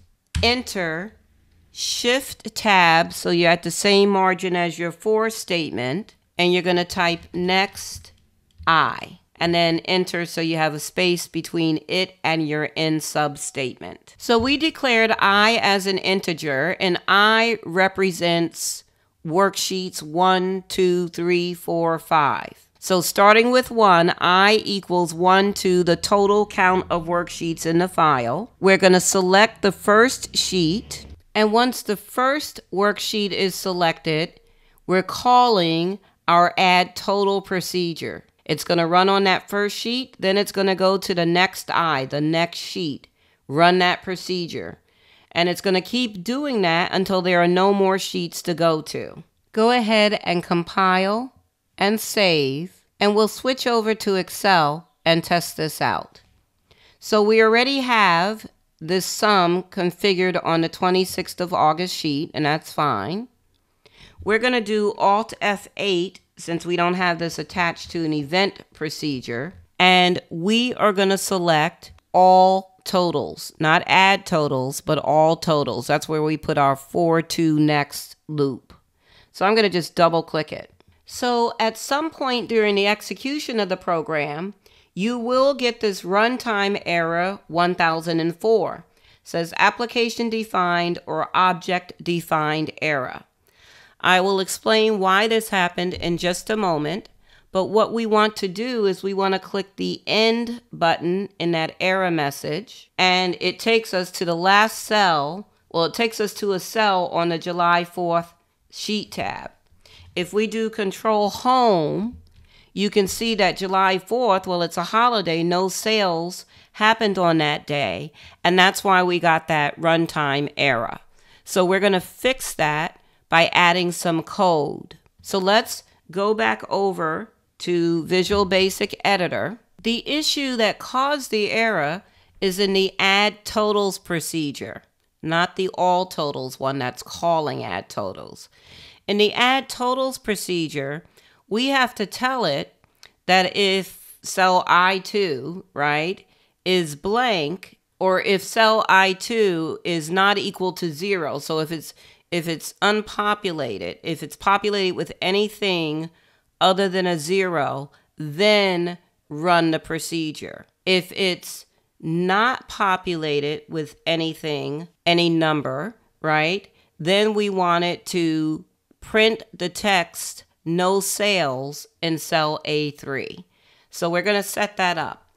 You're going to click after your dim total formula as string line and press enter twice, and then tab. And we're going to use an if statement for this.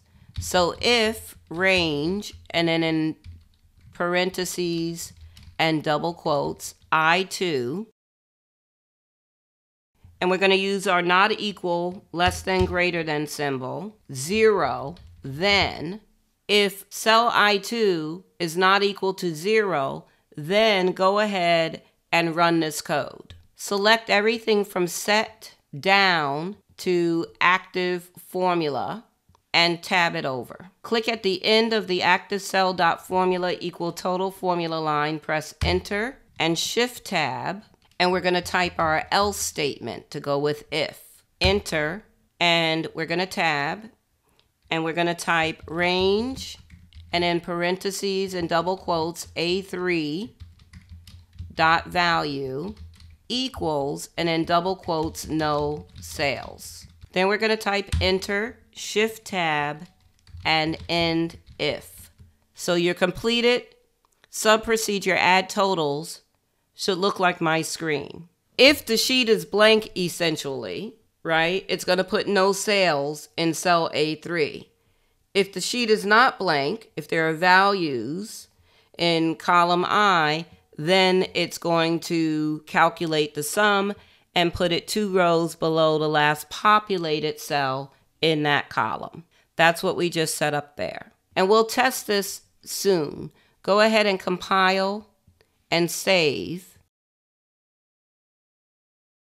So in our all totals sub-procedure, we use the for to next loop.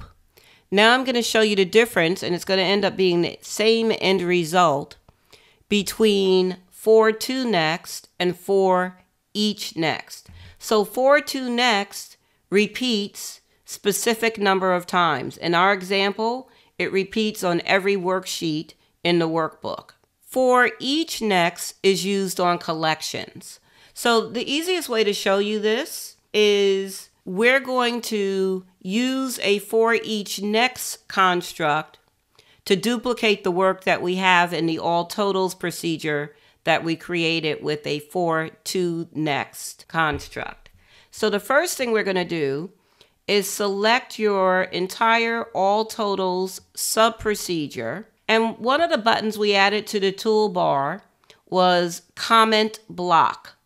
Click on that comment block button and it basically puts the apostrophe before each line, thereby commenting out that entire sub procedure. At the end of its end sub statement, press enter twice, and we're going to create another sub procedure named all totals.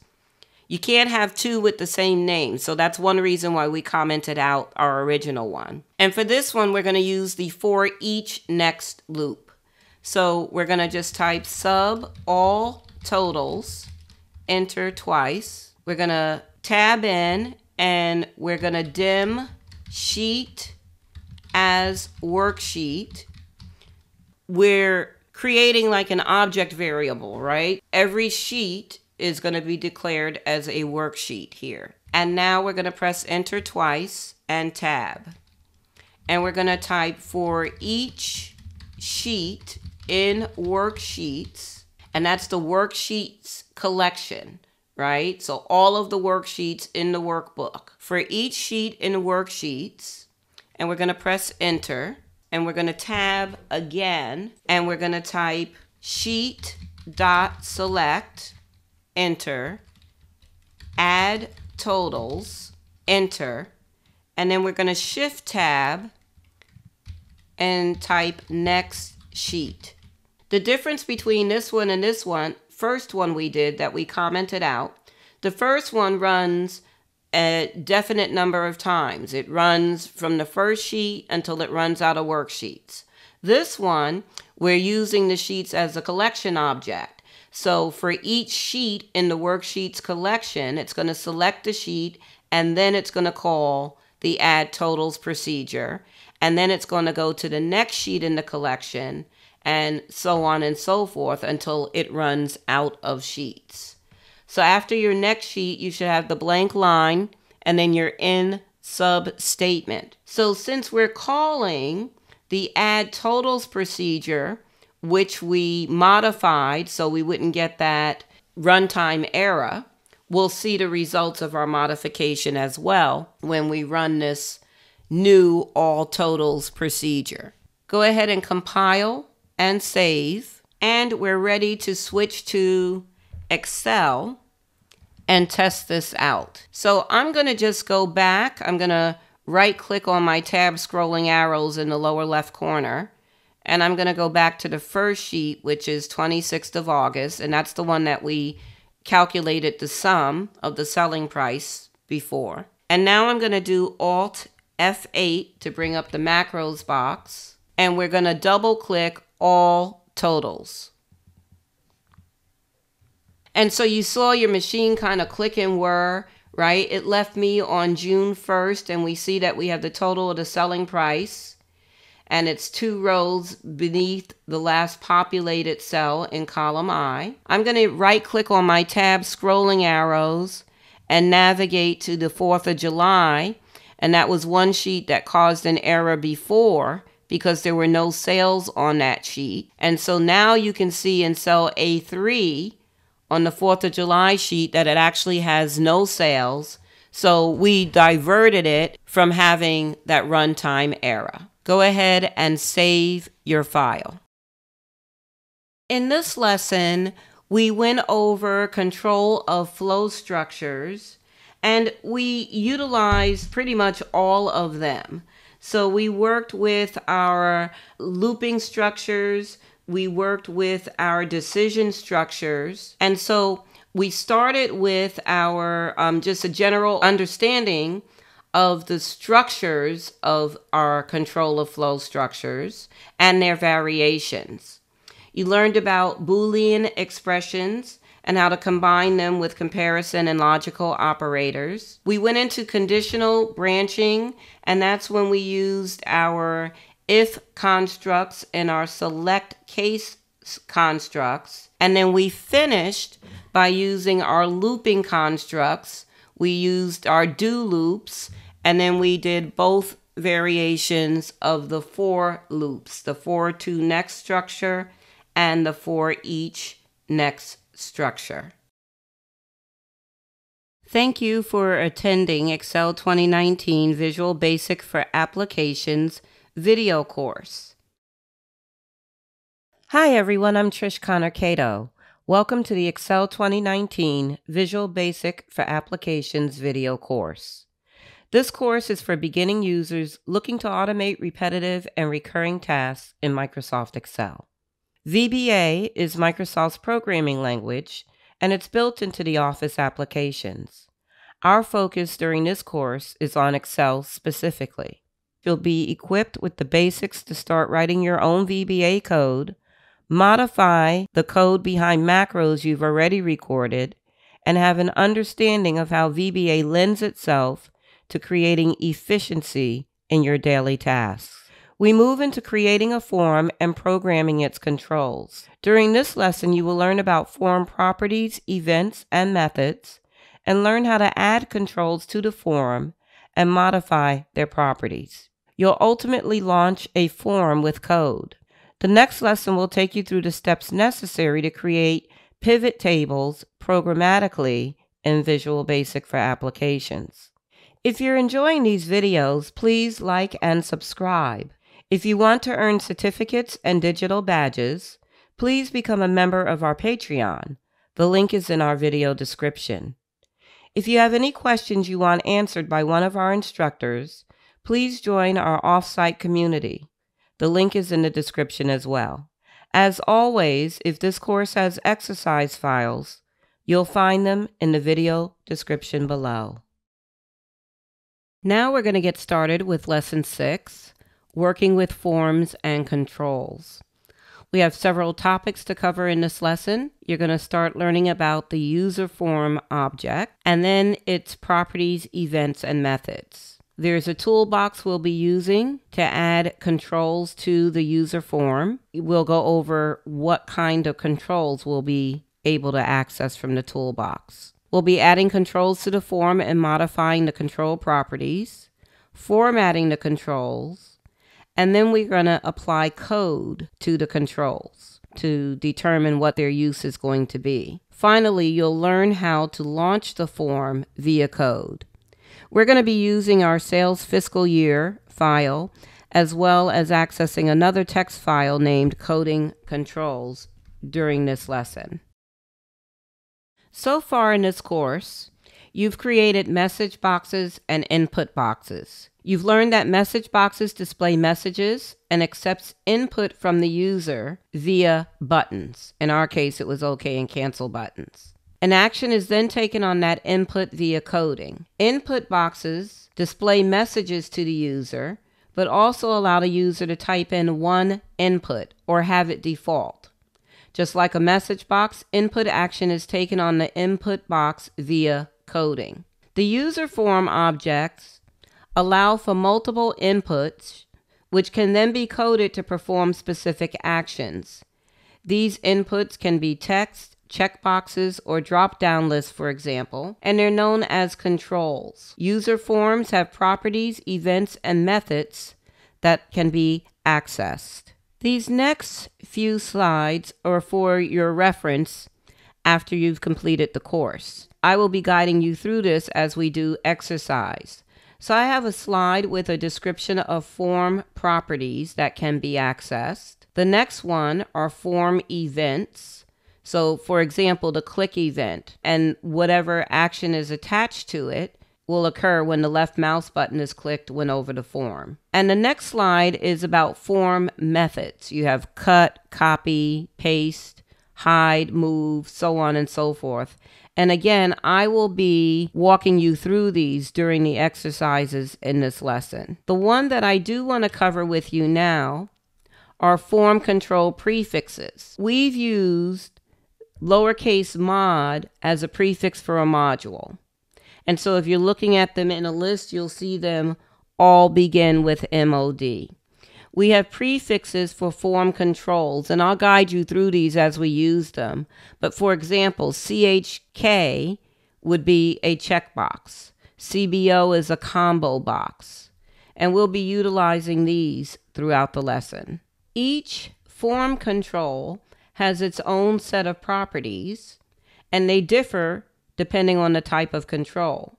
But this slide has a list of common control properties that most controls have. So you have like a height property, a width property, that type of thing. And again, the slide deck is in the video description, so you'll have access to these reference slides. We're ready to get hands-on now with the user form object.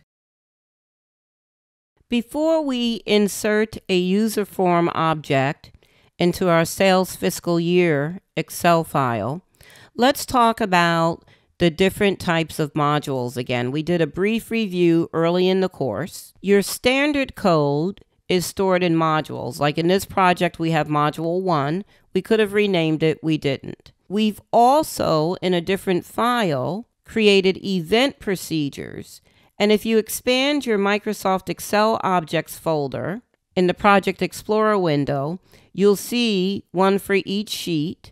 And all the way at the bottom of all of the sheets, you have one called this workbook. And in our vehicles macro enabled file, we did an event procedure based off of the new vehicles sheet tab, which was known as sheet three in the system. Your sheet modules and this workbook module are where you store event procedure codes.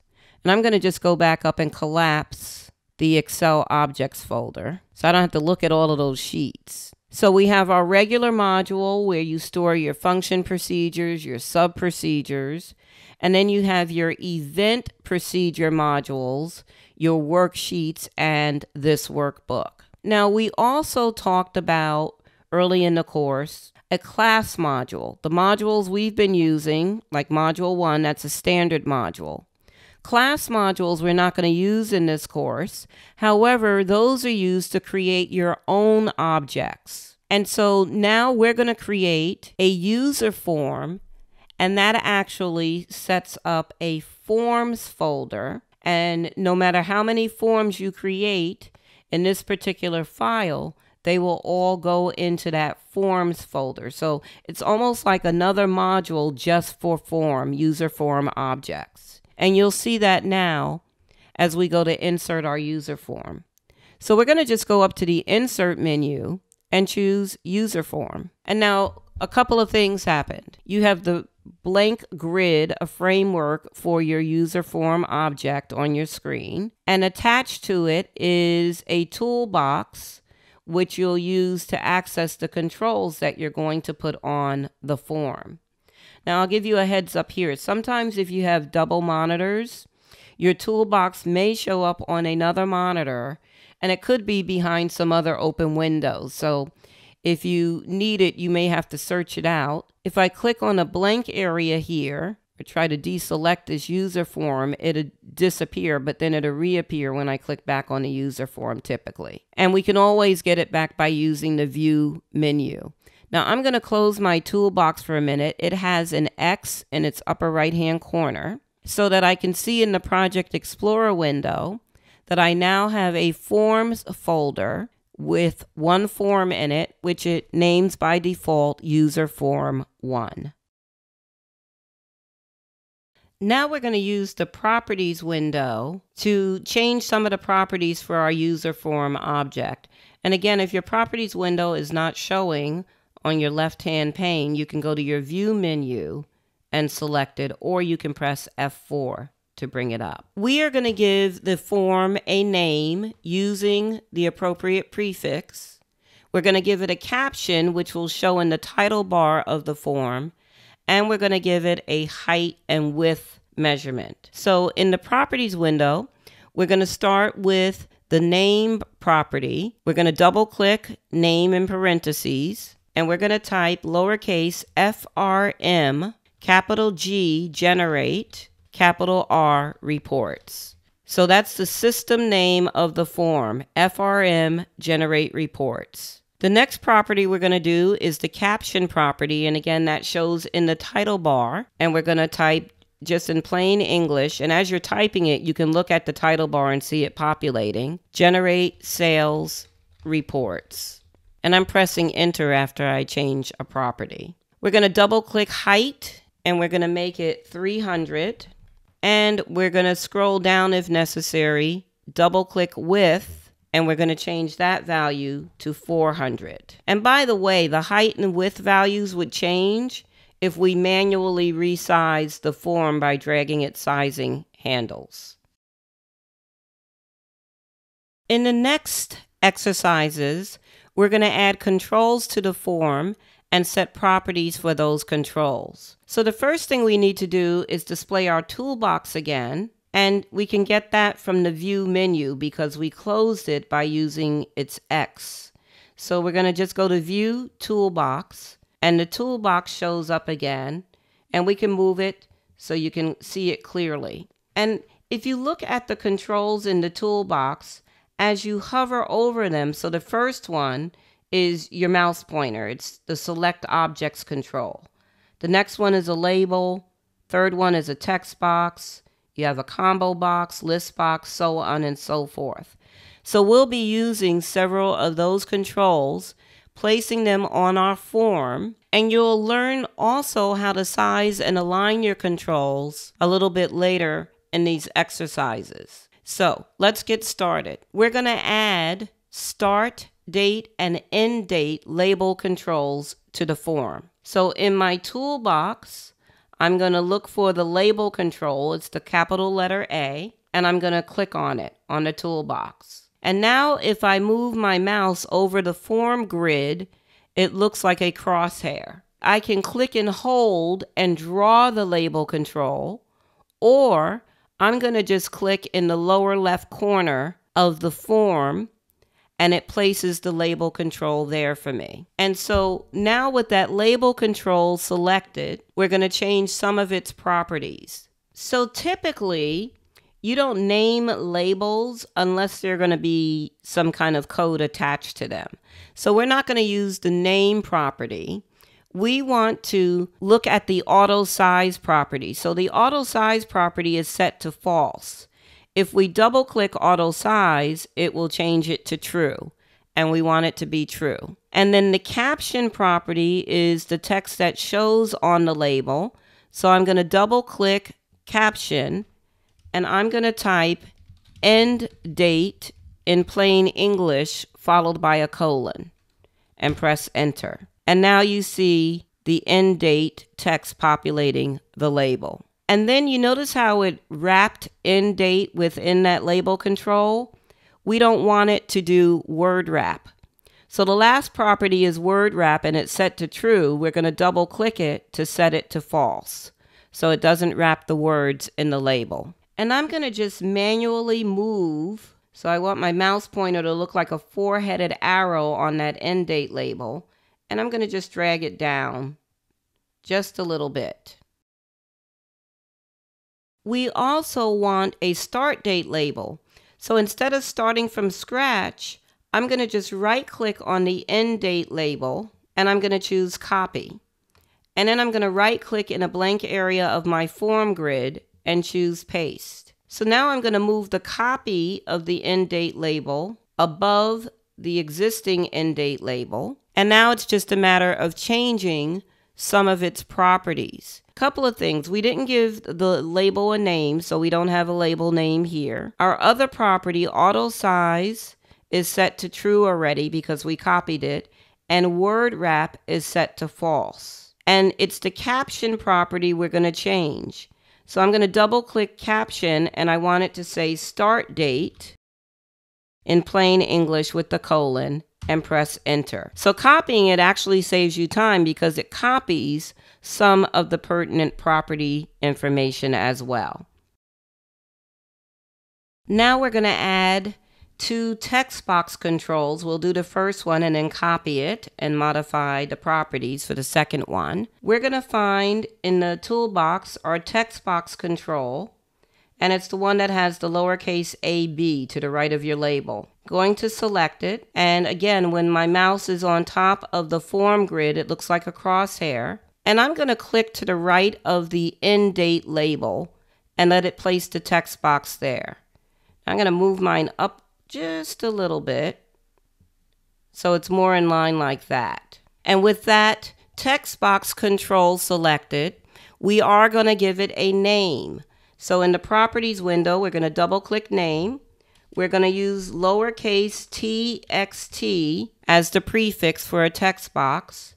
And we're going to type capital E and capital D date. So txt end date. And the other property that we're going to change for the text box is its width property. And we're going to make the width 50. And then we're going to copy that text box, paste it on the grid, and move it down so it's to the right of the start date label. And on the copy, we're going to just change the name of it to TXT start date. And notice the name property didn't come over with the copy because you can't have the same name for controls on a form object. So txt capital T capital S start capital D date is what we're naming that text box.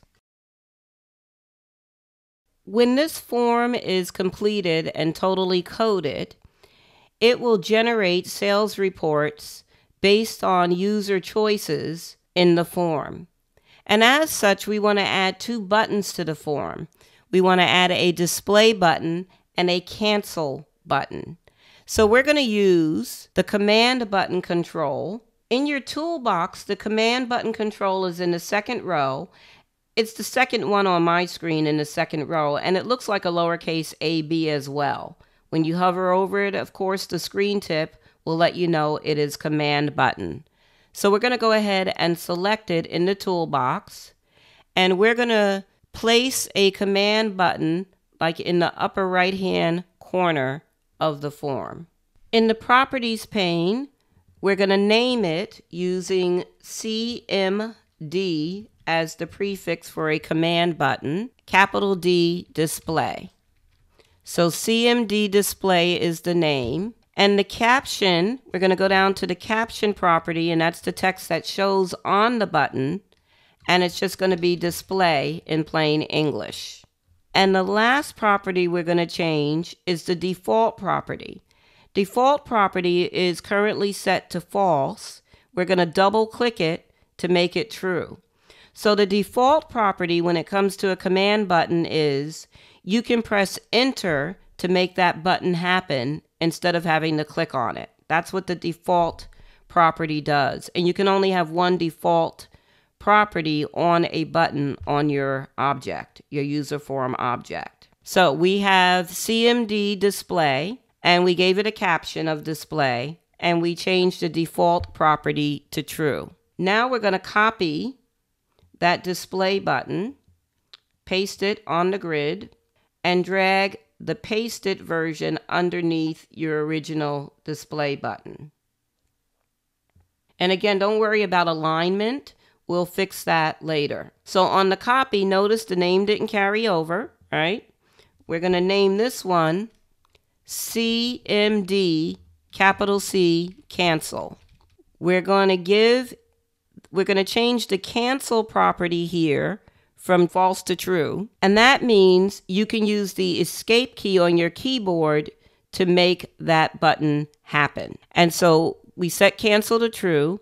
The caption property, we're going to change it to cancel. And the default property we need to change to false because you can only have one default command button, and that is the display button. If you click on a blank area of your grid, you'll see the display button has like that dark border around it. Whenever you see a button like that in a dialog box, it means you can press your enter key to make that button happen. This would be a good time for us to go ahead and save right from the toolbar before we continue adding controls to this form.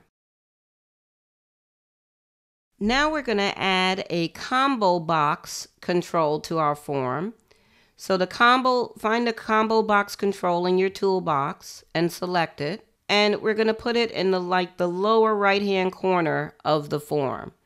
In the properties pane, we're going to change its name to prefix of CBO and then capital M month.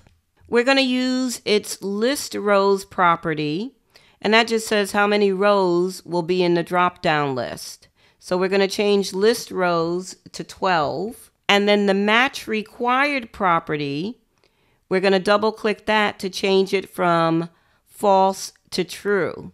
In Visual Basic controls, a combo box by default says no matches required, which means that the end user can type in their own entries and use them from the list. We don't want that to happen. We want them to pull just from the list that we're going to populate later. So we have our combo box in the lower right hand corner. And now we're going to click in a blank area of the grid. And you can copy your start date or end date label because we're going to want another label. And we're going to paste it onto the grid. And then we're going to move that label to the left of the combo box. I'm going to just move mine down a little bit. And again, we'll do some alignment stuff in a little while. So now we just have to change the label properties.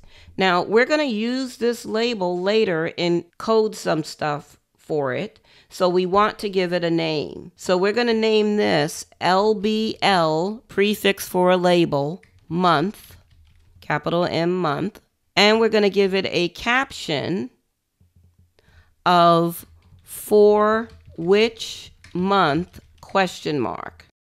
And then I need to move my label over because it auto expanded so it's not overhanging my combo box.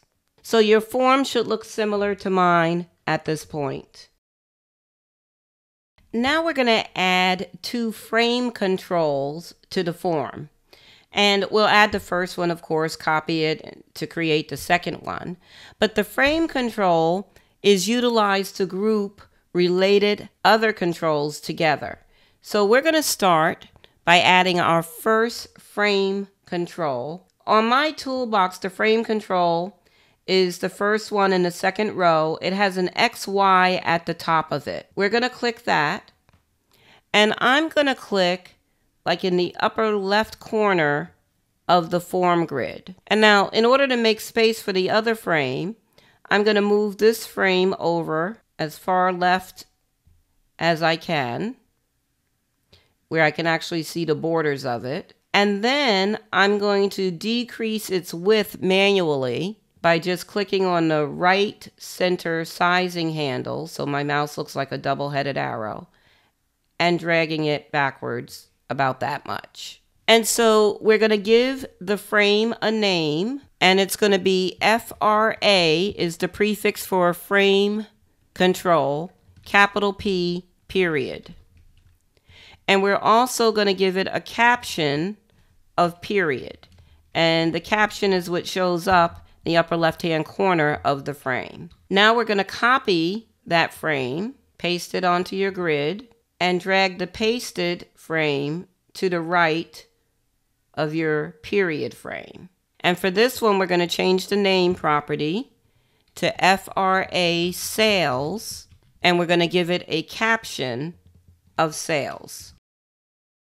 So the next thing we're going to do is we're going to add three option button controls into each frame. We're going to find the option button in the toolbox and it looks like the little circle with a dot in the middle of it. It's the next to the last one in my first row. And I'm going to select the option button and now I'm going to click inside the period frame. And then I'm going to copy that option button and I'm going to paste it twice inside the period frame.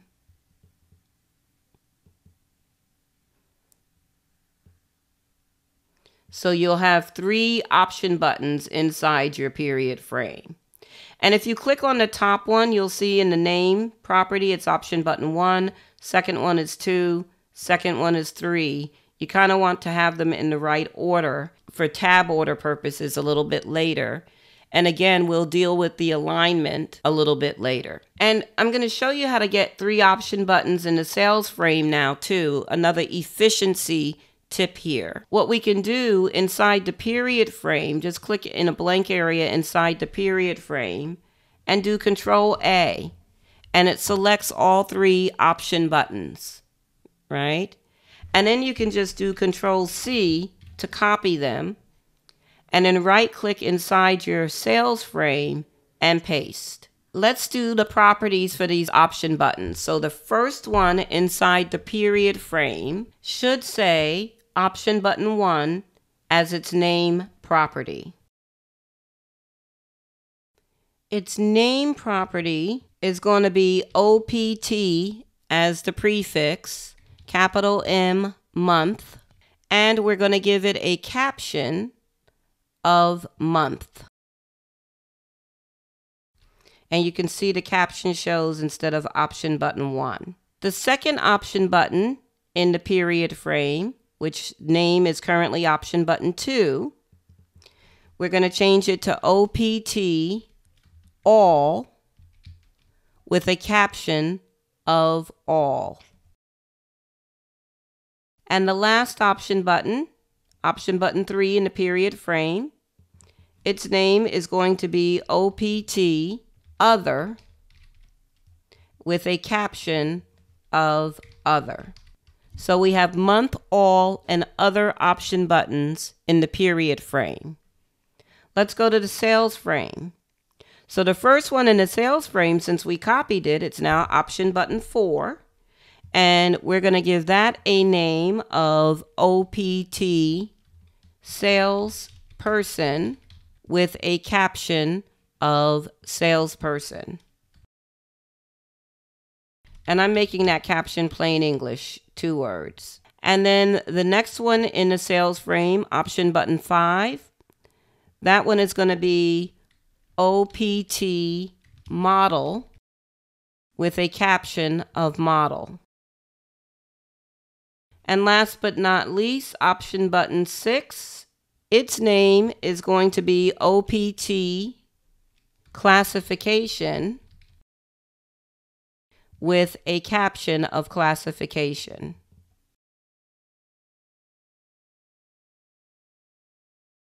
So now we're ready to do some formatting of our form controls, and we'll start with alignment and grouping. We're going to start by aligning the option buttons in the period frame.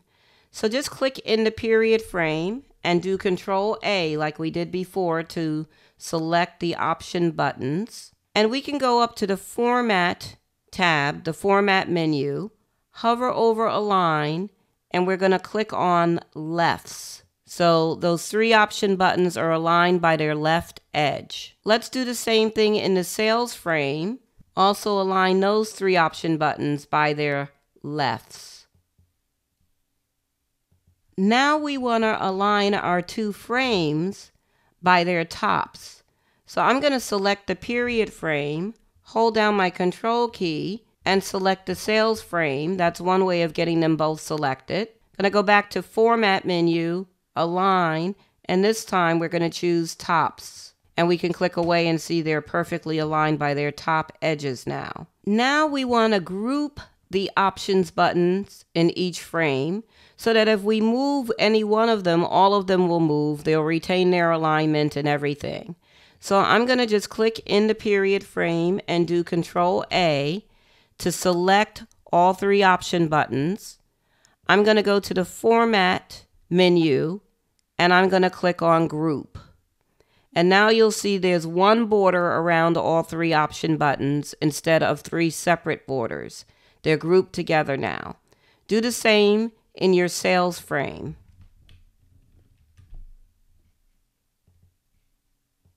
Now I'm going to show you how to use a selection net, also known as a selection marquee. It has a lot of different names to select different objects. So we want to align the period frame and the start date and end date labels by the left edges. So I'm going to click slightly above and to the left of the period frame, click and hold, and drag down until your start and end date labels are within that little guideline.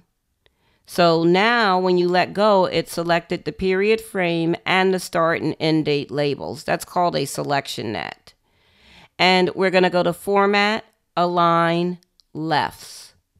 Let's use a selection net to select our display and cancel buttons as well as our combo box and let's align those by their left edges as well. At this point, we haven't coded any of our form controls yet, but we want to test our form, make sure it displays properly, and specifically, we want to test the tab order on the form. Just make sure your form is selected and you can use the run button on the toolbar, run sub user form button, or you can just press F5 to run the form. And the form should pop up on your screen. It's on top of some other module. So we want to test the tab order on the form.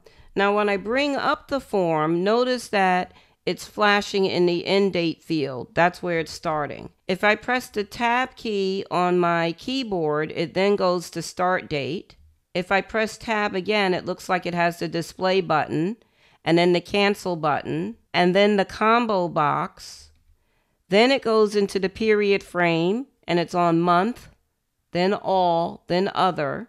Then it goes to the sales frame and it's on salesperson, then model, then classification. The frames, the tab order is perfect because we made sure that the option button copies were in the right order. So option button one, two, three, four, five, six.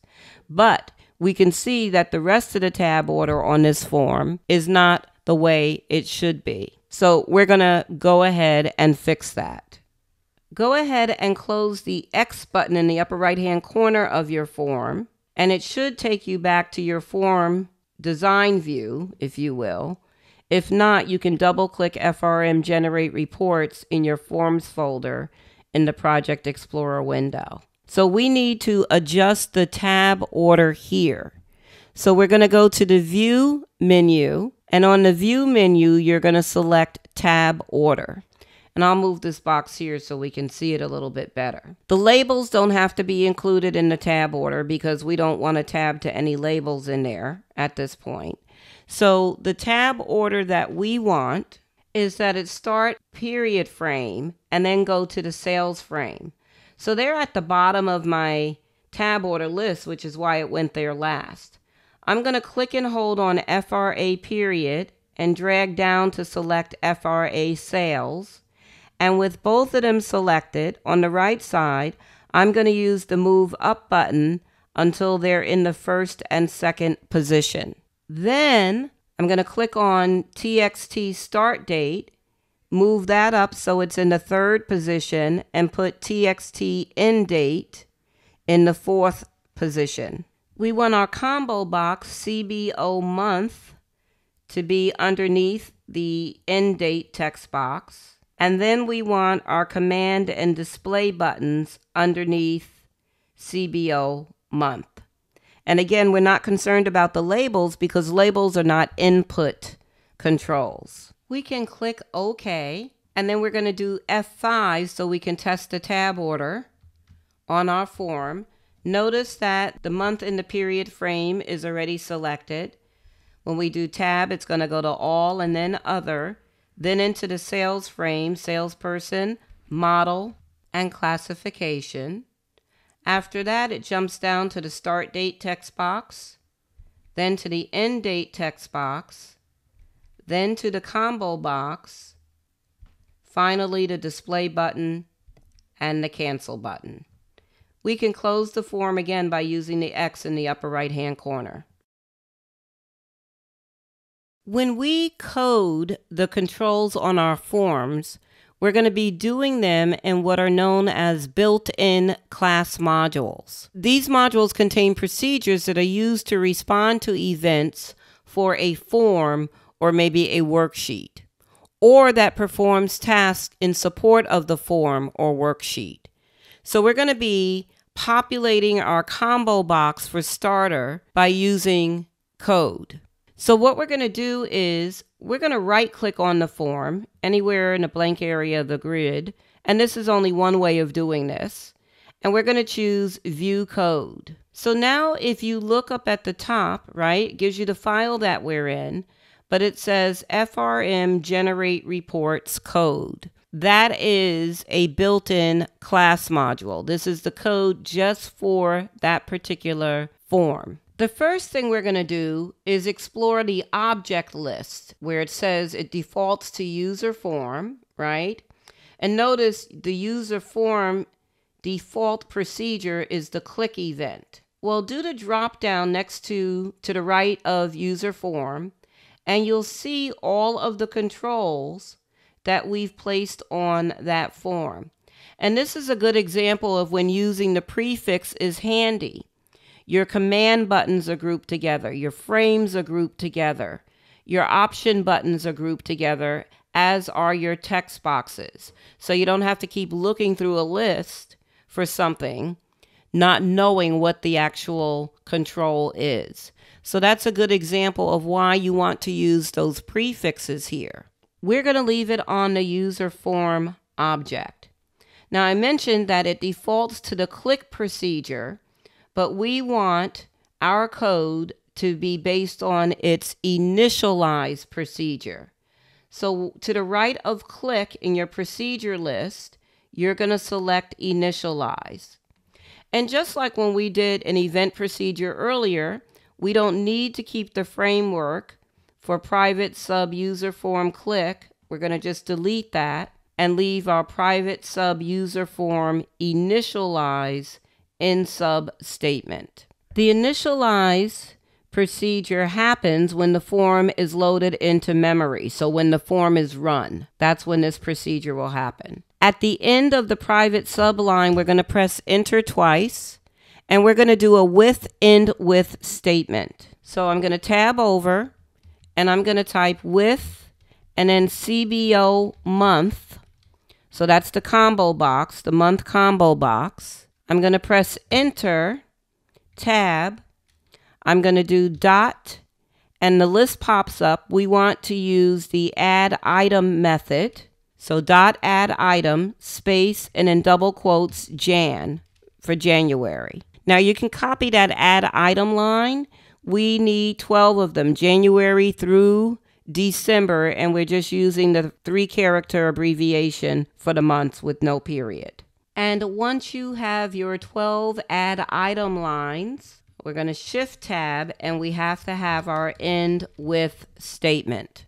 And you can go ahead and compile and save.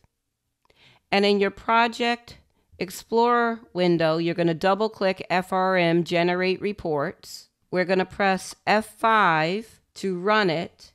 And we just want to test our drop down. So go to your for which month drop down and you should see January through December there. We added those items to the combo box.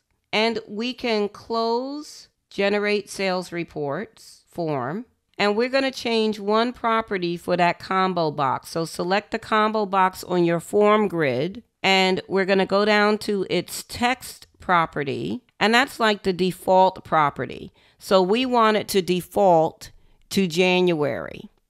So we're going to just type J-A-N there and enter. And now if we, so I have to select my form first, and F5, we'll see that the for which month combo box is now defaulting to January. and we can close it. Another way to access the code window for the form is just by double clicking on the form grid, and that will take you to your built-in class module. And it's built in because a form is a built-in object here in Excel VBA. So unlike a regular class module where you're actually creating objects that are not included in the application, this is a built-in class. And so we're in the code window and we're going to hide controls based on when another control is selected. So for example, if month is selected in the period frame, we want to hide the start date and end date labels in text boxes. And we have several event procedures to code. So we're going to insert a text file and then review the code for your understanding. First, we're going to declare some variables and we're going to click at the top after option explicit and press enter. And we're going to do public sales, comma, period as string and press enter. So we're declaring variables up in the declaration section and we're making them public. So that means they're available to any modules here. And then we're going to click underneath our end with statement. We'll click at the end of it and press enter. And we're going to type CBO month, that's our combo box name, dot visible, which is a property, equals false, which shows up on your list. Right underneath that, we're going to type LBL month dot visible, that's its label, equals false. So right now it's telling it not to show the combo box or the label but we're not done yet. So we're going to click at the end of end sub and press enter. And then we're going to go to our insert menu and choose file. And we want to grab that coding controls text file so we can just double click it. And boy, did it help us with a lot of typing. Look at all the stuff that's in here. We'll go over what all of this code that we didn't have to type means we declared two string variables, sales and period. The first thing that came in from the text file is private sub CMD cancel click. So when the cancel button on the form is clicked, it's going to unload the form from memory. And me is just a shortcut for the current object, in this case, the form. So that's one thing that came in from the text file, coding that cancel button. And then we have our opt all button. When that option button is selected, when it's clicked or accessed, it's going to set the period variable to all. When the classification option button is clicked, it's going to set the sales variable to equal classification. When the model option button is clicked, it's going to assign model to the sales variable. So we need to do a fix here because I just noticed that model doesn't have double quotes on it coming from the text file and it needs to or we would get an error message. And you might want to make a note if you want to avoid that later to just go into the text file and change it in there. So the next sub procedure is opt month when it changes. If that opt month button is clicked, right, and you see this next sub procedure, it's going to set the period to equal month. If opt month equals true, then we want the combo box and the label to be visible, or else we want them to be hidden. Unless they need to select a month, they don't need to have the label or the combo box showing up on the form. And then we have, we'll go to our private sub opt other. This one has a change event and this one has a click event. So when it's clicked, the other option button, it will set the period to other. And if it's other, then we want the start date and end date text boxes to be enabled so they're accessible if they select other in that frame or else we want them to be disabled. So they'll still be visible, but the end user won't be able to access them. And then the last but not least, if they select the salesperson option button in the sales frame, it's going to set sales variable to equal salesperson. And you want to go ahead and compile and save. Let's go test some of this. So I'm going to just double click my form in the Forms folder in Project Explorer to get back over to it. And the first thing we're going to do is in the Properties pane, we're going to disable the Start Date and End Date text boxes. So I'm going to click in the Start Date text box and I'm going to double click the Enabled property to change it from true to false. And I'm going to do the same with the End Date text box. And now I'm going to go ahead and press F5 to run the form. So make sure you're just on the grid and you don't have any controls selected. And then F5 will be successful for you. And so the first thing I want you to do is try to click in the start date and end date text boxes, and you cannot. In the period frame, select the month option and you'll notice that the combo box and its label will now become visible and accessible on the form. If you select the All option button in the period frame, your start date and end date text boxes are not available to you because we want it to run all the reports for all of the dates. And then if you select the Other option button, now you have the ability to get into the start date and end date text boxes. So in the background on my screen, you see that opt other change is what's causing that. So if they select opt other, if they select the other option button, it's going to assign the period valuable, the value of other, and it's going to enable the start date and end date text boxes. And now we're going to use the X in the upper right hand corner to close the form again. And the last thing we're going to do, instead of us having to go to the forms folder and double click the form and then F5 to run it, we want to launch it programmatically. So we're going to do that now. We're going to go over to our Project Explorer window. We can right click on the modules folder hover over insert and choose module. And we're going to rename module 2 in its properties window. We're going to name it MOD reports. And in mod reports, we're going to type a very short sub procedure. So we're going to type sub, we're going to name it show form, press enter twice. And we're going to tab over we're going to type the name of our form, including its prefix, FRM, generate reports, the dot notation, and then we want the show method. We just created a sub procedure that will show the form when this procedure runs. And now we can compile and save, and we could just execute the procedure by pressing F5 anywhere within it. It brings up the form. And because we brought it in from a text file, we coded the cancel button. We can actually use the cancel button to unload the form from memory and close it.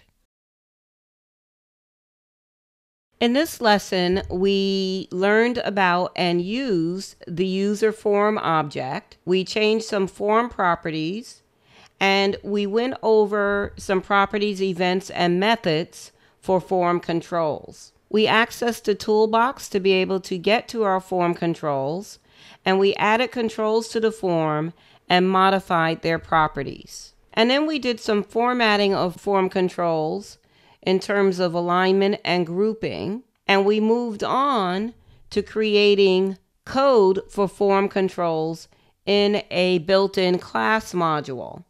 And we used a lot of code from a text file that was in the files in the video description. We ultimately ended up launching the form via code, and we will be revisiting using the form in a later lesson.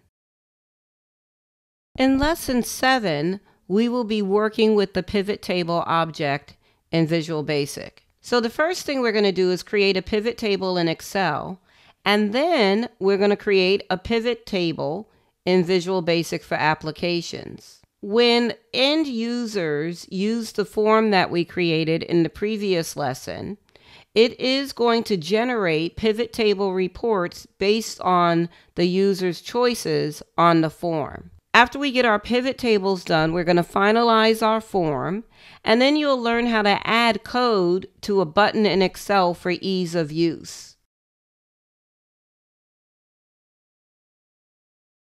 Pivot tables allow you to summarize data from a worksheet or an external data source and create reports. You can decide how to summarize the data and the data to be analyzed. And after you create a pivot table, you can pivot the data to look at it in different ways for different analysis. When you're creating a pivot table in VBA, two separate objects are used. The pivot table object, which is the pivot table in the workbook, and the pivot cache object, which is a memory location that's created and it holds the source data the pivot table is created from. When you're doing this in Visual Basic, the pivot cache object needs to exist before a pivot table is created. So you use what's known as the create method of the pivot caches collection object to create that pivot cache in VBA. And I have on this slide its syntax. The one required argument is source type, and then you have two optional arguments, source data and version. The source type argument has five options in the form of Excel constants. So we saw Visual Basic constants earlier. They're preceded by VB, like when we were working with the message box, right? These are Excel constants which are preceded by XL. So you have consolidation, database, external, pivot table, and scenario. Process wise, once the pivot cache is created, the create pivot table method of the pivot cache object will be accessed to create the pivot table. And it has four arguments as listed on this slide table destination, table name, read data, and default version. And the final three, the only one that's required is the table destination argument. And again, this is background information for your future review if you need to refresh on anything. I will be guiding you through this when we get started. The pivot cache and pivot table can be created in the same procedure, and the fields that are going to populate the pivot table have to be set up separately within what's known as the pivot fields collection. Yes, this sounds complicated until you get used to it. When it comes to pivot fields collection, it's a member of the pivot table object and it contains the columns of data from the data source. The pivot fields orientation property is used to populate the pivot table report. Field names are assigned to the values in each column based on the column headings. And Excel constants are used here as well you're if you're used to pivot tables, you know you have row labels, column labels, you have report filter, you have values. So the Excel row field would be for your row labels, Excel column field for your column labels. Excel page field is used for the report filter, and Excel data field is used for the values. You have an extra constant here, Excel hidden, which is used to hide a field. And then at the bottom, I have the syntax of the orientation property for your future reference. So we're going to start in our sales fiscal year file by recording two macros to create the pivot table. So I'm on the 26th of August sheet tab and I'm going to just click anywhere within my data there. And we're going to start a macro recording. So I'm going to use the mac no macros currently recording button down in my status bar that we used earlier. I'm going to click on that and we're going to name this macro create pivot table. And then we're going to just click OK. Now just make sure you're anywhere within your data and except for on that sum of the selling price, we're going to be anywhere within the data go to the Insert tab of the ribbon, and the first button is Pivot Table. I'm going to click the upper half of the button. In the Create Pivot Table dialog box, you'll see that it has selected all of your data. We were just anywhere within our range, and it will select everything until it finds a blank. And that's the choice we wanted to use, select a table or range. And then the next choice you make is choose where you want the pivot table report to be placed. It defaults to a new worksheet, which is typically how they're used. And so we can just click OK. So we're on a new sheet. We have the framework of our pivot table on the worksheet. And to the right, we have our pivot table fields list. This is where we need to stop this recording. Remember, it's a two-step process even when you're recording it as a macro in Excel. The first step is to create the framework of the pivot table, and we've done that. So I'm going to go down to my status bar and select Stop Recording. Now we need to record a macro that will select the fields that we want in our pivot table report. So I'm going to go back to my status bar and start another macro recording. And this one I'm going to name Select Fields and click OK. In your field list on the right, you're going to drag your year field to the filters box underneath. And notice your pivot table report is already starting to shape up. We're going to drag classification to columns. And we see our pivot table. We have our column labels and it's showing the classifications, car, SUV, truck, minivan. We're going to drag, well, we could put a checkbox in front of make and it will automatically put it in the rows box. And we're going to put a, if we scroll down, we're going to put a check mark in front of selling price and it's automatically going to put that in the values box.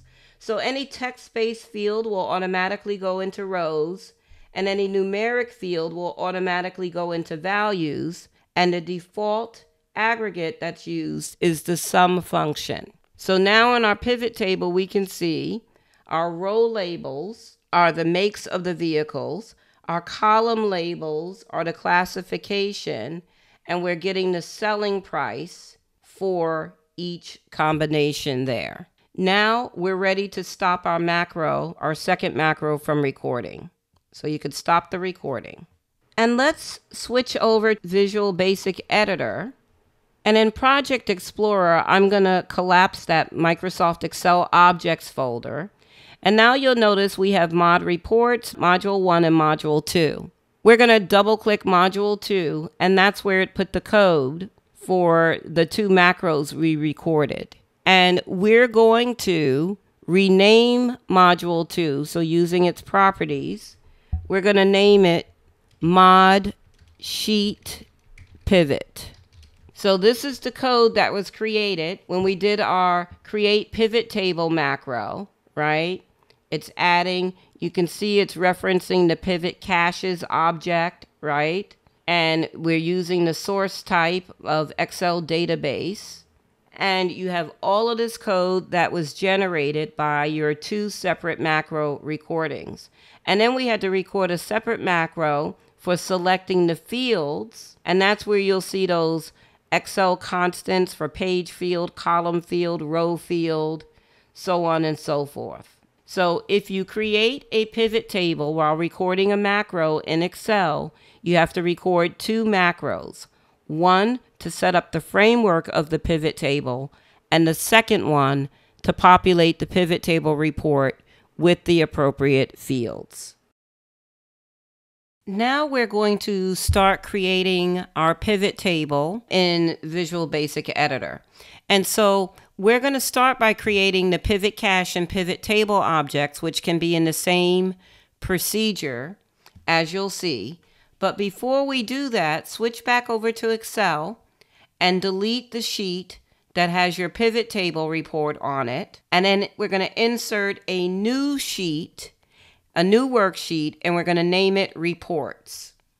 And the sheet tabs in your Excel file should look like mine on the screen. So I made the report sheet the first one and I deleted the other sheet where we recorded our macro and created the pivot table. And now we can switch back over to the Visual Basic editor.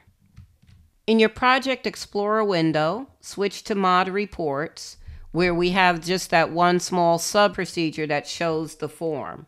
We're going to click after the end sub statement here, and you're going to type the sub procedure that I will display on my screen momentarily. I've changed my font size to 18 so you can create that sub procedure that we're naming create pivot based on what's on my screen. We'll talk about it after you get it typed in.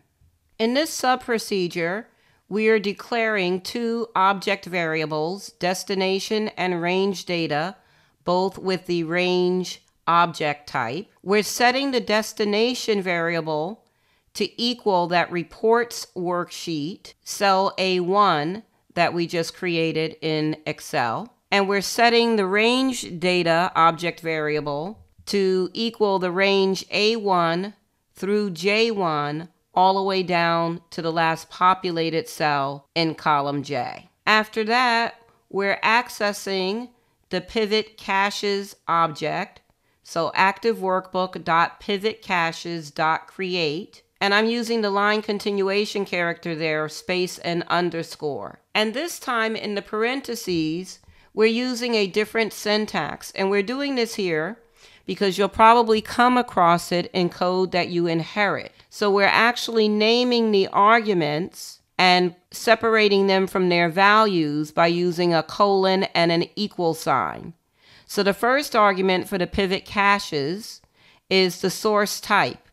And for an Excel spreadsheet, the data on an Excel spreadsheet, you use the Excel constant of Excel database. The next argument is the source data, and that is going to be the range data. So A1 through the last populated cell in column J. And then we're doing another line continuation character at the end of that line. And now we're moving on to the create pivot table method of the pivot cache object. And that line starts with dot create pivot table. And then we're giving it a destination for the table which is what we populated as the destination object variable. So the report sheet cell A1 is where we're going to start the pivot table framework. And then we're naming the pivot table sales pivot. Let's go ahead and compile and save our work. And we'll switch to Excel we need to run that sub procedure or create pivot procedure on a sheet that's populated with data. So I'm going to go to my 26th of August sheet tab and I'm going to just be anywhere within my data. And I'm going to do Alt F8 to bring up the macros dialog box. And we want to double click create pivot.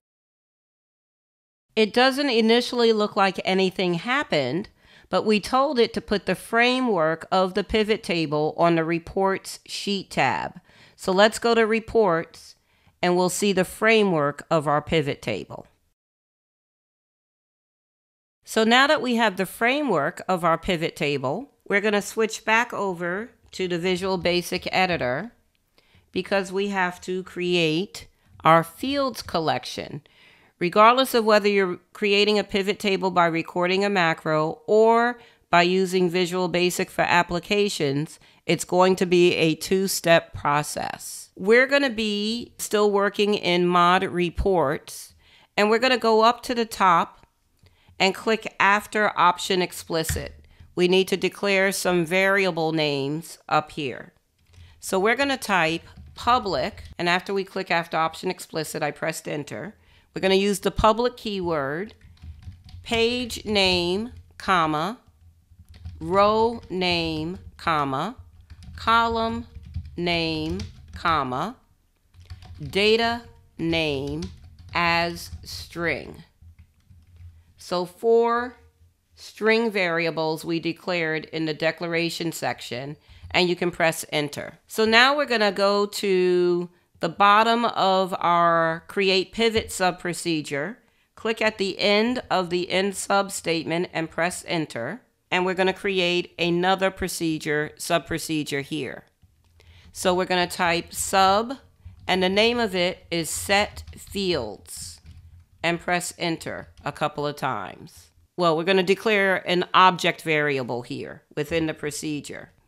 So we're going to do dim, and then I'm just calling it pvt table as pivot table. And pivot table will show up on your list.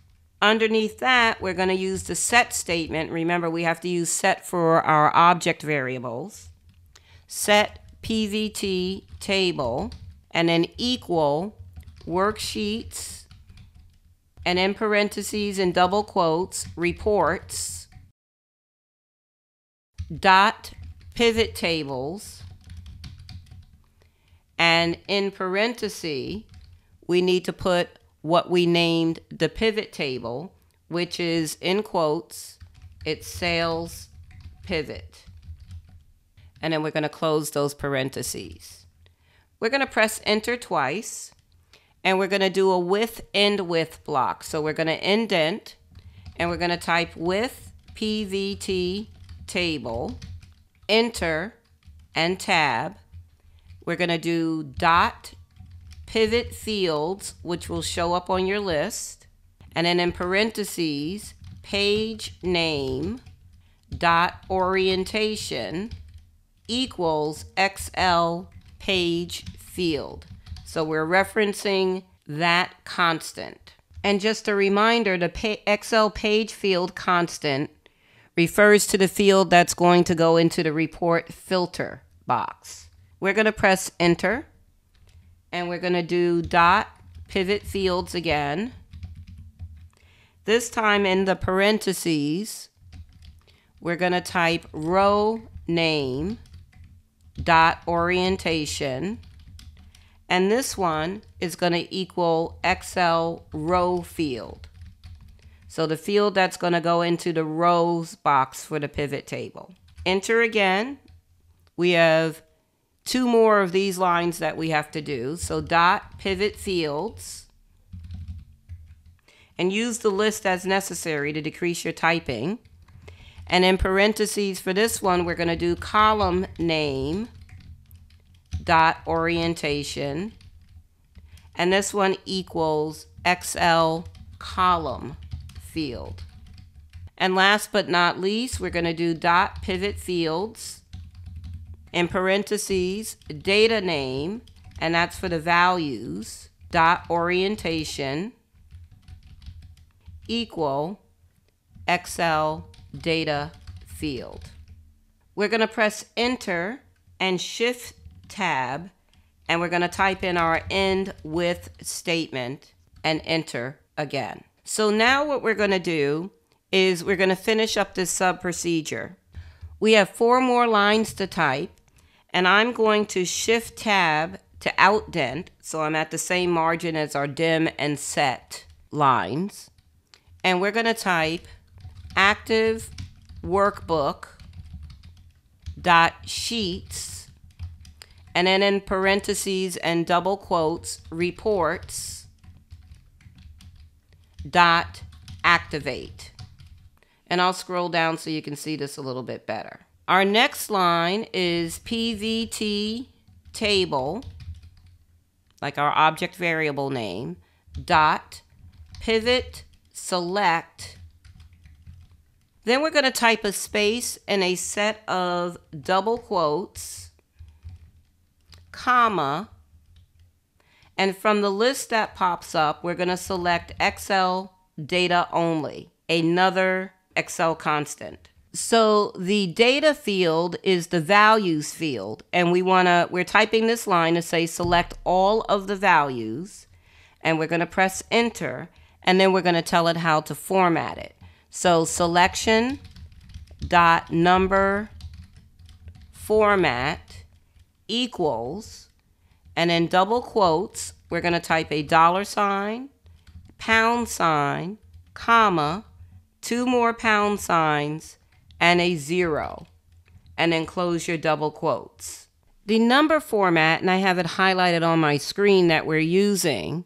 So it's going to start it with a dollar sign, and the pound represents any digit that may be in that position. You have your thousand separator is the comma, and then we have two more pound signs, so digit placeholders. If they're in that position, it will put them there. If not, it will skip it. And we're saying that we're not going to have any decimal places on our numbers here. If we wanted decimal places, after the ending zero, we would we could do a dot and then zero zero, which means that it would have two decimal places. The zero that's sitting there instead of the pound signs, or as they're now known, hashtags, that would represent a leading zero for a number if it's less than one. So that's the number format, and you'll see it once we finish this up. And now we have one more line to finish this set field sub procedure. And we're going to just type range and in parentheses and double quotes E1 dot select. This is going to set the fields, whether they are filter fields, row fields, column fields, or your values fields for the pivot table that we created. Because the variables will not populate until we actually run the form again, um, we're going to be able to test this, our sub procedure for setting the fields in just a little while. We have some more tasks that we're going to complete that I have under the heading finalizing the form what we're going to do here is we're going to create code that will generate pivot table reports based on the selections the user chooses in the form. So in other words, we're going to distribute user responses to the correct procedures. Specifically, we're going to create code that will perform these steps when the user activates the display button on the form. We want it to hide the form and whatever option is selected in the period frame will be evaluated, determining the month or the start date and end date of the pivot table report. The sales option that is selected in the sales frame will also be evaluated. And at this point, the variables containing the field names will be populated. Then the source data will be pulled from the workbook and placed on a new sheet and then the data will be moved to a new workbook and the pivot table will be created. So we're going to get started on these finalizing the form steps. And I'm still in Visual Basic Editor. And in the Project Explorer window, I'm going to expand Forms folder and double click our Generate Reports form to get back to it. And then I'm going to double click in a blank area of our form to get back to our built-in class module, which has all the code that we've created for this so far. So we want to select the framework for the click event for your display command button. So where it says user form at the very top of the module, in the procedure list, we're going to do the drop down and we're going to select CMD display. So now we have private sub CMD display click event waiting for us because click is the default procedure for a command button. I'm going to click after the opening and closing parentheses and press enter a couple of times. And we're going to tab and we're going to type me dot hide. And hide is on the list.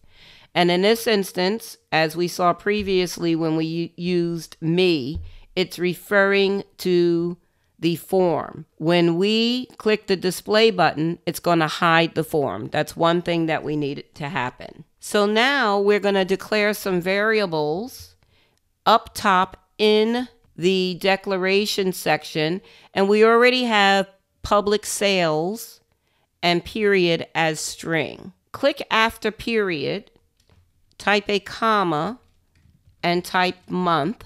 So we have sales period and month as string variables. Press enter at the end of the as string line, and we're going to type public start date, comma, end date as date, and press enter. Now we're going to navigate to the end of this module and we're going to create another sub procedure there that's going to code the options selected in the period frame on the form.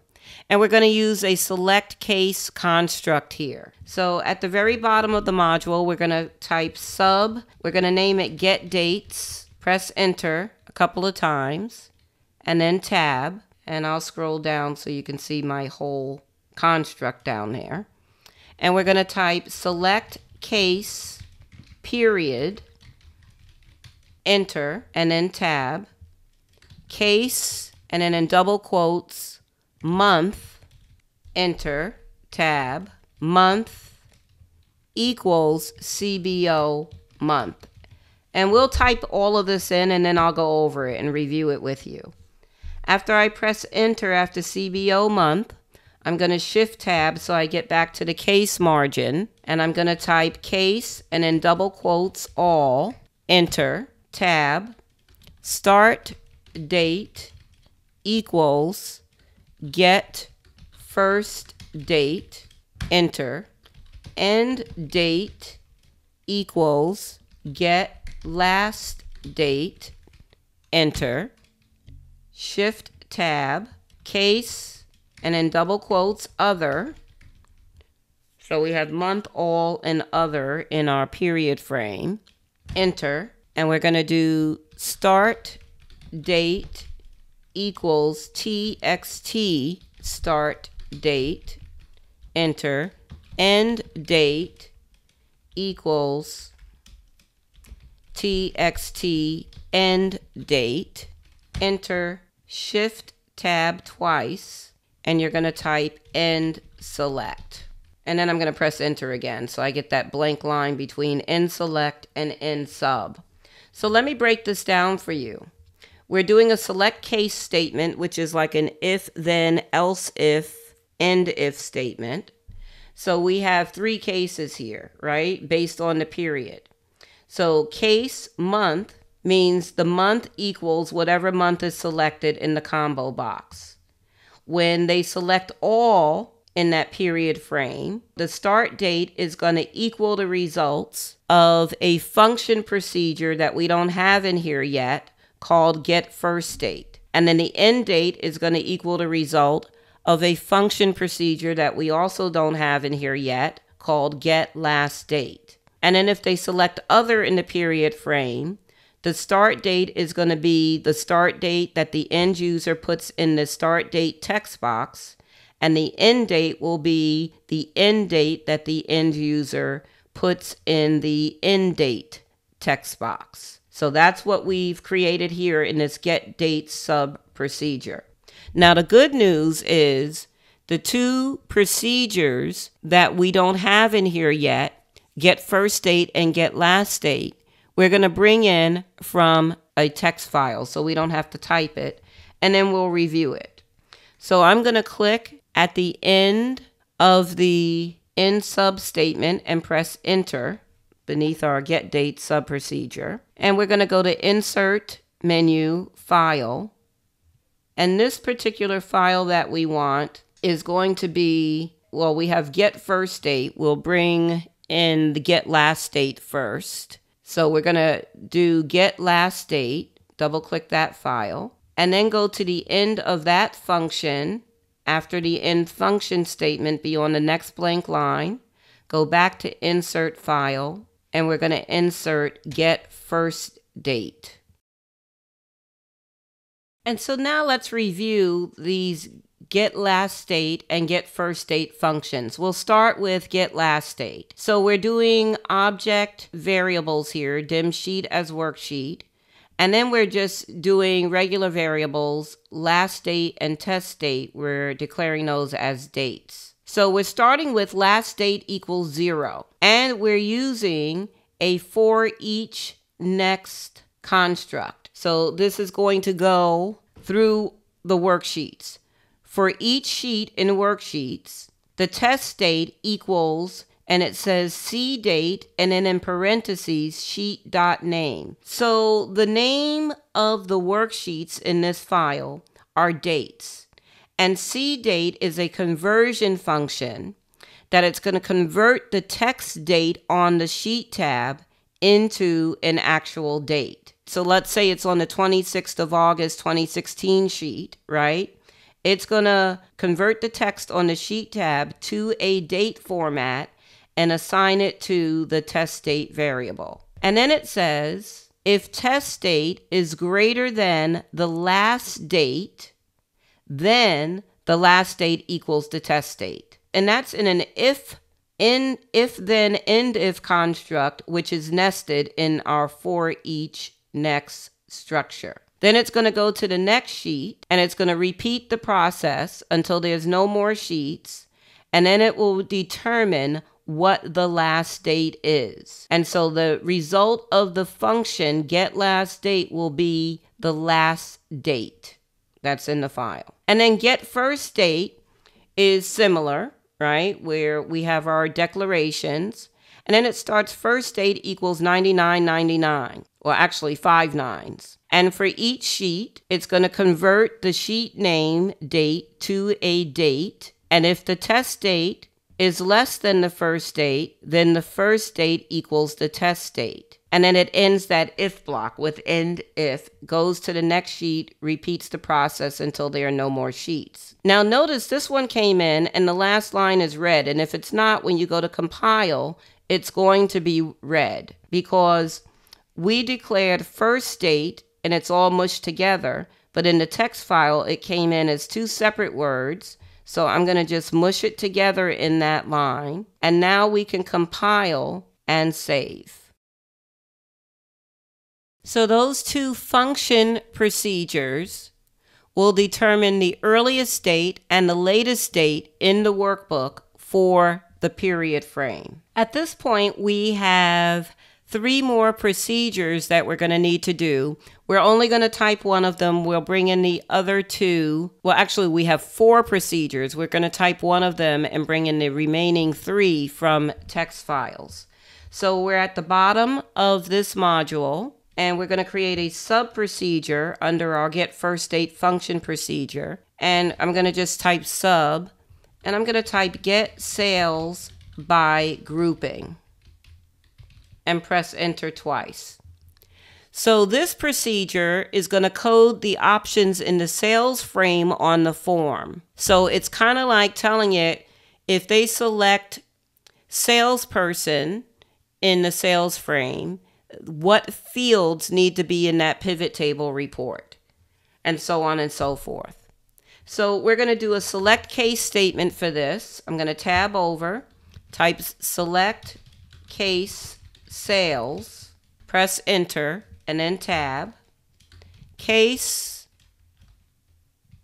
and in double quotes, it's going to be salesperson, and on the form, made that two words. And then we're going to press enter and tab. So no, page name, which is the filter for the pivot table, equals, and in double quotes, sales person.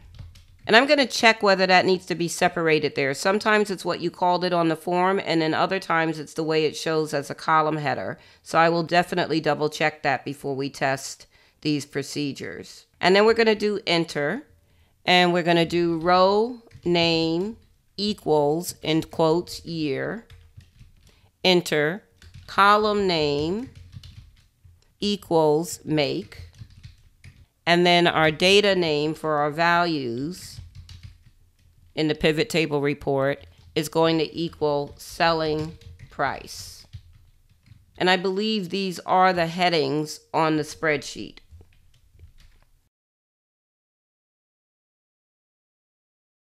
We have a few more finishing touches we need to do in order to complete this process.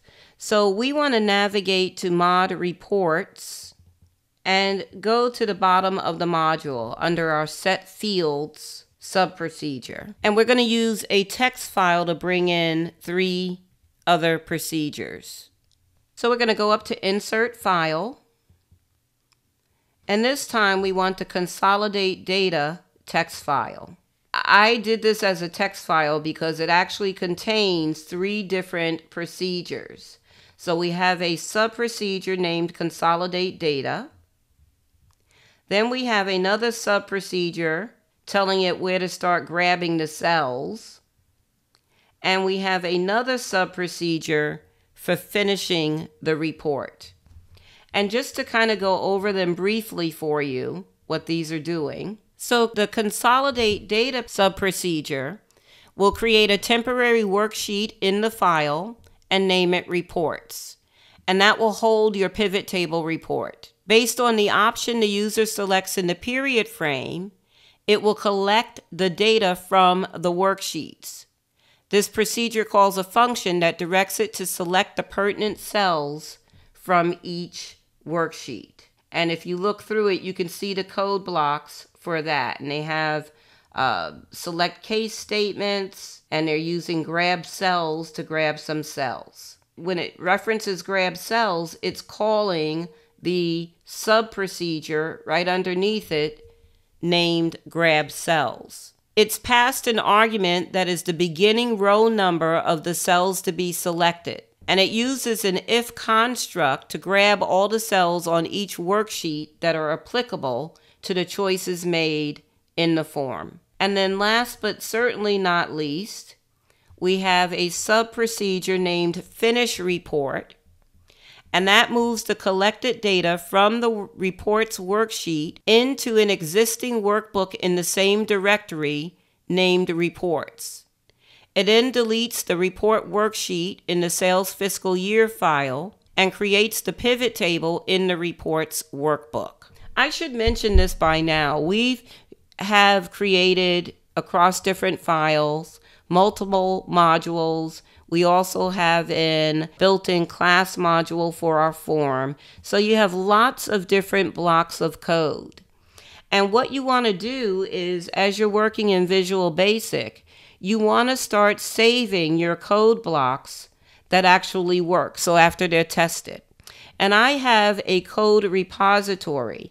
I just copy and paste my sub and function procedures into a Word document because a lot of times you can reuse the same code over and over again. You might have to just change a file name or something like that. But why build it from the ground when you already know you have code that has worked before? So I'll make that suggestion here because, and especially some of these text files, you're getting really great code blocks to use in future VBA projects.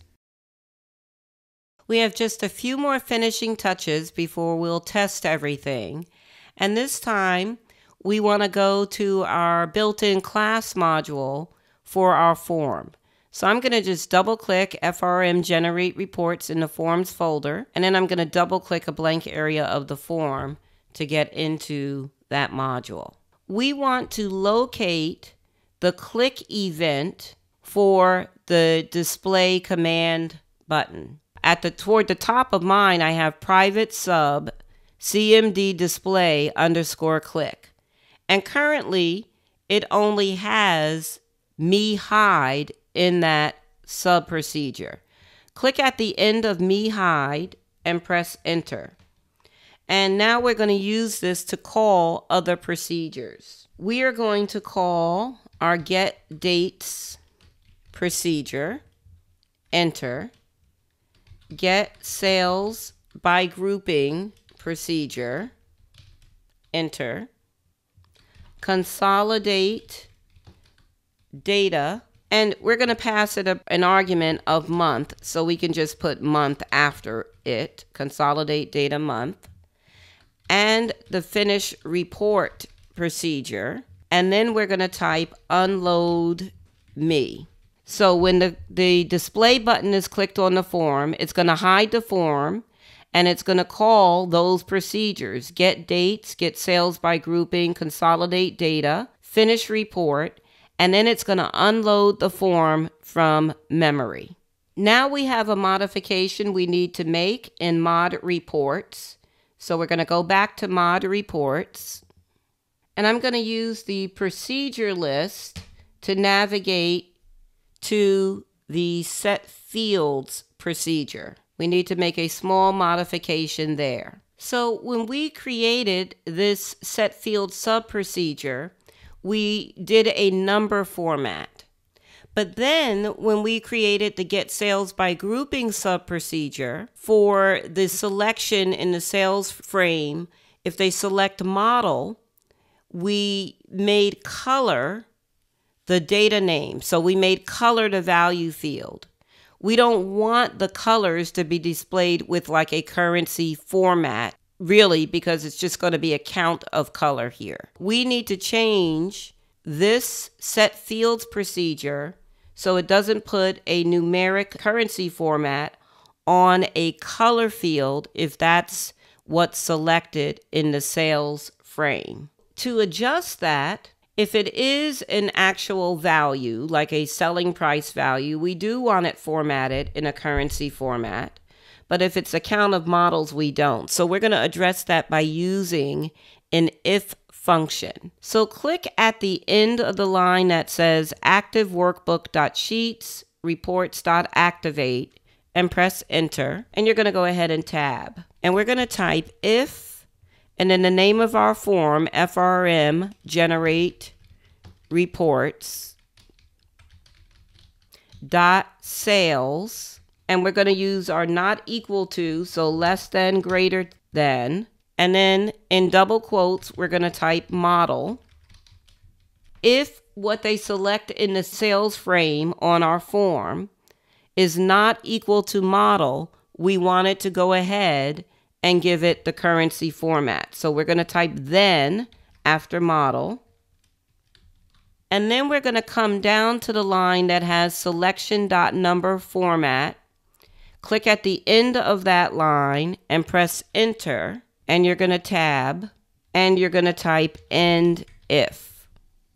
So it's only going to apply a currency format if the selection in the sales frame is not model. Otherwise, it won't apply. If it is model, it won't apply the currency format. It'll just be the number. And we're going to make a minor modification to our create pivot procedure so I'm going to use my procedure list to navigate to that one. And then here in the set range data line, we're going to change the J1 range to I1.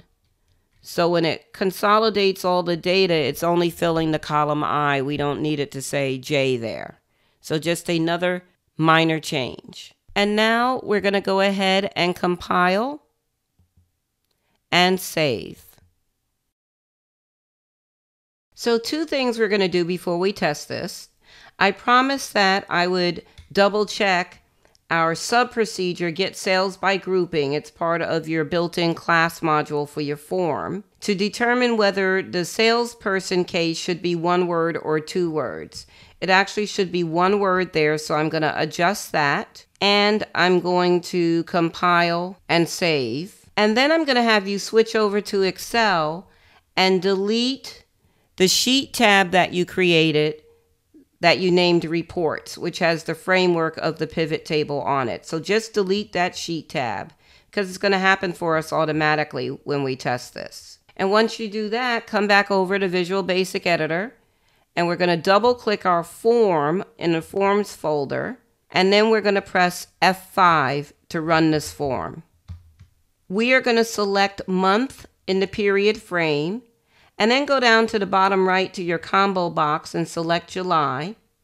And in the sales frame, we're going to select salesperson. And then you're going to go ahead and click your display button.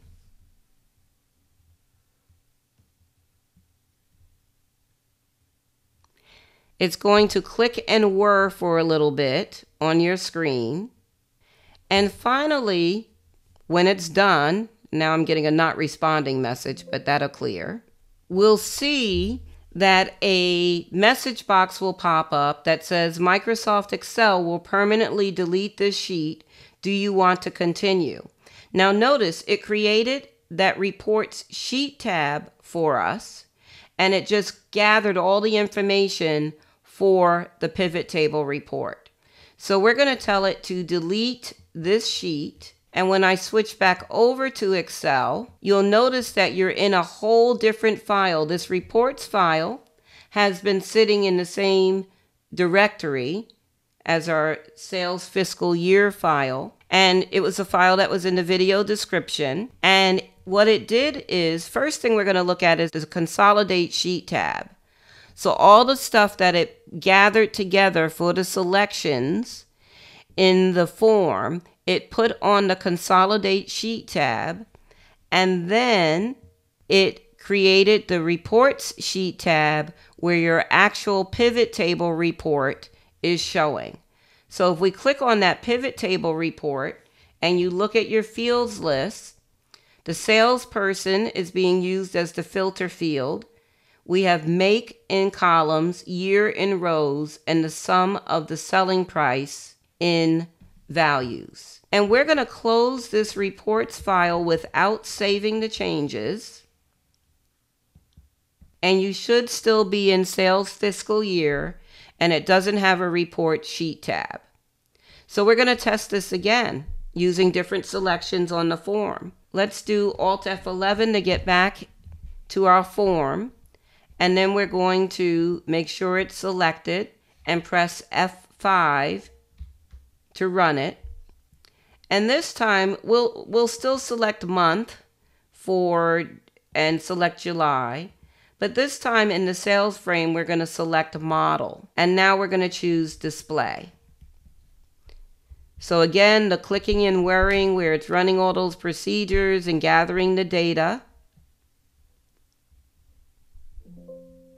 And you will ultimately get the message asking if you want to permanently delete this report sheet in sales fiscal year. And we're going to say delete. And then when you switch back over to Excel, it is in that reports file. And again, if you look at the consolidate sheet, it has all the data that was consolidated. And then we go to the report sheet. And this is where we put in that if statement because when we select model, we said we don't want the count of the models to be formatted as currency. And you can see here, or the count, yeah, of the model colors, we don't want them to be formatted as currency. So they're not. They're just the count of the colors per model. And we can close the reports file without saving the changes. So now we're going to set up a way for the end user to display the form and make their choices without having to go into the code window. So we're going to add a button to the quick access toolbar that will show the form for the end user. And the way we're going to do that is we're going to go up to the quick access toolbar and currently mine just has save on it. And to the right of the save icon, there's a drop down arrow. And when you select the drop down arrow, you have a list of commands, but toward the bottom, you're going to select more commands. And it opens up the customize the quick access toolbar Excel options window. Now on the right, it defaults to Customize Quick Access Toolbar for all documents. That's the default. Well, we want this button to only show in this document. So we're going to do the drop down next to For All Documents, and we're going to choose For Sales Fiscal Year. And then what we're going to do on the left side, we're going to access the drop down where it says Choose Commands from Popular Commands. And when we do that drop down, we see popular commands, commands not in the ribbon, all commands, and macros. We're going to click on macros. Scroll down in this list until you see the show form macro. We're going to select it and then we're going to click the add button. So on the right, you should just have show form sitting there for this particular document on the bottom right, so you notice all of these macros have that same symbol, right? We're going to change the symbol. So with show form selected on the right, underneath on the right, you're going to click on the modify button. Pick a symbol of your choice from the list of symbols that are showing there that you would like to have on the quick access toolbar for this. So I always like to do different ones than the default ones. I think for this one, I'm going to just pick, yeah, I'll just pick the red circle. No, I'll do the colorful butterfly just for fun. So I'm going to click on the butterfly and click OK. And now you'll see the icon in front of show form. And at the bottom, you're going to click OK. So now you have that icon, whichever one you selected, on your quick access toolbar. And when I click that icon, it actually brings up the form. So this is how the end users will be able to access the form. And we can do cancel on our form. And you're going to go ahead and save your file. To recap lesson seven, we started by recording two separate macros in Excel to create a pivot table first, the framework of the pivot table, and then to create the fields that we want to use to populate the pivot table. So two separate macro recordings. Then we went into Visual Basic for applications and we created a pivot table programmatically. We had to create the pivot cache object first, and then we could tell it to create the pivot table. And we can do that in the same procedure. But we had to do a separate procedure to set the fields for the pivot table, just like we had to create two separate macro recordings, one for the framework of the pivot table and one to set the fields. After that, we spent some time finalizing our form by adding more code, and we used some text files for some of the code that we added. We then reviewed some of those text files and their procedures therein. So you learned about the consolidate data procedure, grab cells function, and the finish report procedure and what they do in terms of the workflow here. And then we modified our click event procedure for the display command button by calling all of the other procedures that we created or we created via text file. And we added a line that said unload the form from memory once all of the other procedures have run. We saw when we tested everything, and we tested it a couple of times, that it gathers all the data and puts it on a reports sheet tab in the sales fiscal year file and then it copies and pastes that data into a reports file in the same directory on its consolidate tab. And then it creates the pivot table on another tab in the reports file. And the pivot table displays the choices that were made on the form. And we ended up adding code to a button on the quick access toolbar in Excel and I selected the butterfly icon. And that's the way the user will launch the form to make their selections to get their pivot table reports created. Thank you for attending Excel 2019 Visual Basic for Applications video course. Hi everyone, I'm Trish Connor Cato. Welcome to the Excel 2019 Visual Basic for Applications video course. This course is for beginning users looking to automate repetitive and recurring tasks in Microsoft Excel. VBA is Microsoft's programming language, and it's built into the Office applications. Our focus during this course is on Excel specifically. You'll be equipped with the basics to start writing your own VBA code modify the code behind macros you've already recorded, and have an understanding of how VBA lends itself to creating efficiency in your daily tasks. The course ends with you learning how to deal with code errors, known as debugging, and how to write error handling code. If you're enjoying these videos, please like and subscribe. If you want to earn certificates and digital badges, please become a member of our Patreon.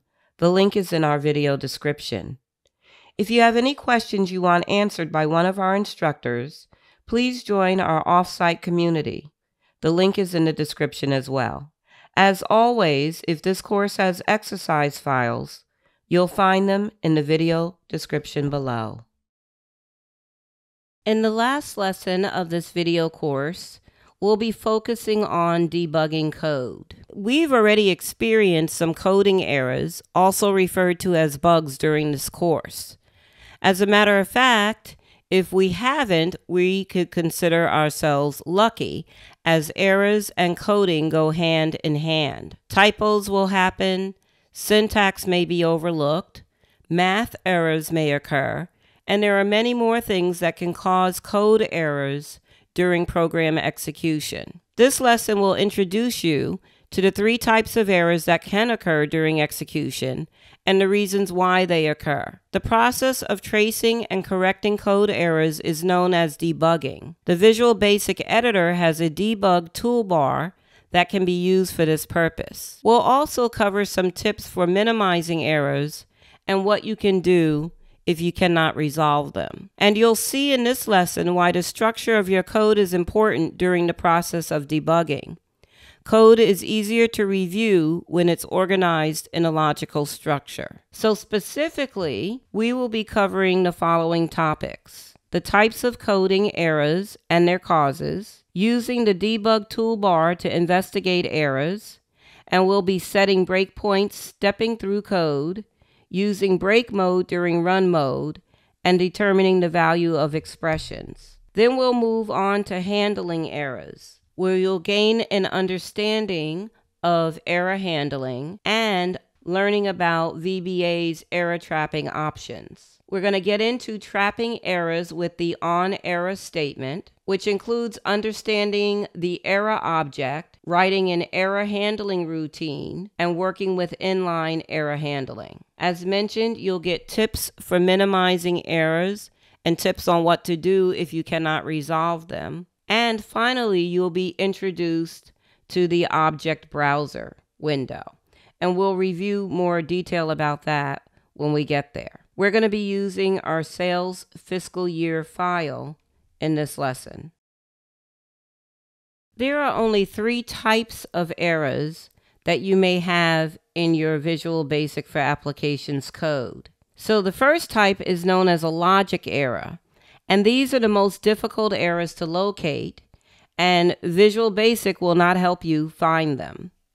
They're usually caused by typos, and logic errors will not stop your code execution. Instead, you will have an unexpected outcome. For example, you may have used a minus sign instead of a plus sign in an expression. So it will calculate the expression, but you'll get an unexpected outcome because of the wrong operator that's being used. Then there are runtime errors. A runtime error happens when a line of code cannot be executed. The procedure is halted, and a message box will display that defines the error. There is a help button in the message box that can be used to view the help topic associated with that specific type of runtime error. There are many types of runtime errors. They're caused by if you divide by zero, that can't be done. If you reference a non existent workbook or worksheet, or other object and referencing an Excel cell that contains an error are a few examples of things that can cause a runtime error. And last but not least, you have syntax errors. Now, these are detected by the line editor and the compiler. So, as you're typing code, when you get to the end of a line and you press enter, if there is a syntax error in that line, the line will turn red. And examples that can cause this are incomplete expressions and missing arguments. And then syntax errors are also detected by the compiler. So all along, we've been compiling and then saving. And the compiler checks all lines of code in each procedure and all declarations within the project. If variable declaration is required, if we have that option explicit statement at the top of a module, the compiler will check that all variables are declared and that all objects have correct references to properties, methods, and events. It also checks constructs to ensure the correct required statements are present. So when you have a with block, you need to have the end with statement. When you have an if block, you need to have end if. The compiler will display a message box that describes the error if found.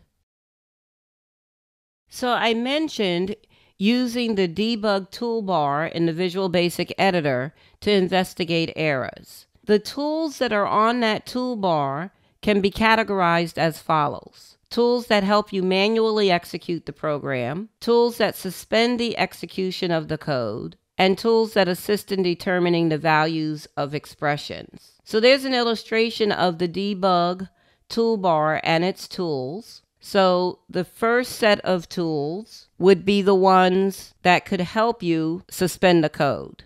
And then you have a set of tools that can help you manually execute the program.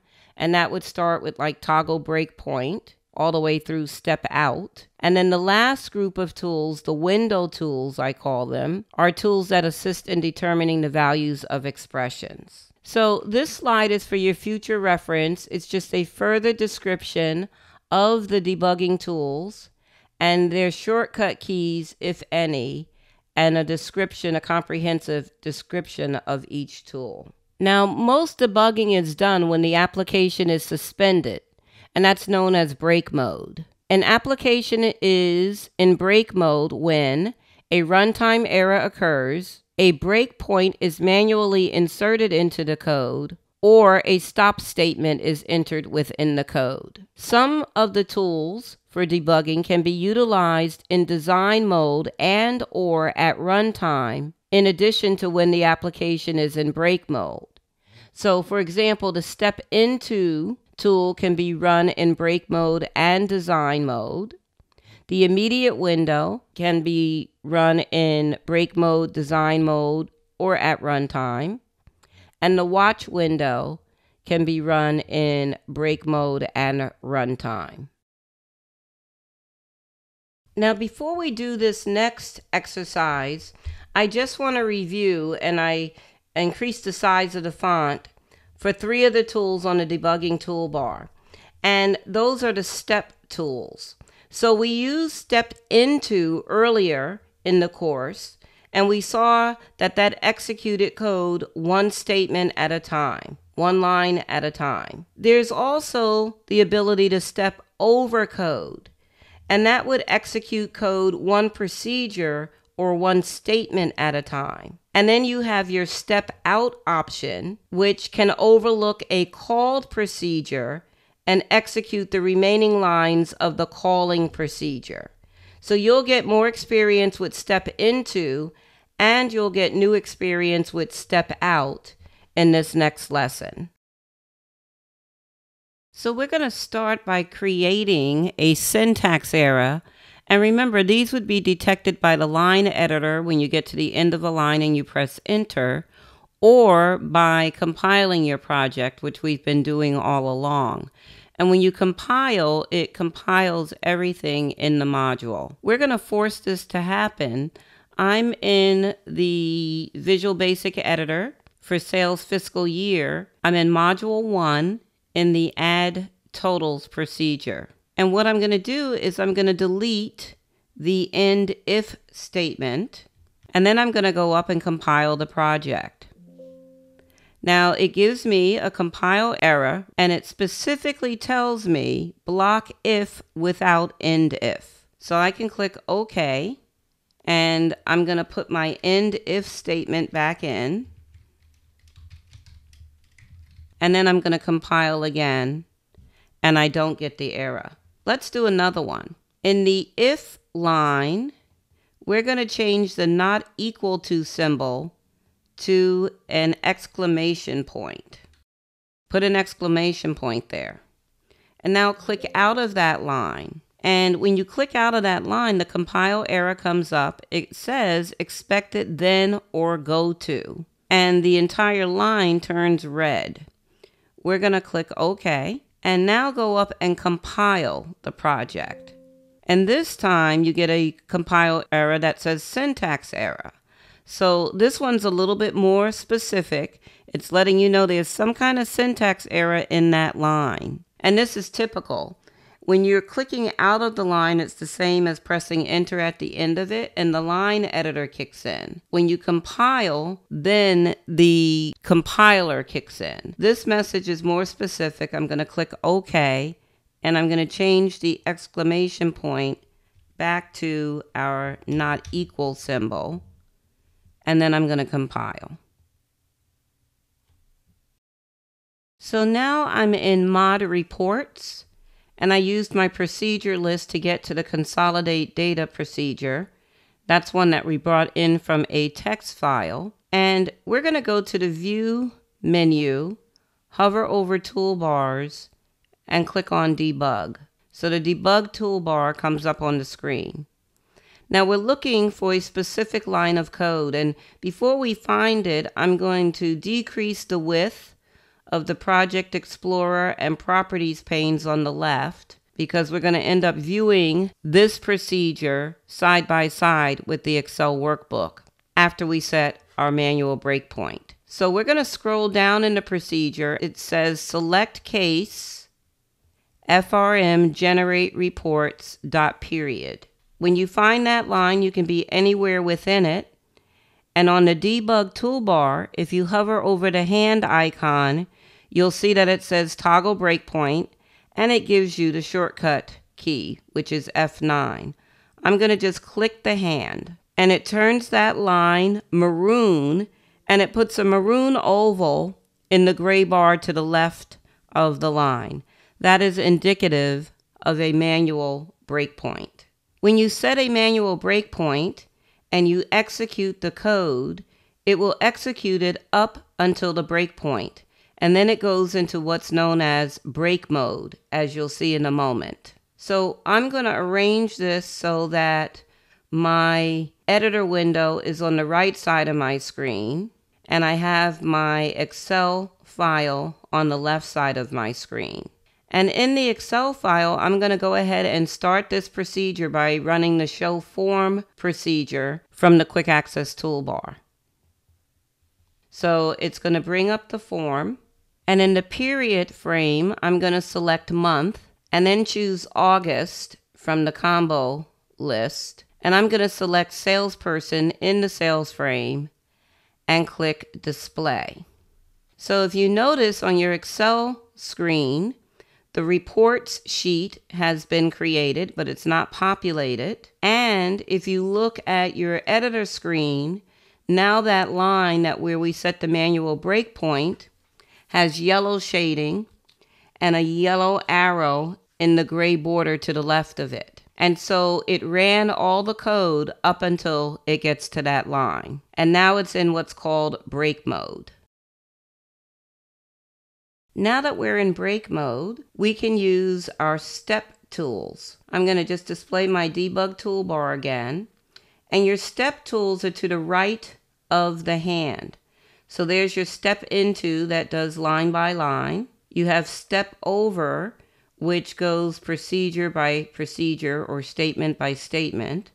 And then you have step out that would skip any called procedures or just execute the rest of the code as one block. So the first thing we're going to do is step into, and it goes down to the next line. And we'll do step over at this point. That's still within that for each block. We're going to step over again. It goes down to compare, which is another statement. We're going to step over again and it goes to the next statement. And now go ahead and click on step out and it runs the rest of the code and you can see that it's going through your Excel workbook and ultimately you'll get the pop-up asking if you want to permanently delete the report sheet in the sales fiscal year. I'm going to go ahead and click delete and it opened the reports file and gave me my pivot table. We're going to go ahead and close the reports file and don't save the changes. And I'm going to just maximize the Visual Basic Editor window again. I'm going to expand my Project Explorer window so that I can get back to mod reports. And notice it didn't remove our breakpoint.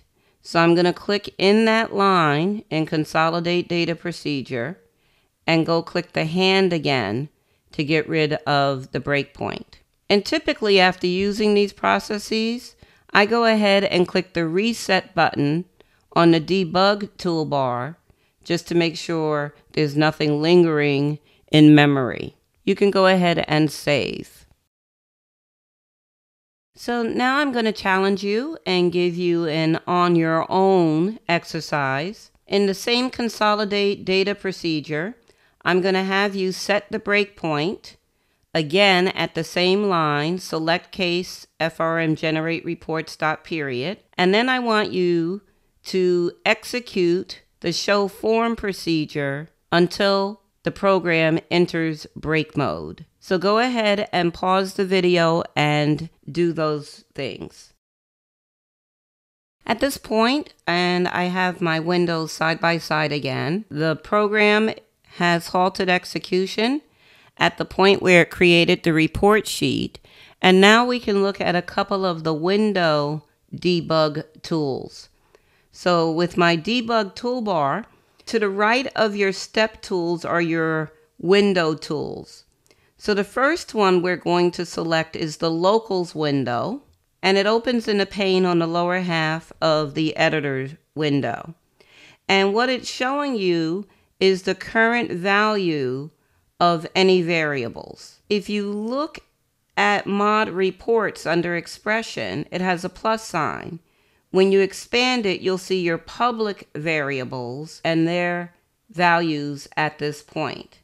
It also on the right tells you the type of variable. So the locals window will show you that when you're in break mode. And I just collapsed mod reports again. And then what I'm going to do is I'm going to go ahead and press F8. So it's at my break line. I'm going to press F8 so it steps into the code. And I'm going to F8 until I get down to the on error resume next statement. So now there's a, in the expression window, the value of compare, the compare expression is reports. If I hover over compare in the code window, you can see that it's letting me know the value of that variable right in the code window when it's in break mode. In that compare line in the code window, I'm going to have you select the function cdate, which is a conversion function, right? Converts the date on the sheet tab, the date, the text string of the date on the sheet tab to an actual date. So we're starting with the letter C in C date, and we're going to highlight it until we get to the first closing parenthesis after compare. So just the function and its argument in parentheses is selected. On your debug window, the next to the last icon is Quick Watch, another window. So when we have that expression selected, it gives us the context, so it lets us know the VBA project, mod reports, consolidate data procedure, the expression itself, and then its value is a type mismatch because there's text on the sheet tab, and then we're converting it to a date. So Quick Watch gives you different information than can show in your locals window. And we're going to close the Quick Watch window and you can use the X to close the locals window. And now what you can do is you can go ahead, step out of your code.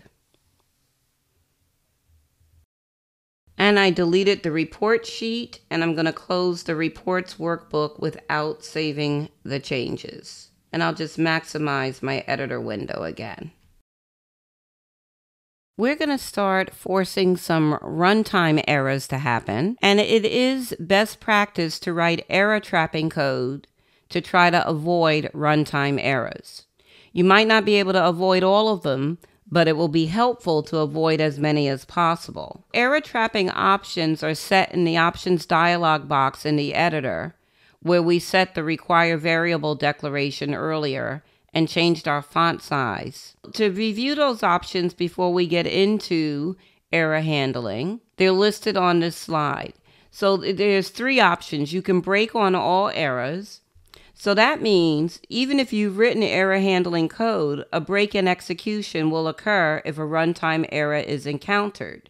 So it really disables any error handling code that you've written. Break in class module, the execution will break and an error message will display when an unhandled error occurs within a class module. This option is only useful for debugging. And then you have break on unhandled errors. The execution will break and an error message will display when any unhandled error occurs. And again, we'll review those options as we go over our next set of exercises. There are some methods to error handling. In Visual Basic for applications, an on error statement is used to enable what's called an error trap. If an error is generated after this statement is executed, the error handler becomes active and passes control to the code on the on error statement that it's is specified. And there are two types of on error statements on error go to and on error resume next. I have the syntax. So for on error go to, then there's a corresponding line label, and then on error resume next. Once an on error statement traps an error, the error can be handled in one of three ways. You could write an error handler this is a routine that is pointed to in the on error go to statement line label. The line label statements address one or more types of errors for the procedure. Another method is ignoring the error, and that's what happens when you use the on error resume next statement to trap the error and handle it by moving to the next line of code. And then you have inline error handling, and that's also on error resume next. You can use it to trap the error. You enter code in the procedure to check for errors after any statements that are expected to generate them. You'll see in the upcoming exercise that the error object can be used to examine information about an error that has just occurred. The error object has a global scope and has properties and methods that are useful for finding out information about the current error clearing error information, and generating errors. The properties contain information about the error that just occurred in the current procedure. So you have a number property, and it's the identification number of the most recent error, and numbers represent different types of errors. You have a description property which describes the error and corresponds to the error number, and then you have a source property which is a name that identifies the component module and or procedure that generated the error. And all three of those properties have data types as listed on this slide. The error object only has two methods, clear and raise. Clear resets all the error object's properties to zero or zero length strings. This method is used automatically when any on error statement is encountered. And then you have the raise method, which generates a runtime error, and it can specify the number of an error defined by VBA, Excel, or another application such as Word. And you're like, what is she talking about? Well, it'll start making sense when we start doing it, which is going to be right now. We're going to start by causing a situation that will lead to a runtime error. So I'm in my working directory. And what we're going to do is we're going to rename the Excel file called reports. We're going to just name it reports with the number two. And now I'm going to bring up my sales fiscal year file. In Excel, I'm going to start the show form procedure from the quick access toolbar. I'm going to select all for period and model in the sales frame and click display. Eventually, you'll get the runtime error, has an error number 1004. Sorry we couldn't find my path reports.xlsx. Is it possible it was moved, renamed, or deleted? And we're going to click the debug button on that message. So it takes us over to mod reports to the sub procedure finish report And the error is being caused when it tries to execute that workbook.open file name line because it's looking for a file named reports. Now I'm going to go up to the standard toolbar and I'm going to click the reset button. I'm going to go then go back to mod reports and notice that it cleared that break in the code for us. So now before we write error handling code, I want to show you the options that are available for you. We saw them on the slide. So I'm going to go up to the tools menu and choose options. And when I get in there at top, I'm going to go to the general tab. And on the right side, you have your error trapping options. So remember, break on all errors really means ignore any error handling code that you would write. Your other choices are break in class module or break on unhandled errors. I usually use break on unhandled. Can't really say usually, it just depends on what kind of project I'm working on. And I'm going to click OK to get out of there. So now we're going to modify this finish report sub procedure by using the on error go to statement. So we're going to click at the end of our variable declaration line, dim sheet as worksheet, press enter a couple of times, and then you're going to type on error go to, and go to is one word here, and then error handler.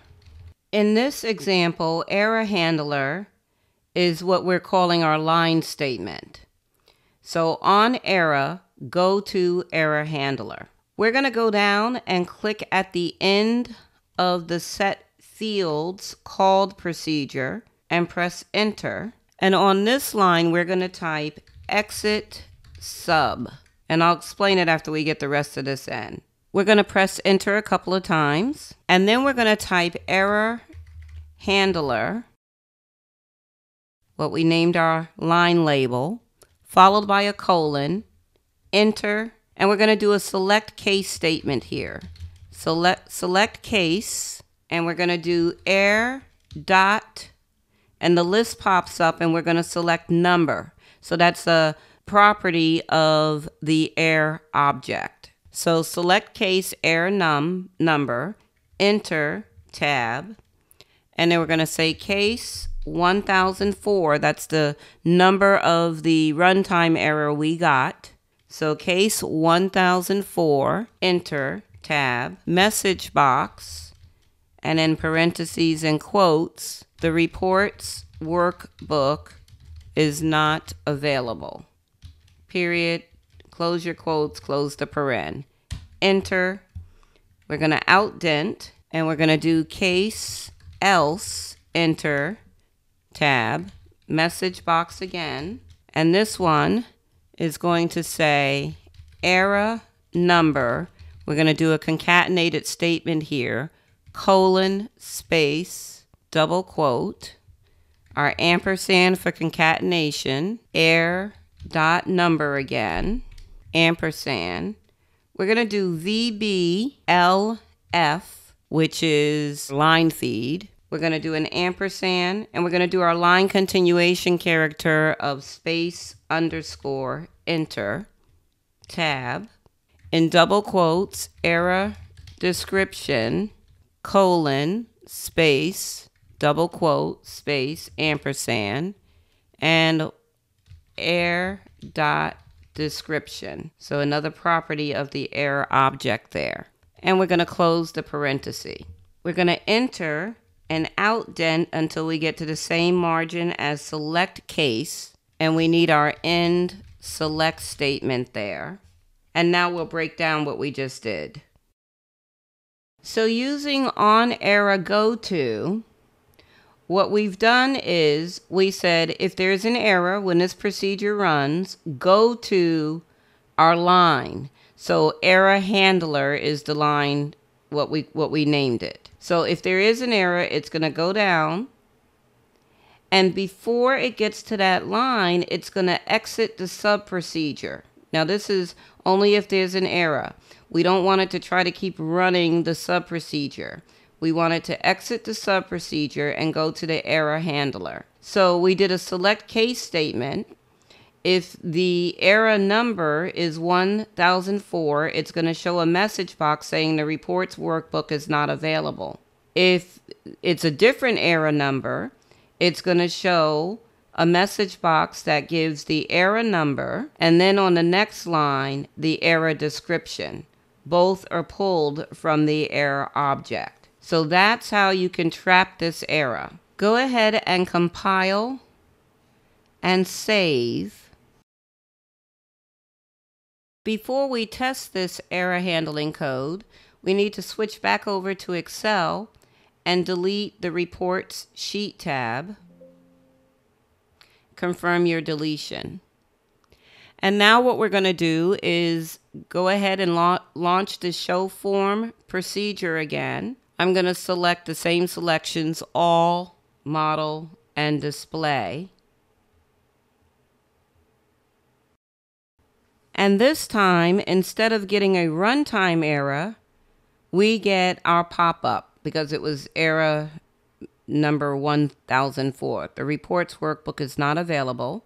You can go ahead and click OK on that message box. Now this time we're going to leave the reports sheet here. And what I'd like you to do is go back to your working directory and rename reports to back to reports. And then come back over here to your sales fiscal year file. Now that we have the file renamed, we're going to set up a situation where we will use inline error handling by using the on error resume next statement. In your file, go ahead and launch the show form again. And this time I'm going to select month and choose July. And I'll just do salesperson in the sales frame and display. We're getting runtime error, another 1004. That name is already taken. Try a different one. And we're going to select debug. So it brings us to the consolidate data sub-procedure where ActiveSheet.name equals reports. Well, remember when we're running this procedure, it has been creating the report sheet for us. It's already there, so we're getting this runtime error because you can't have two sheet names with the same name reports. We're going to go ahead and use our reset button on the toolbar and I'm going to make my way back to mod reports and I'm still in the consolidate data procedure. And after our variable declarations, we are going to press enter after dim sheet as worksheet a couple of times and we're going to type on error resume next. And then we're going to go down to the line that says active sheet dot name equals report. Click at the end of it and press enter a couple of times and tab. And we're going to type an if statement here. So if and then err dot number equals 1004 then enter and tab. Active sheet dot delete. Sheets on the next line and in parentheses double quotes reports dot cells dot select. Enter. Selection dot clear enter err dot clear that's the clear method of the error object. So clear out the error, enter, and then I'm going to shift tab to outdent and type my end if statement. And you want to go ahead and compile and save. So because the report sheet was already there, when it ran this, it created a new sheet. So if I go look at Excel, I have this empty sheet three. And so what this is saying, and that's the active sheet. If after it goes to active sheet dot name equals report and it gets that error, it's going to say active sheet delete. which is that generic sheet, and then it's going to select the report sheet and all of its cells and clear everything off of that sheet. And then it's going to clear the error as well. So that's what this one is going to do. Let's switch over to Excel. And the first thing we're going to do is get rid of that extra sheet before the report sheet. Just delete it. And go ahead and launch your form. And we'll do month, July again here. And I think I'm going to do model and display. So now it's letting us know that it's going to delete this sheet. Now I'm on sheet four and we're going to select delete to confirm it. And then it's going to go through the process. And you'll get your second delete prompt to delete the reports sheet. And now you have your reports workbook open with the pivot table. That one covers the case of if you forget to delete the report sheet from sales fiscal year, we are trapping the error and resuming the rest of the code. You can close the reports workbook without saving the changes. So I promised you some tips for minimizing errors and also some tips on what to do if you can't resolve an error. I'm going to just stop talking and let you review this slide. Hopefully some of these tips will help you avoid errors and some of what to do if you can't resolve them. These are from my personal experience. Oftentimes, if I ask someone else to look at my code or I'm explaining the issue I'm having with it, the explanation will become clear to me during that process, or someone else might look at it and instantly see what's causing the error. The object browser allows you to browse through all available objects in your project and see their properties, methods, and events.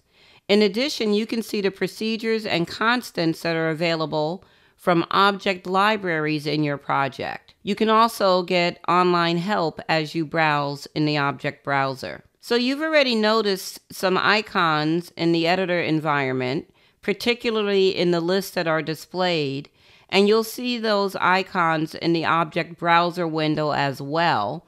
So I've given you a table here with the icons and what they represent. Within the Visual Basic Editor, I can go to the View menu and choose Object Browser. Its shortcut key is F2. And so it opens kind of like in its own window. And notice at the top, it says all libraries. If you do the drop down there, you could just see the Excel library or the Microsoft Forms library or Office or VBA or VBA project. I'm going to select VBA project. And so this is our project. And what it's showing on the left side under classes, these are the objects that are in our VBA project. So it's showing all those worksheets and it's showing our form. If I click on FRM generate reports, then it shows you things. So these are properties, events, methods. It's our objects, our controls like month and period and sales. Those are our frames. So you're seeing everything that's in your project. As I continue to scroll down, I see the click event for the cancel button and the display button. So you're seeing events, properties, all of those things and methods that make everything kind of work together. And some of those properties we didn't use on the objects on our form. Like we didn't use the print form property, but it's available because it's in the VBA project library. So if I click on CMD display click on the right hand side and I look almost at the bottom of the screen, It just lets me know that it's a private sub procedure and it's a member of the form generate reports that we created. And you can feel free to explore the object browser. If there's anything in there that you want more information on, you can click on it and then you'll have your help icon up here in the upper right. So you can explore help topics from in here as well. And to close the object browser, I'm going to use the second close window, the smaller one in the upper right hand corner of the screen to close the object browser. Our last topic in this course concerns how to protect your code. So if you have end users using this Excel file and they have the developer tab or they know how to switch over to Visual Basic for Applications Editor, you may not want people to be able to access your code. So you can password protect it. It's kind of a two step process. So you're going to go in the Visual Basic Editor, you're going to go to the Tools menu, and you'll notice on the list you have an option for VBA Project Properties. Let's click it. There are two tabs. You're on the General tab. You're going to go to the Protection tab. And you're going to check the box that says Lock Project for Viewing, and then you have to give it a password and confirm it. For training purposes, I'm going to just use the word train in all lowercase and I'm going to click OK. And then I'm going to save. Now, you're going to have to close both Visual Basic and your Excel file for this to take effect. So go ahead and close both of these windows and then reopen your sales fiscal year macro enabled file. Once you have your file reopened, you can Alt F11 to get back into the Visual Basic Editor. If you expand your sales fiscal year VBA project, you'll see that it prompts you for your password. And those who do not have the password will not be able to see the objects, forms, and modules and access them. So again, once you set your password, you need to save and enclose VBA and Excel and reopen the file for that password protection to take effect. To recap this lesson, we started by going over the different types of coding errors and their causes. You learned how to use the debug toolbar to investigate errors. We set breakpoints. We used our step debugging tools. We entered break mode during run mode. And we used the locals window and quick watch to determine the value of expressions and variables. When it comes to handling errors, we got an overview of error handling and VBA's error trapping options. And then we moved on to trapping errors with the on error statement. We learned about the error object and its methods and properties. We wrote an error handling routine by using on error go to with a line handler. And we also worked with inline error handling. Um, actually, sorry, I got the ma- opposite. The error handling routine was the on error resume next, and the inline error handling was on error go to. We reviewed some tips for minimizing errors and what to do if you can't get them resolved we did a quick tour of the object browser. When you're new to VBA, that can be very helpful so you can learn about different properties and methods that are available for different objects. And then we ended with password protecting your code. Thank you for attending Excel 2019 Visual Basic for Applications video course. Thanks for watching. Don't forget we also offer live classes in Office applications, professional development, and private training. Visit learnit.com for more details. Please remember to like and subscribe and let us know your thoughts in the comments.